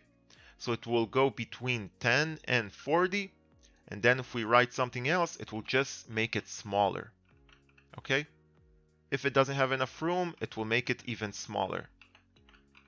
So that's the good thing about this best fit, but because it's the title and we're not going to ever change it using the script because there is no reason to change the title using the script, we're simply going to leave it at 40 and we're going to disable this best fit because there's no reason to use it.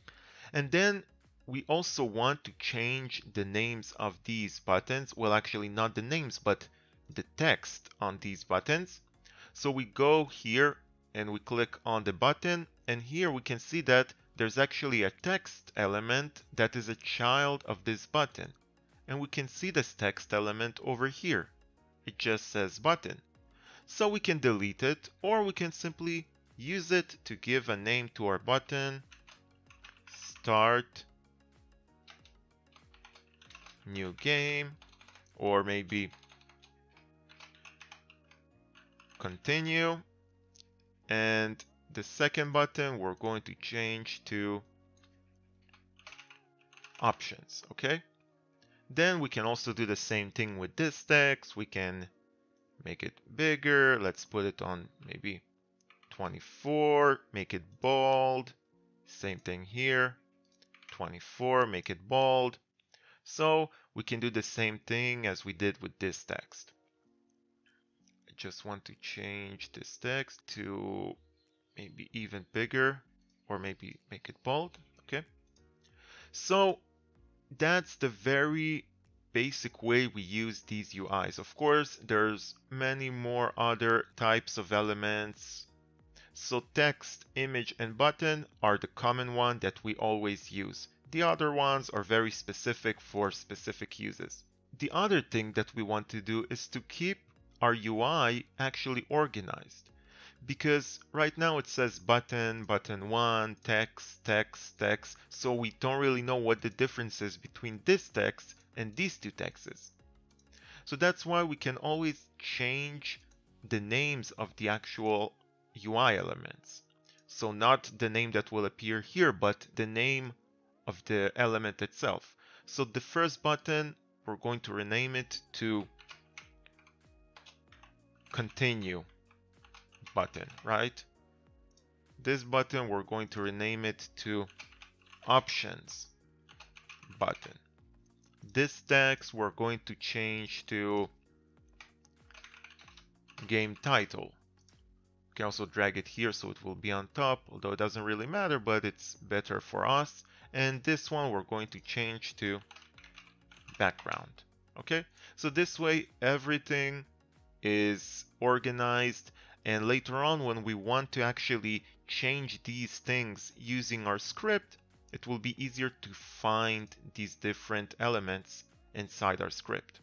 Okay, so as I told you, later on I'm going to change it and change the colors a bit because that's not a good look for us. And we also need to change the actual functionality because right now, even if we play, we can't really click on it. It's a button, but nothing happens when we click on it.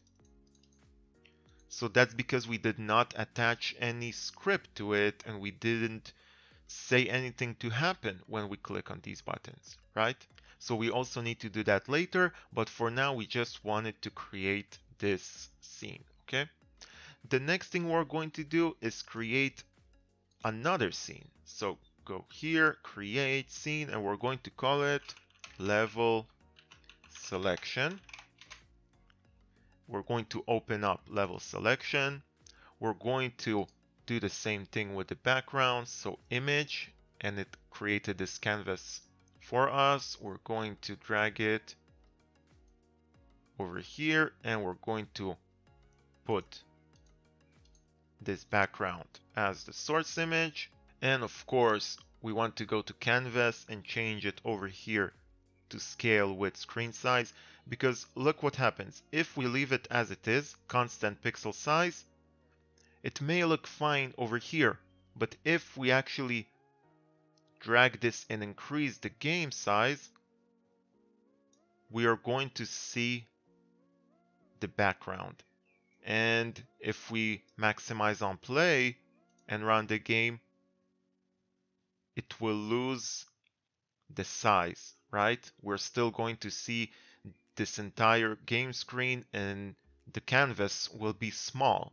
So that's why we want to scale the canvas with the screen size, okay? And when we do it, we still need to just adjust it a bit. And now, even if we play it on maximum, it will still cover the entire screen, okay? So now we're going to change this also to background.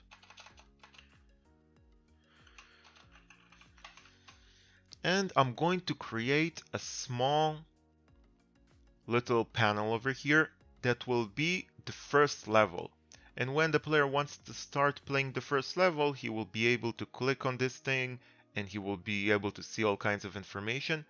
I just want you to keep track of everything I'm doing and actually make sure that you understand what I do.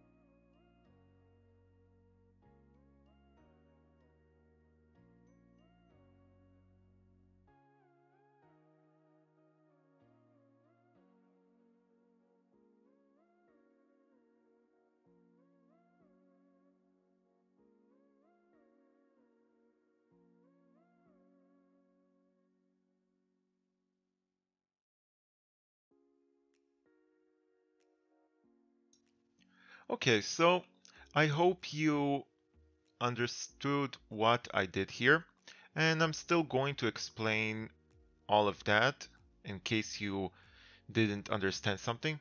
So what I did here, I simply created this background for our entire scene and then I created this panel okay so this panel is something that we're going to actually duplicate and make more of it for the different levels but all of this has to do with this one level okay? And that's why all the other elements are children of this panel. In this way it's much easier to work. So all of these things are connected to this one panel right? So we place them as children inside this panel. Then we have the level name. Then we also have these stars that are empty right now. And we have this start button. And we have this score background, this orange score. We can also maybe here. And then we have this text, but the text is a child of this background because it will always be connected to this background, right? So we can make it a child and it will be easier to work this way. So there is this kind of logic inside the UI. You always want to make these elements children to the things that they're connected to, right?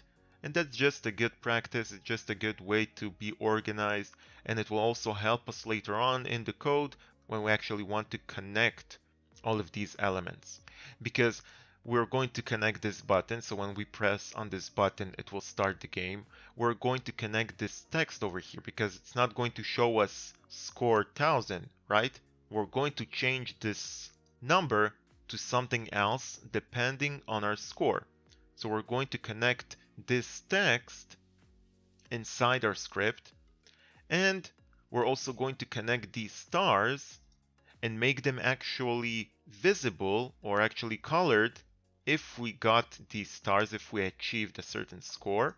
And this level will stay one, but we're going to change it depending on the level. So that's what I did here. It's nothing complicated and that's the way with the UI. In the beginning it may look a bit uh, scary, but when you understand that it's really just elements that you put together and you place them one on top of the other, it's very simple. So the more you practice building UIs, the easier it gets. And of course, we don't want only one thing to be here. So it's very easy. We simply select this entire panel, Control D to duplicate, and we're going to get another panel. And we don't need to create it all over again. We just need to change the level name and do all these connections inside the script.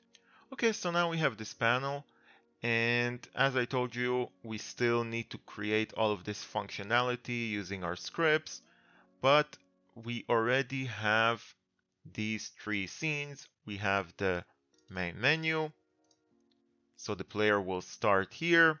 He will be able to continue or start a new game. And he will be able to go to options. Maybe we can also add an exit button. Let's just leave it this way.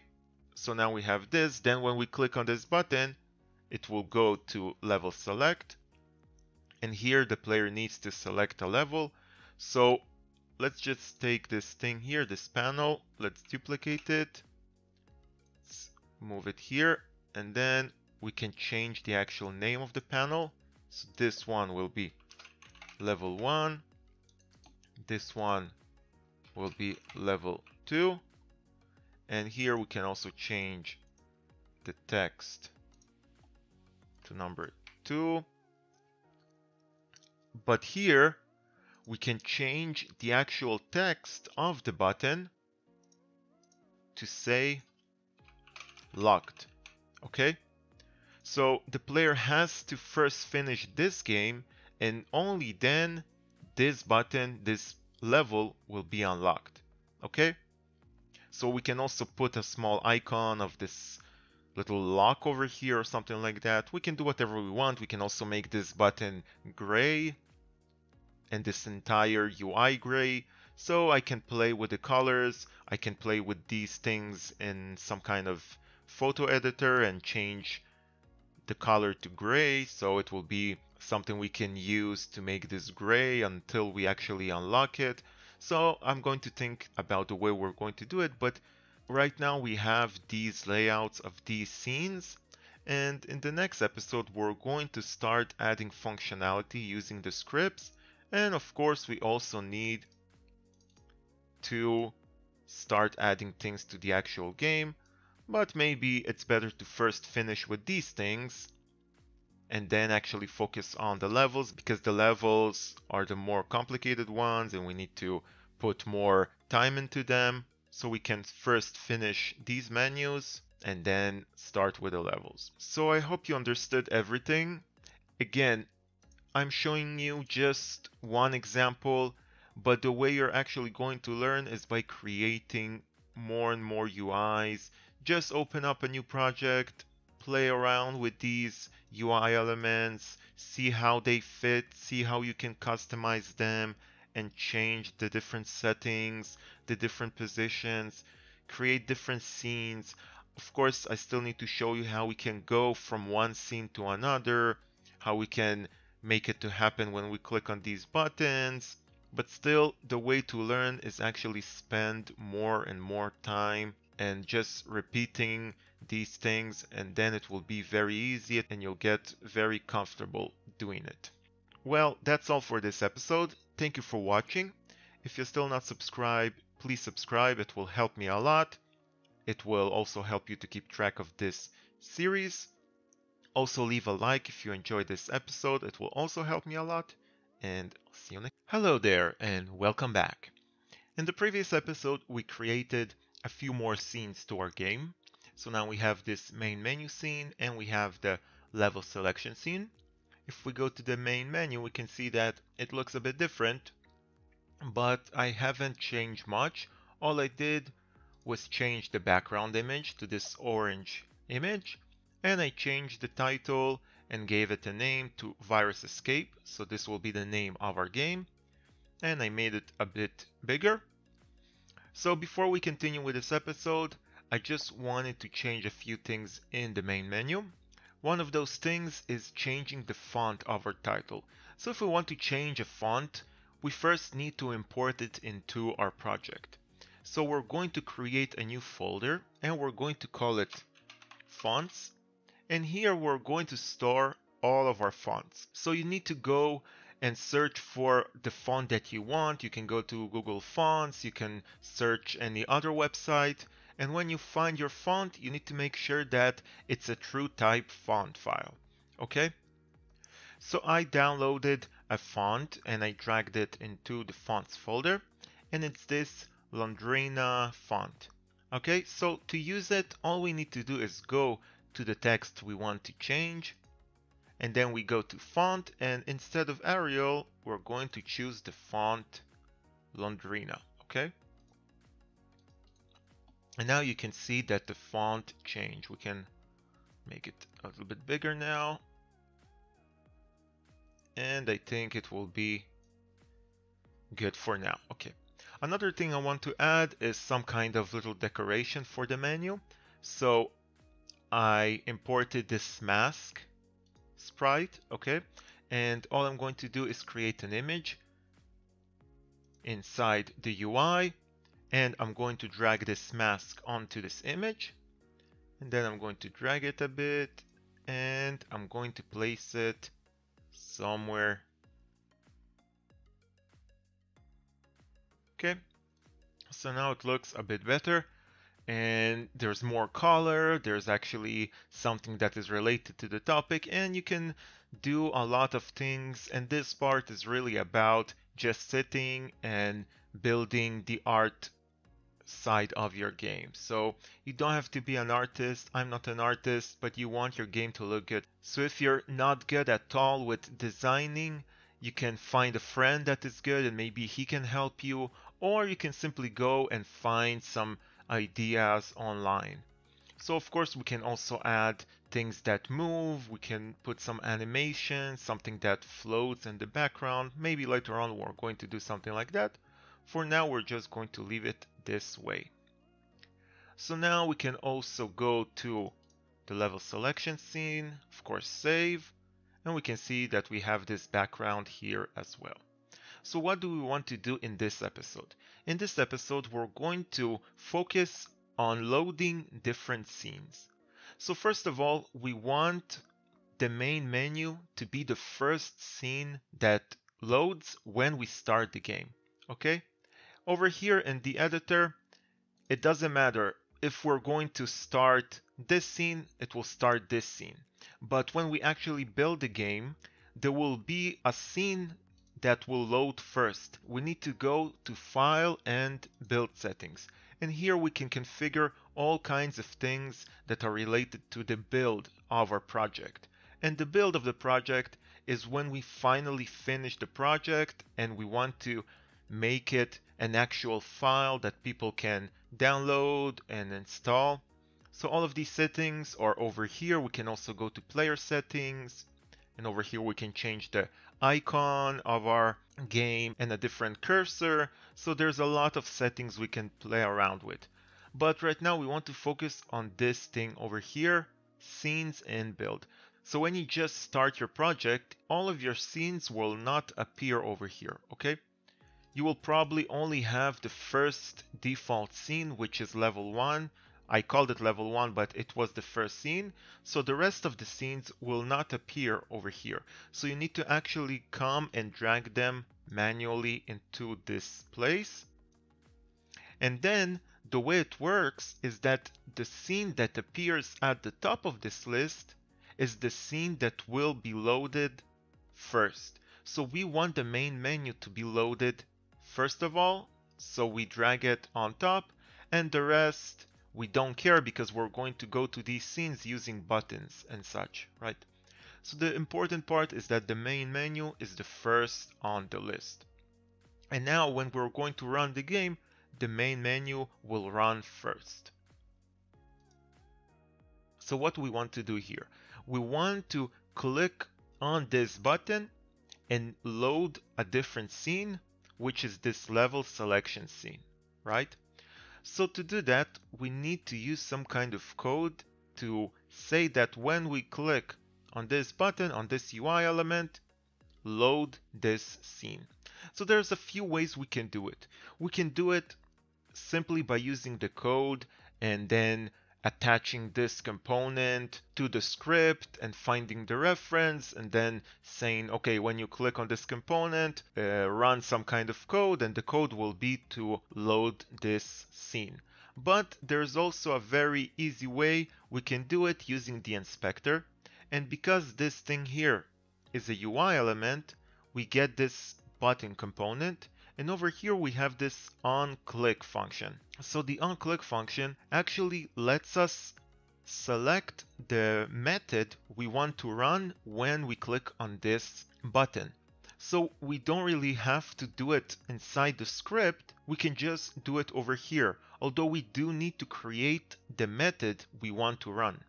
So first of all, it searches for an object with a script, and then it will search for a method inside this script. So let's create that script and we can just create something very simple and call it continue button. We can just call it continue button and we're going to attach it to the continue button element. Okay, so if we scroll, we can see it over here, continue button script. And now let's open the script. And all we need to do in this script is to create a method that we're going to attach to this button. Okay, so let's just create a method, public void, and let's call it load selection screen. Okay, so all we need to do in order to load a scene is type in scene manager. But right now it's not going to find this functionality because we need to add a namespace.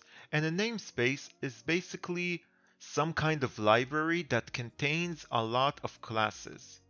So we learned that all of these objects that we have are basically classes. So if we want to use the class that deals with the scene manager, or basically the scene manager class, then we need to use something that is called Unity Engine dot scene management. So this namespace contains this class. And now when we are actually specifying that we're using it, we can actually use it over here and it will recognize this class. And now we can say scene manager dot load scene and it simply means that this is a method inside scene manager and what we want to run, which scene, and here we simply need to say what is the scene. We need to type in the name of the scene we want to run, okay? So let's save it. And the scene we want to run is selection screen, right? Uh, level selection. Load selection, level selection. That's the name of the level selection. So the name of the scene is level selection, right? Because over here, it's called level selection and we need to write it down the exact way it is spelled over here. So let's just copy the name, go into the script and paste it over here. And we're saying that this is a name, right? This is the name of the scene. It's not some kind of variable. Because if we want to use some kind of variable, we just leave it like that. But there is no variable right now. We simply want to specify the name of the scene, okay? And now when we're going to call this method, it will simply load a scene called level selection. Okay. And now we're going to save and we can click on this element on the button element. And over here, we need to provide an object that has a script. And inside that script, there is a function we can use. So the object that has the script is the actual button itself. So we can drag this continue button over here and now we simply need to search for this method.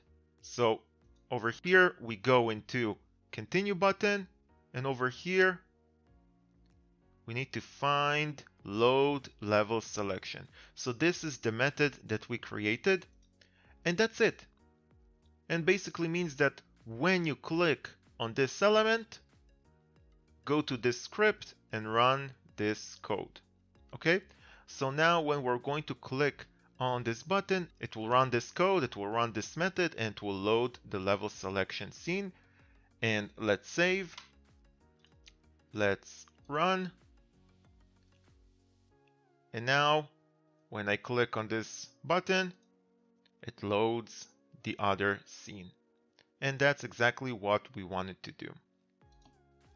So before we continue to the next part, I just want to show you the way we can use the inspector to set different references. Because you saw that we can actually take this button and place it over here and set this connection. So in the player movement script, right? We used this get component to get references to these components we use get component animator, we used get component rigid body to get the reference to the rigid body and the animator, right? So if we click on our player, well, we actually need to go back to the level. So if we press on our player, we see that we got these components and we set the reference. But because we set them as public, we can actually see them over here in the inspector and we can actually set these references the same way we set the button. We can simply take the animator component and drag him into the slot. And then there will be a reference to the animator. And the same way we can do with the rigid body. We can drag it into the rigid body.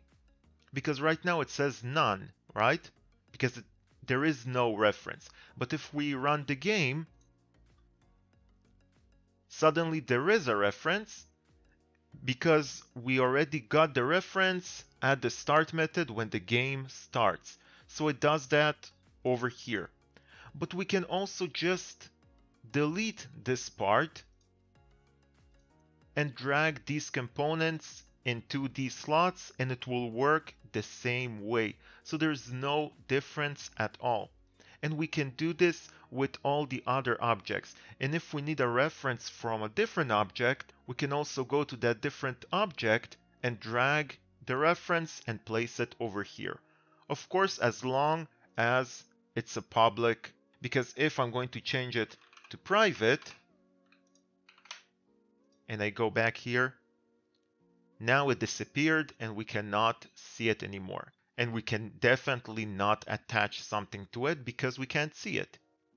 So if we're going to just use this get component, we don't really need to put them as public, right? We can just set them as private because there is no point of seeing them over here if we're not going to attach the references in the inspector. And that way, maybe we're going to get confused and think that there's some reference missing. So if you're not going to attach references inside the inspector, you should just put it on private unless you actually need to use it in a different place and that's why you say that it's public. But you can do it this way, you can get the component and you can drag the actual component into these public references, okay?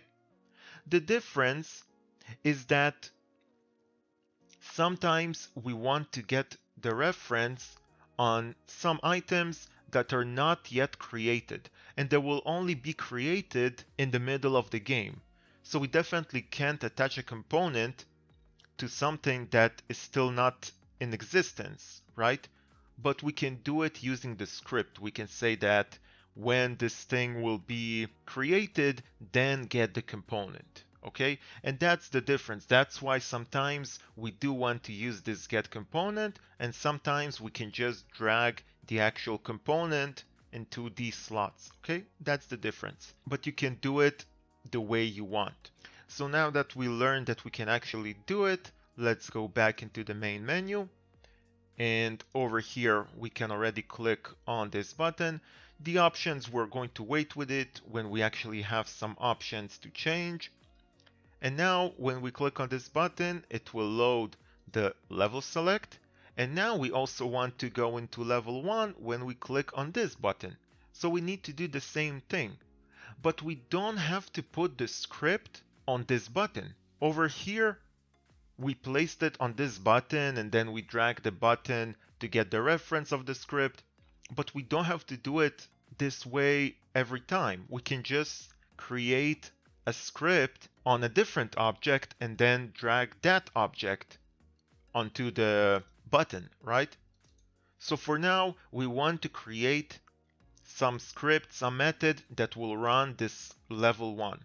So to do that, we're going to create an empty object and we're going to call it level selection manager okay?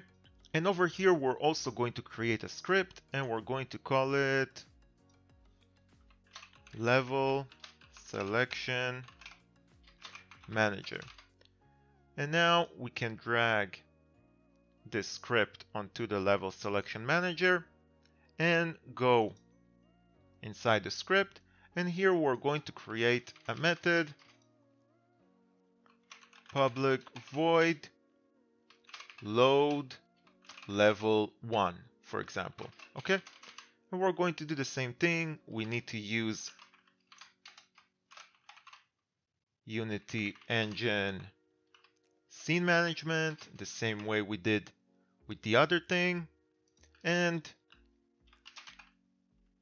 scene manager load scene.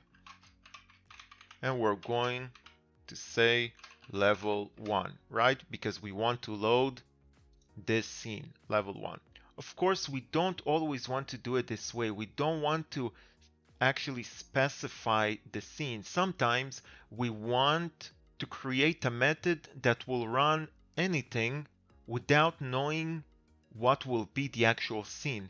And the scene we can provide later, okay? So later on, we're going to change the way it works. Right now, we just want to run level one, so we're going to do it the simple way. But later on, when we're going to have more levels, we don't want to create a method for every level. We can do it, but it's less efficient. So I'm going to show you when we actually get to that. But for now, load level 1 and load scene level 1. And this is the method that we're going to use when we click on the button. Let's save. And now the same way we go to this button, we go to on click, we add an object with a script. So this time we don't have the script on the actual button. We have the script on this level selection manager. So we can do the same thing. We can just drag it over here and find a function which is load level one. Okay.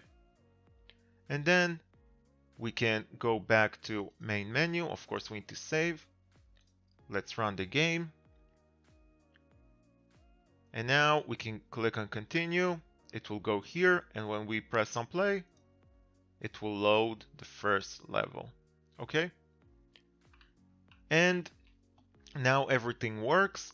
And of course, the last connection that we need is when we finish a level, it should load and get us back into the level selection or maybe we want another scene that will show the score, right?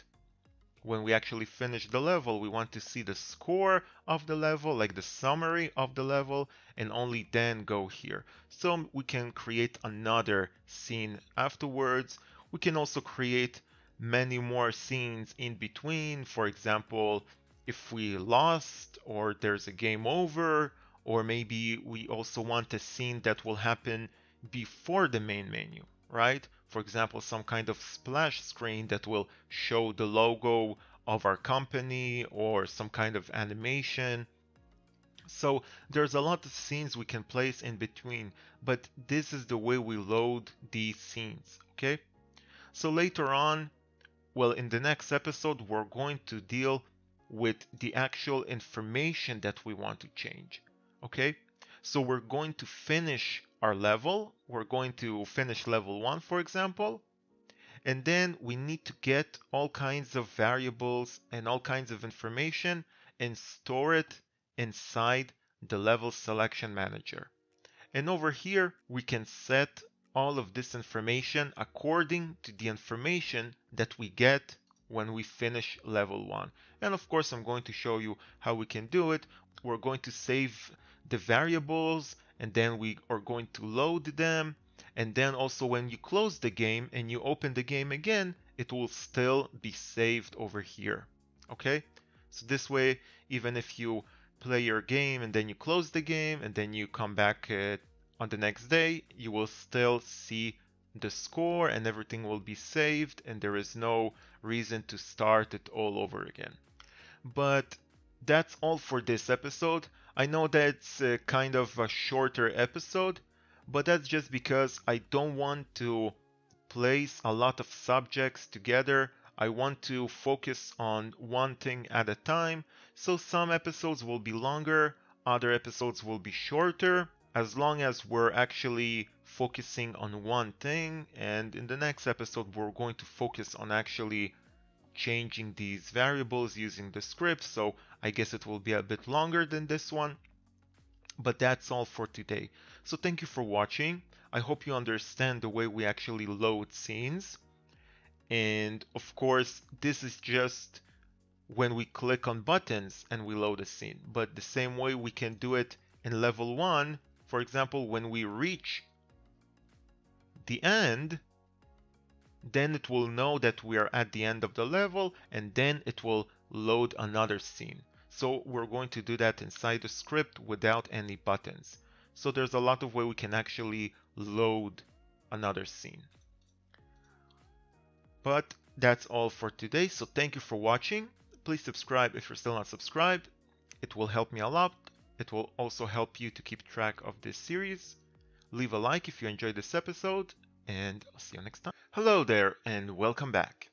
In the previous episode, we dealt with loading different scenes. So for example, when we click on this continue button, it now loads the level selection scene. And when we click on this play button, it will load level 1. Okay? In this episode, we want to start connecting our menus to the script. So over here in level selection, we want to connect all of these UI elements to our code and change them using the code. Because this text here in the beginning it will be score zero because when we just start the game for the first time we won't have any score. So we're going to change this text. And of course these stars we also need to make them fill up after we got a certain amount of points right like it usually happens in these kinds of games so before we can even start changing the UI we need to set the last connection, which is when the player actually finishes the level and goes back to this screen. So to do that, let's go to level 1. And over here, we're simply going to create some kind of area at the end of this maze. So when the player reaches this area, the level will end. Of course, this is just a very basic way to end the level and later on when we're actually going to work on our levels, we're going to add more obstacles and puzzles and things that will make this level a bit harder so it won't be that easy just to finish the level. But because we want to deal with the menus first, we just want to create this area so the player will finish the level and get some information. So to do that, we're going to create an empty object and we're going to call it level finish, finish, something like that. And we're also going to create a script with the same name, level finish. And we're going to drag the script on this object. Okay, so now let's open this script and let's delete these things. So what we want to do first of all is to set something to happen when the player reaches this part of the map. But how will it know that he actually reached this part is by placing this level finish object over here. So we can't see anything because we don't have any sprite or anything for this object, but it is over here, it exists. So we can see these lines, these axes, and we can move this object over here to the end of this level. And then we're simply going to add a box collider to this object, box collider 2D, okay? And now we can see this little green outline and we learned about box colliders. So it's basically an area that is used for collision, but we can also make it to check if the player actually passes through this area, okay? Or if he enters this area, or even if he exits this area, okay? But we want to make this area a little bit bigger. So we're going to edit the collider and we're going to change the size of this area by moving these outlines. So now when the player will reach and go inside this area, it means that he entered into this box collider, okay? But right now, he won't be able to enter inside because it's a box collider and our player has a rigid body and a box collider. So he will simply collide with this area the same way he collides with these walls and we don't want this to happen. We want him to pass or actually enter into this area. So in order to change the way this box collider operates, we simply go here into the component and we check this little box is trigger.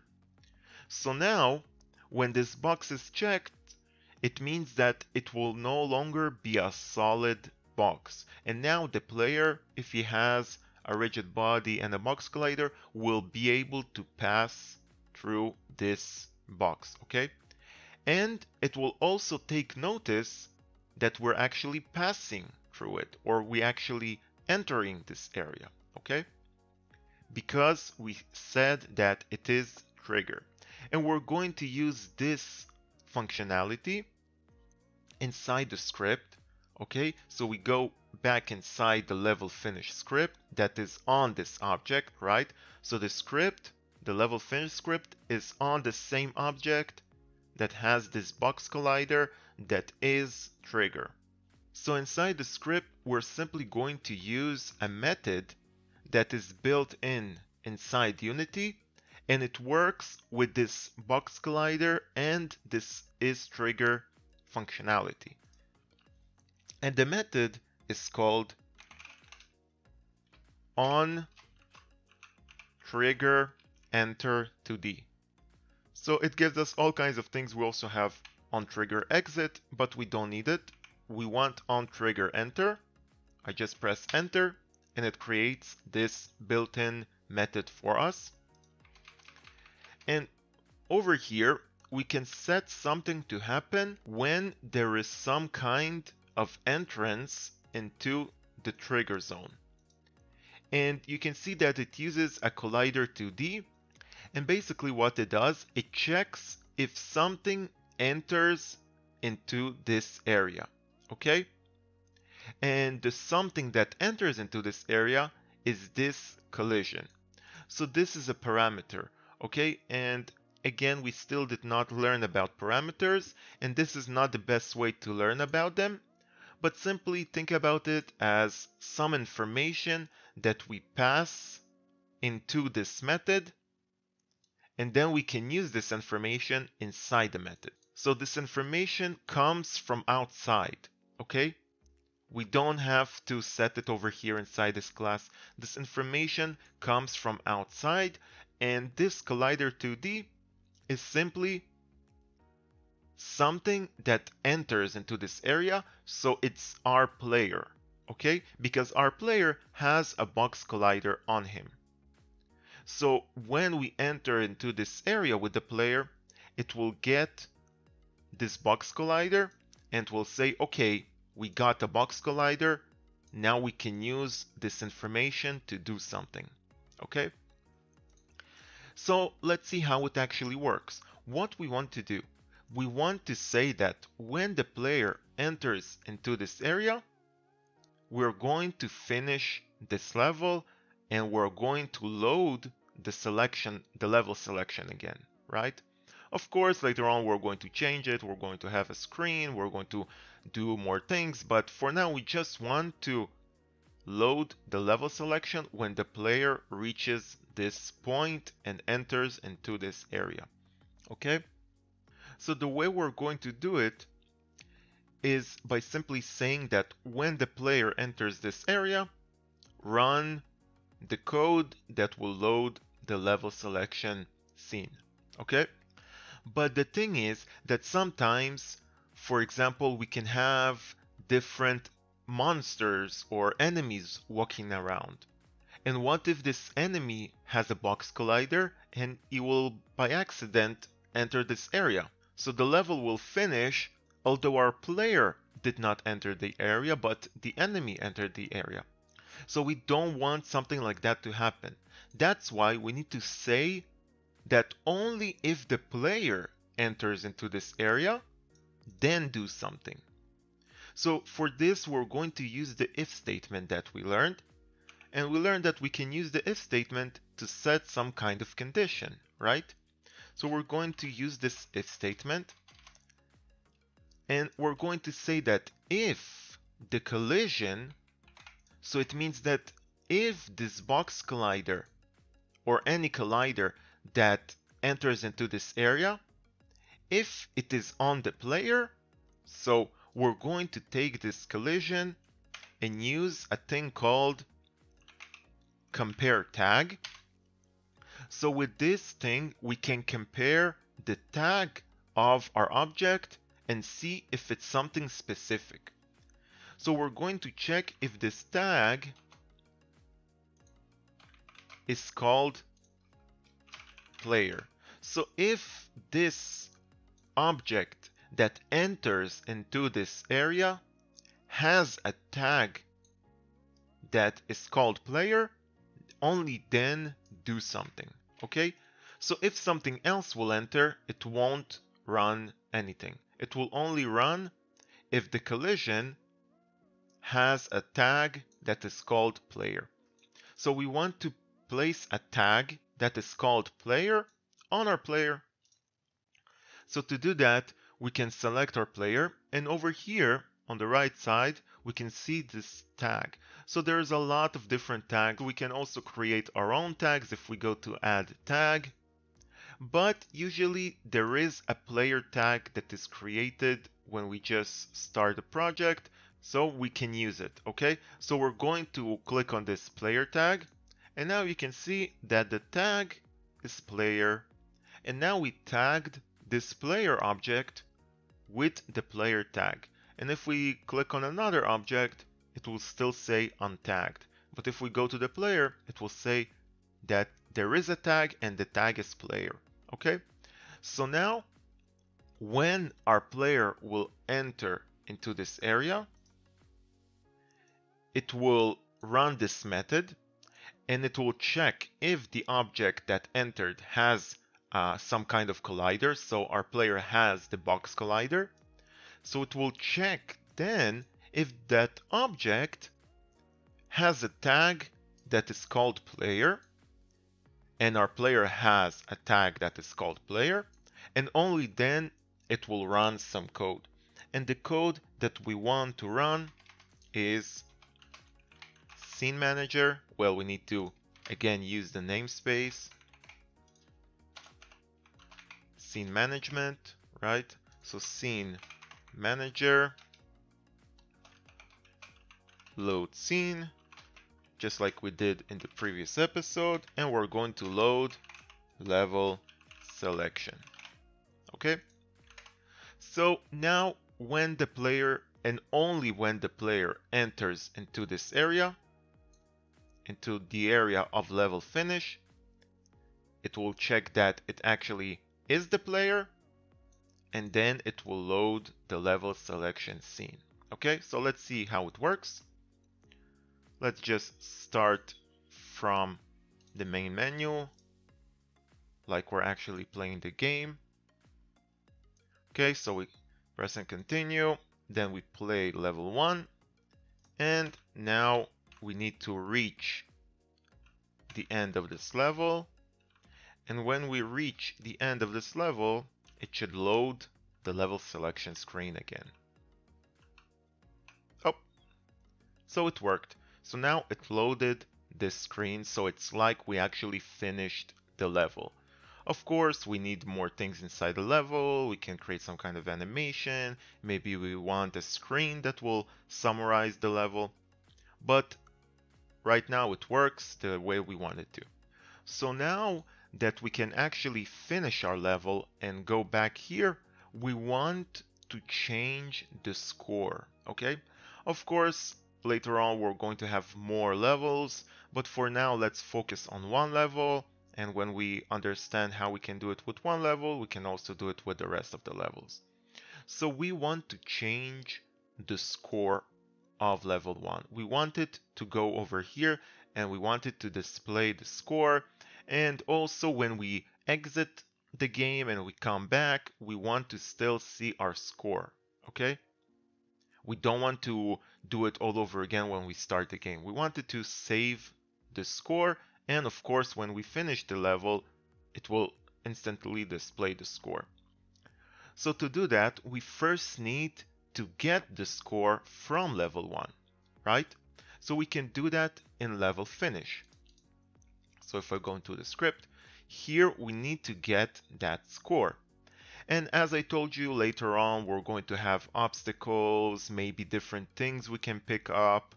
It will still be a rather simple game, but the way we are going to give score to our player will be based on time, okay? Again, it depends on the game you want to build. In this game, we're going to create some kind of timer and if the player finished this maze faster, he will get more score. If he takes his time and it will take him a lot of time to finish this maze, then he will get a low amount of score. Okay? So that's the way we're going to deal with score in this game. But I don't want to deal with the timer right now. So all I'm going to do is just give some kind of score to the player and we just want to make this connection to pass this score into the level selection scene. Later on we're going to create the timer and we're going to get some score based on the timer. But we don't want to deal with that right now. So inside the level finish, we can simply say that there will be some kind of score, okay? And we can create a variable for it. For example, private int score, okay? Something very simple. And now we can also set the score because as I told you, we're still not going to have any timer and I'm just going to give some kind of score. So I'm going to put it at 100, okay? And now we need to figure out how we can send this score into the next scene, right? Because when we load a different scene, all of these things will be destroyed. We're not going to see level finish, right? when I'm loading another scene, level finish disappears. So we can't use the same score. And that's the way it works in coding. You always need to find ways to reach certain variables if they're outside of your reach, right? So if it's public, for example, if the component is public, then yes, we can do what we did with the player and drag the reference.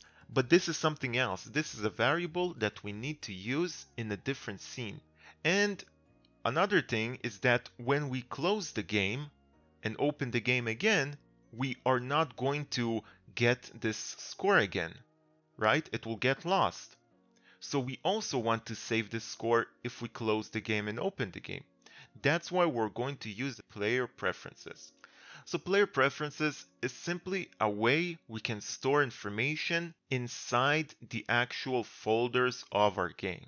Okay, so I think most games use this method, although this method is used mostly to save simple things like, for example, the player changed something in the options and we want to save it this way. So we save it using player preferences. For example, the player changed the sensitivity of the game or the resolution or the brightness. So we store all of these things inside player preferences.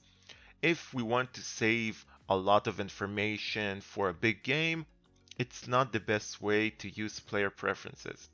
But because we only want to save a score and later on we want to save a few more things, we can use player preferences and it will work the same way. So we're going to use player preferences and the reason it's also good is that it is going to be saved even if we're closing the game and opening the game the data will still be over there because it will simply store our information inside a location somewhere in our project. So even if a person installs our game on a mobile, it will be saved somewhere on his mobile device. And if he plays it on PC, it will be saved somewhere in the registry of the PC. So it's simply a small file that contains all of these information. Okay.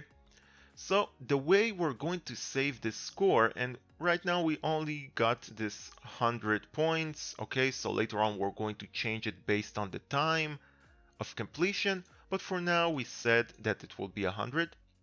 So in order to save this score into player preferences, we need to do it over here because we want to do it before we leave this scene, right? We want to do it before we load level selection, but still when the player actually finished the level, right? When he entered this area. So it will happen over here. And the way we're going to do it is very, very simple, okay? So we simply need to type in player preferences. Okay, it says player prefs, but that's the short, and you can see that it's orange now, so it means that it actually found something, it found this class. And we have different options over here.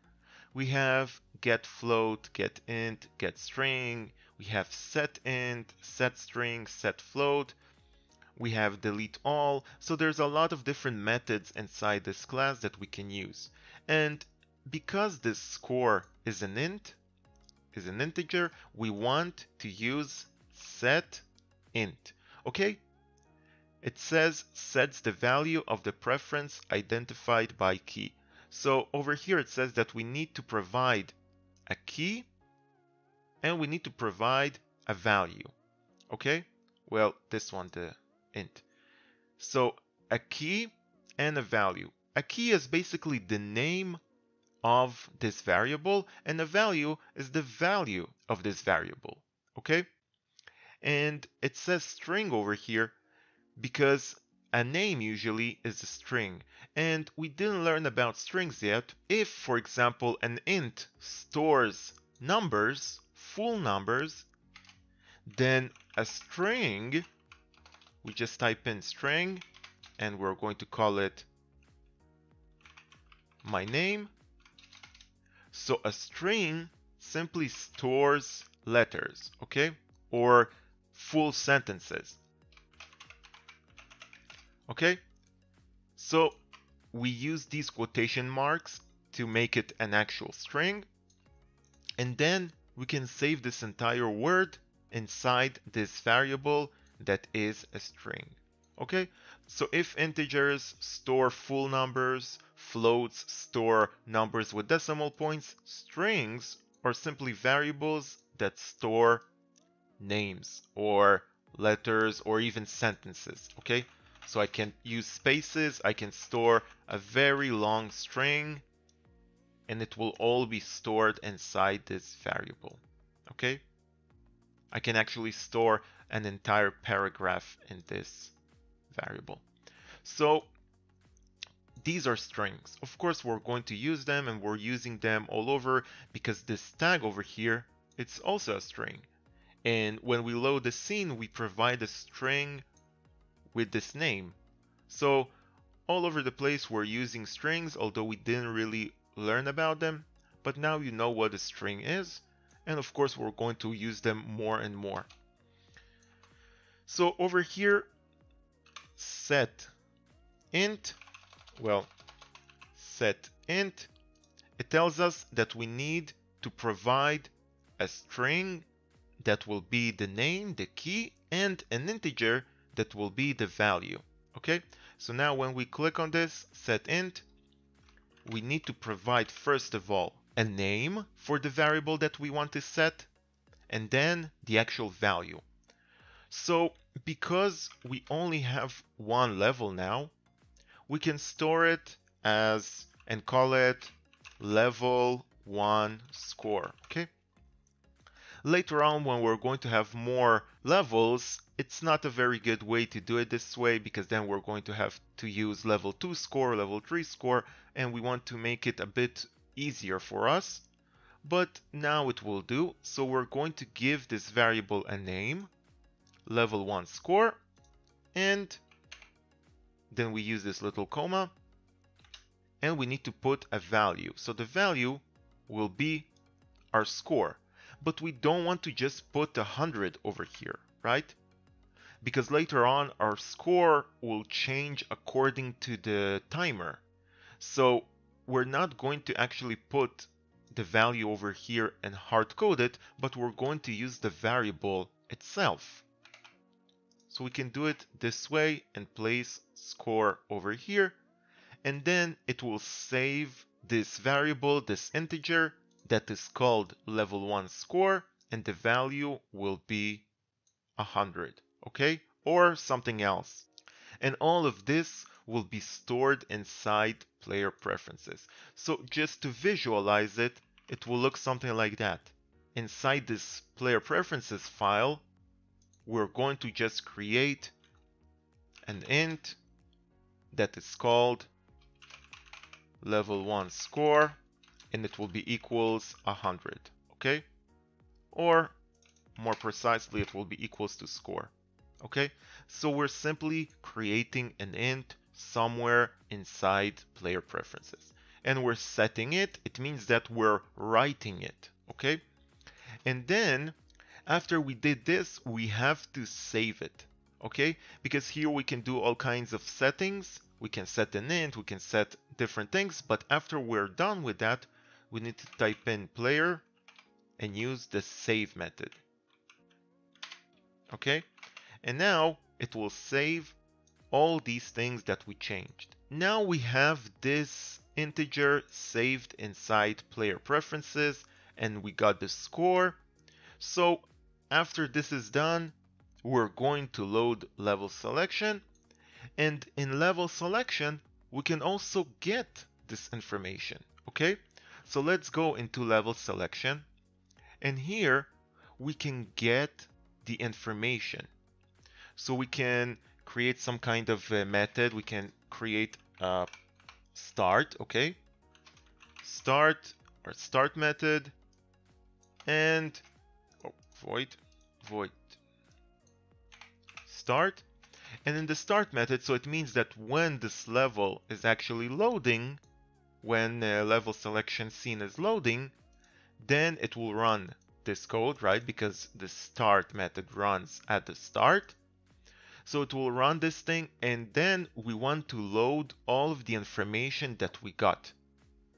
And we're simply going to create some kind of custom method. We're going to call it load saved data or something like that. It's really just a custom method, so you can name it whatever you want and it will run this method. It will call this method. So now let's also create this method over here.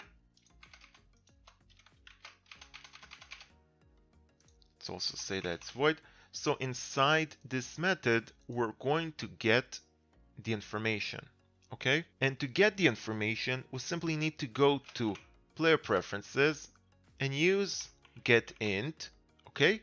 And then we simply need to search for the int that we want to get. So because we saved this int and called it level 1 score, we're going to use the same name to get this int. Okay? Of course, we need to make it a string and we don't need to provide it any value because we don't know what is the value. We want to get the value. Okay? We just say, okay, give me the value of level 1 score and it will go into player preferences and it will look for the value that we saved over here and it will put this value into this line. But we can't just get this integer over here, right? Because we're not doing anything with it. So what we want to do, we want to change this score and place the score over here so it will display score and our score, right? And in our example, it's going to be score 100 and not score 1000. So to change this UI element, we need to get a reference to this text, right? To this UI element. Otherwise, we can't really change it. We need to get the connection. So a simple way to do it is by simply creating a public text and then dragging this UI element into the text reference and then there will be a connection. So right now it's something that we can do and it's the easier way. But later on when we're going to have more levels and maybe we're going to have hundreds of levels, we don't really want to drag these connections for a hundred different levels, right? It will take a lot of time and it's not efficient. We want to make some kind of method that will do it for us. But because we only have one level now, we're going to do it the easy way. So we're going to create inside the level selection manager, right? Because it's in this scene, it's no longer in level one. We're in the level selection scene right now. So we go into the level selection manager, into the script, and we're going to create a public text. And this text is simply the UI element, right? But it's some kind of UI element. We don't know which one because we did not create a connection. So we're just creating a public text and we're going to call it level one score, okay? And just notice that I already added this using Unity Engine.ui namespace. But in your case, you're not going to have it, so it's not going to recognize this text, okay? I did some testing, so I already added this Unity Engine.ui. But in your case, you're not going to see it, so you need to go here and add using Unity Engine.ui the same way we did with the scene management namespace, okay? So now that you have the Unity Engine.ui, it will actually recognize what a text is and it will not cause an error. And now we created this public text that is called level 1 score. So we're going to save it and we're going to go back over here. And now if we click on level selection manager, we can see over here that we have level 1 score and it searches for a reference to a text component, to a text uh, UI, right? And it says none. So as I showed you in the previous episode, we can do it by using get component, but we can simply drag this thing, this score text element, and just drag it into, well, drag it into this slot over here. And now there will be a reference to this score text. Okay? So now basically this score text is this score text. Okay? That's it. That's what we did. We created this connection. So of course, when we're going to have more and more levels, we're not going to do it this way. We're not going to drag a reference for each and every one of them. We can do it and maybe if it's easier for you you can also do it but it's not the best way. It's better to do it with get component and with some kind of loop that will go through all of these levels and just add the references. But I'm going to show you how we can do it when we actually have more levels. For now this will work. So we created this reference by dragging the actual UI element into this slot and now we have this connection okay? And now we want to change the text inside this UI element inside this UI element according to the actual score that we got over here. And it's very simple. All we need to do is take this variable go over here and use dot text okay so we simply want the text of level 1 score because this is a text UI element, but we also want to get the text component and change the text over here, right? So to do it inside the code, we need to say dot text and then equals to all of this. Do you understand what I did here? Of course, there's a problem and I'm going to fix it, but you understand what I did here? I went into player preferences and then I used get integer and I search for level 1 score and because here we saved level 1 score and gave it a value, it will be stored inside player preferences. So here I'm just looking for it and I'm getting the value. So now when I'm getting the value, all of this will become the actual value. And as you remember, it goes from right to left. All of this value will go into this. And because we use the text over here, so this value will be what this text is, okay? But now it gives us an error because it says cannot implicitly convert type int to string. And it's right because over here we get an int. But here we need to provide a string because a text is a string. We can't really put an int over here. We need to put a string over here because this text is a string. So in order to fix it, we can simply say plus and these quotation marks, or actually score plus and the value. And now there is no error and it will show score the same way it shows here plus the actual value. And when we do plus and we're adding score, some kind of string to an integer, it won't do some crazy addition. It will simply add this integer into this string. So if this integer is 100, then score plus 100 will simply become score 100. Okay? Well, no, because we didn't put any spaces, so it will add the 100 over here. So it will be something like that, score 100. So we can simply put a little space here between this quotation mark, and then it will actually be this way. So this way we can add integers and turn them into strings when there's actually some string over here. And then we're going to get all of this and all of this will go into text. And because this is the text of level 1 score and level 1 score is this text that we have a reference to, which is this UI element, so it will go over here and we're going to see score 100. Okay? That's the way we're going to do it.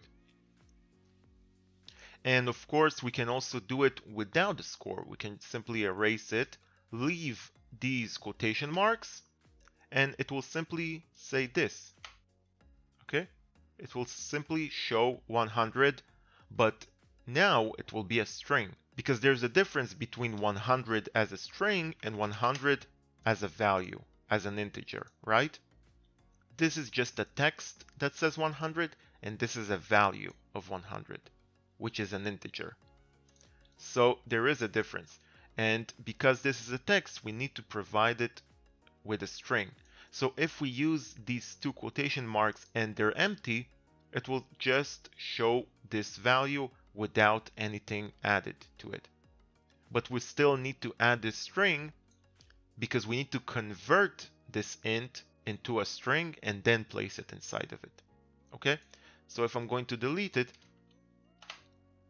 it will give me an error because we still need to make this int into a string before we put it over here. So I'm just going to say score and small space here and now it should work okay but it won't do it when we first start the game because when we first start the game it will go here and there will be no level 1 score saved right we're only going to save it when we finish the first level for the first time so we can see how it works Right now we didn't save it, right? There is nothing inside player reference because we did not start the game. So if we go to the main menu, let's just make sure that everything is saved. Main menu, save, and now let's start. Okay, so we press on continue and we can see that the score is zero, okay? Because it simply went over here and because we run this scene, so it will run also this script and in the start it will load save data so it will go to load save data and it will search for an integer that is called level 1 score. But because we still don't have this because we didn't play the first level it won't find any score and it will just say score 0 and it will set it as score 0 But then when we go inside the level and we actually reach the end of the level, it should say score 100. Okay, let's see if it works. Score 100. And now, even if I exit the game, okay? So now if I exit the game and I'm going to start the game again, it will still show score 100 because it will go into player preferences and it will still find it because it is still saved over there somewhere on our PC, okay? We can of course delete it if we don't want it to exist over there, but there is no reason to do that right now. When a person will install our game on his mobile device or on his PC, then he won't find these player preferences because it is stored locally on our PC. So on their PC, they won't find level 1 score. It will be empty. So they will have to finish level 1 and only then it will save something that is called level 1 score. Okay, so you can see that even when I exited the game and I'm going to go inside and I'm going to click on continue, it will still show score 100. And now even if I restart my PC when I'm going to return to Unity and play this game again, it will still show score 100 because over here when we load the level selection scene it goes into player preferences and it finds this thing okay? And I want you to actually understand where it is saved. So if we go into Unity website it actually tells us that the player preferences are stored in this location okay they're stored inside the registry in this location so let's see if it's actually saved over there let's go over here and type in regedit, regedit. Okay, and now we can open the registry editor. So inside we need to go to this location. So HKey current user. Then inside we go to software. Then inside we go to Unity.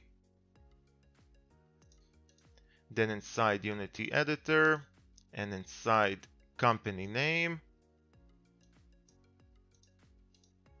and then project name and our project name is 2D tutorial. So over here we can actually see level score 1, level 1 score, right? And over here we can see a value 100. So it's actually a physical location on our PC that is storing all of this information. And right now I only have one thing that is stored here but later on when we're going to have more levels and we need to store more information, we're going to get more things here. So when a person installs this game on his mobile device, there is also a location on his mobile device that is going to save our player preferences. Okay, so there's also a way to delete all of this information. So for example, you want to test it and you don't want this to be stored over there anymore. So the way we can delete it is by simply going somewhere, let's say in the continue button, because the continue button is located in our main menu, right? Over here. So this is the first script that will run when we start the game. So over here, before we go to level selection, we can simply say player prefs dot delete all, okay? So it says removes all keys and values from the preferences. Use with caution. So you really need to use it with caution. If you do this, if you delete all, it will delete all of the information that you stored inside player pref. Okay, so we don't really care because we're just testing the game. We don't care if we want to lose the score. You can also use this thing in the options section, right? For example, you want to create an option for the player to reset all of his progress. right? So if you want to reset all of his progress, he can go to options, click on a button, and it will run this thing here, and then it will delete all the information. So let's see how it works. We did this here, right? Let's save. Let's run the game.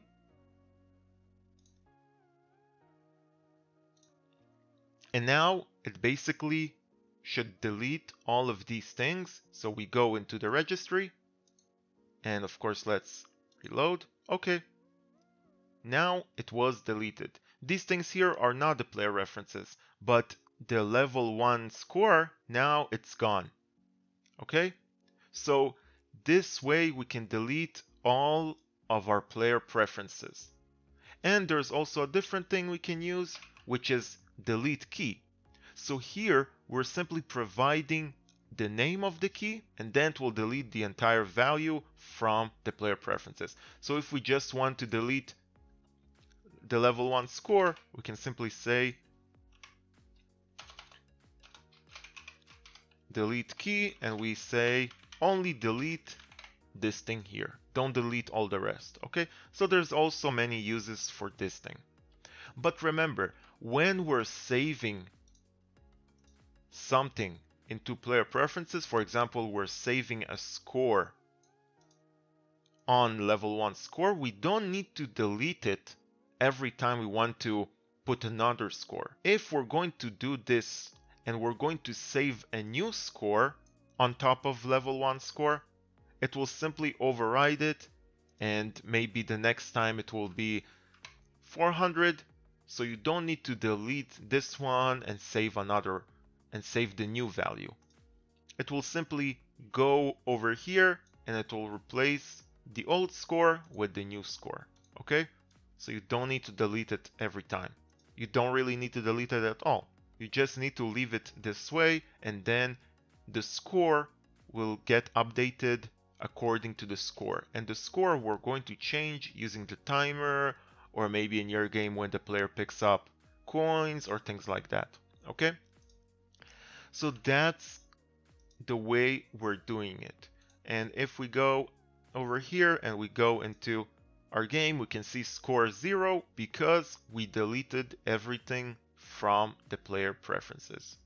Okay, there is nothing here, so it says score zero. And this is the way we're going to transfer this information. And now, even if we close the game, restart the game, it will always be saved. Another thing that we need to do is actually change these stars. So we want to change them into these ones, into these orange ones, when we have a certain amount of points. So we can say that if the player gets a thousand points, he will get three stars. If he gets 500 score, he will get two stars. And if he gets more than 100, he will get only one star, right? So we're going to do all of that in the next episode because it will be a bit longer. We need to actually get references for all of these. Where was it? for all of these stars. And we're not going to do it the same way. We're not going to just drag them into references because again, if we're going to have a hundred levels, we don't want to go and drag these stars for each level. We want to create some kind of method that will just do it for us, okay? And in the next episode, we're also going to create another level. So we're simply going to take this one duplicate it and create the second level and this level the second one will be locked so we also need to say only if you finished the first level then open the second level or we can say only when you got one star at level 1 then you can play level 2 so we can do whatever we want but all of that will happen in the next episode. In this episode, I just want to show you how we can actually use player preferences to save information and to transfer this information from one scene to another. Because the information that we get in level 1 is not going with us to the level selection unless we actually save it somewhere. Okay? So that's all for this episode. Thank you for watching. Please subscribe if you're still not subscribed. It will help me a lot. Please leave a like. It will also help me a lot. And see you next time.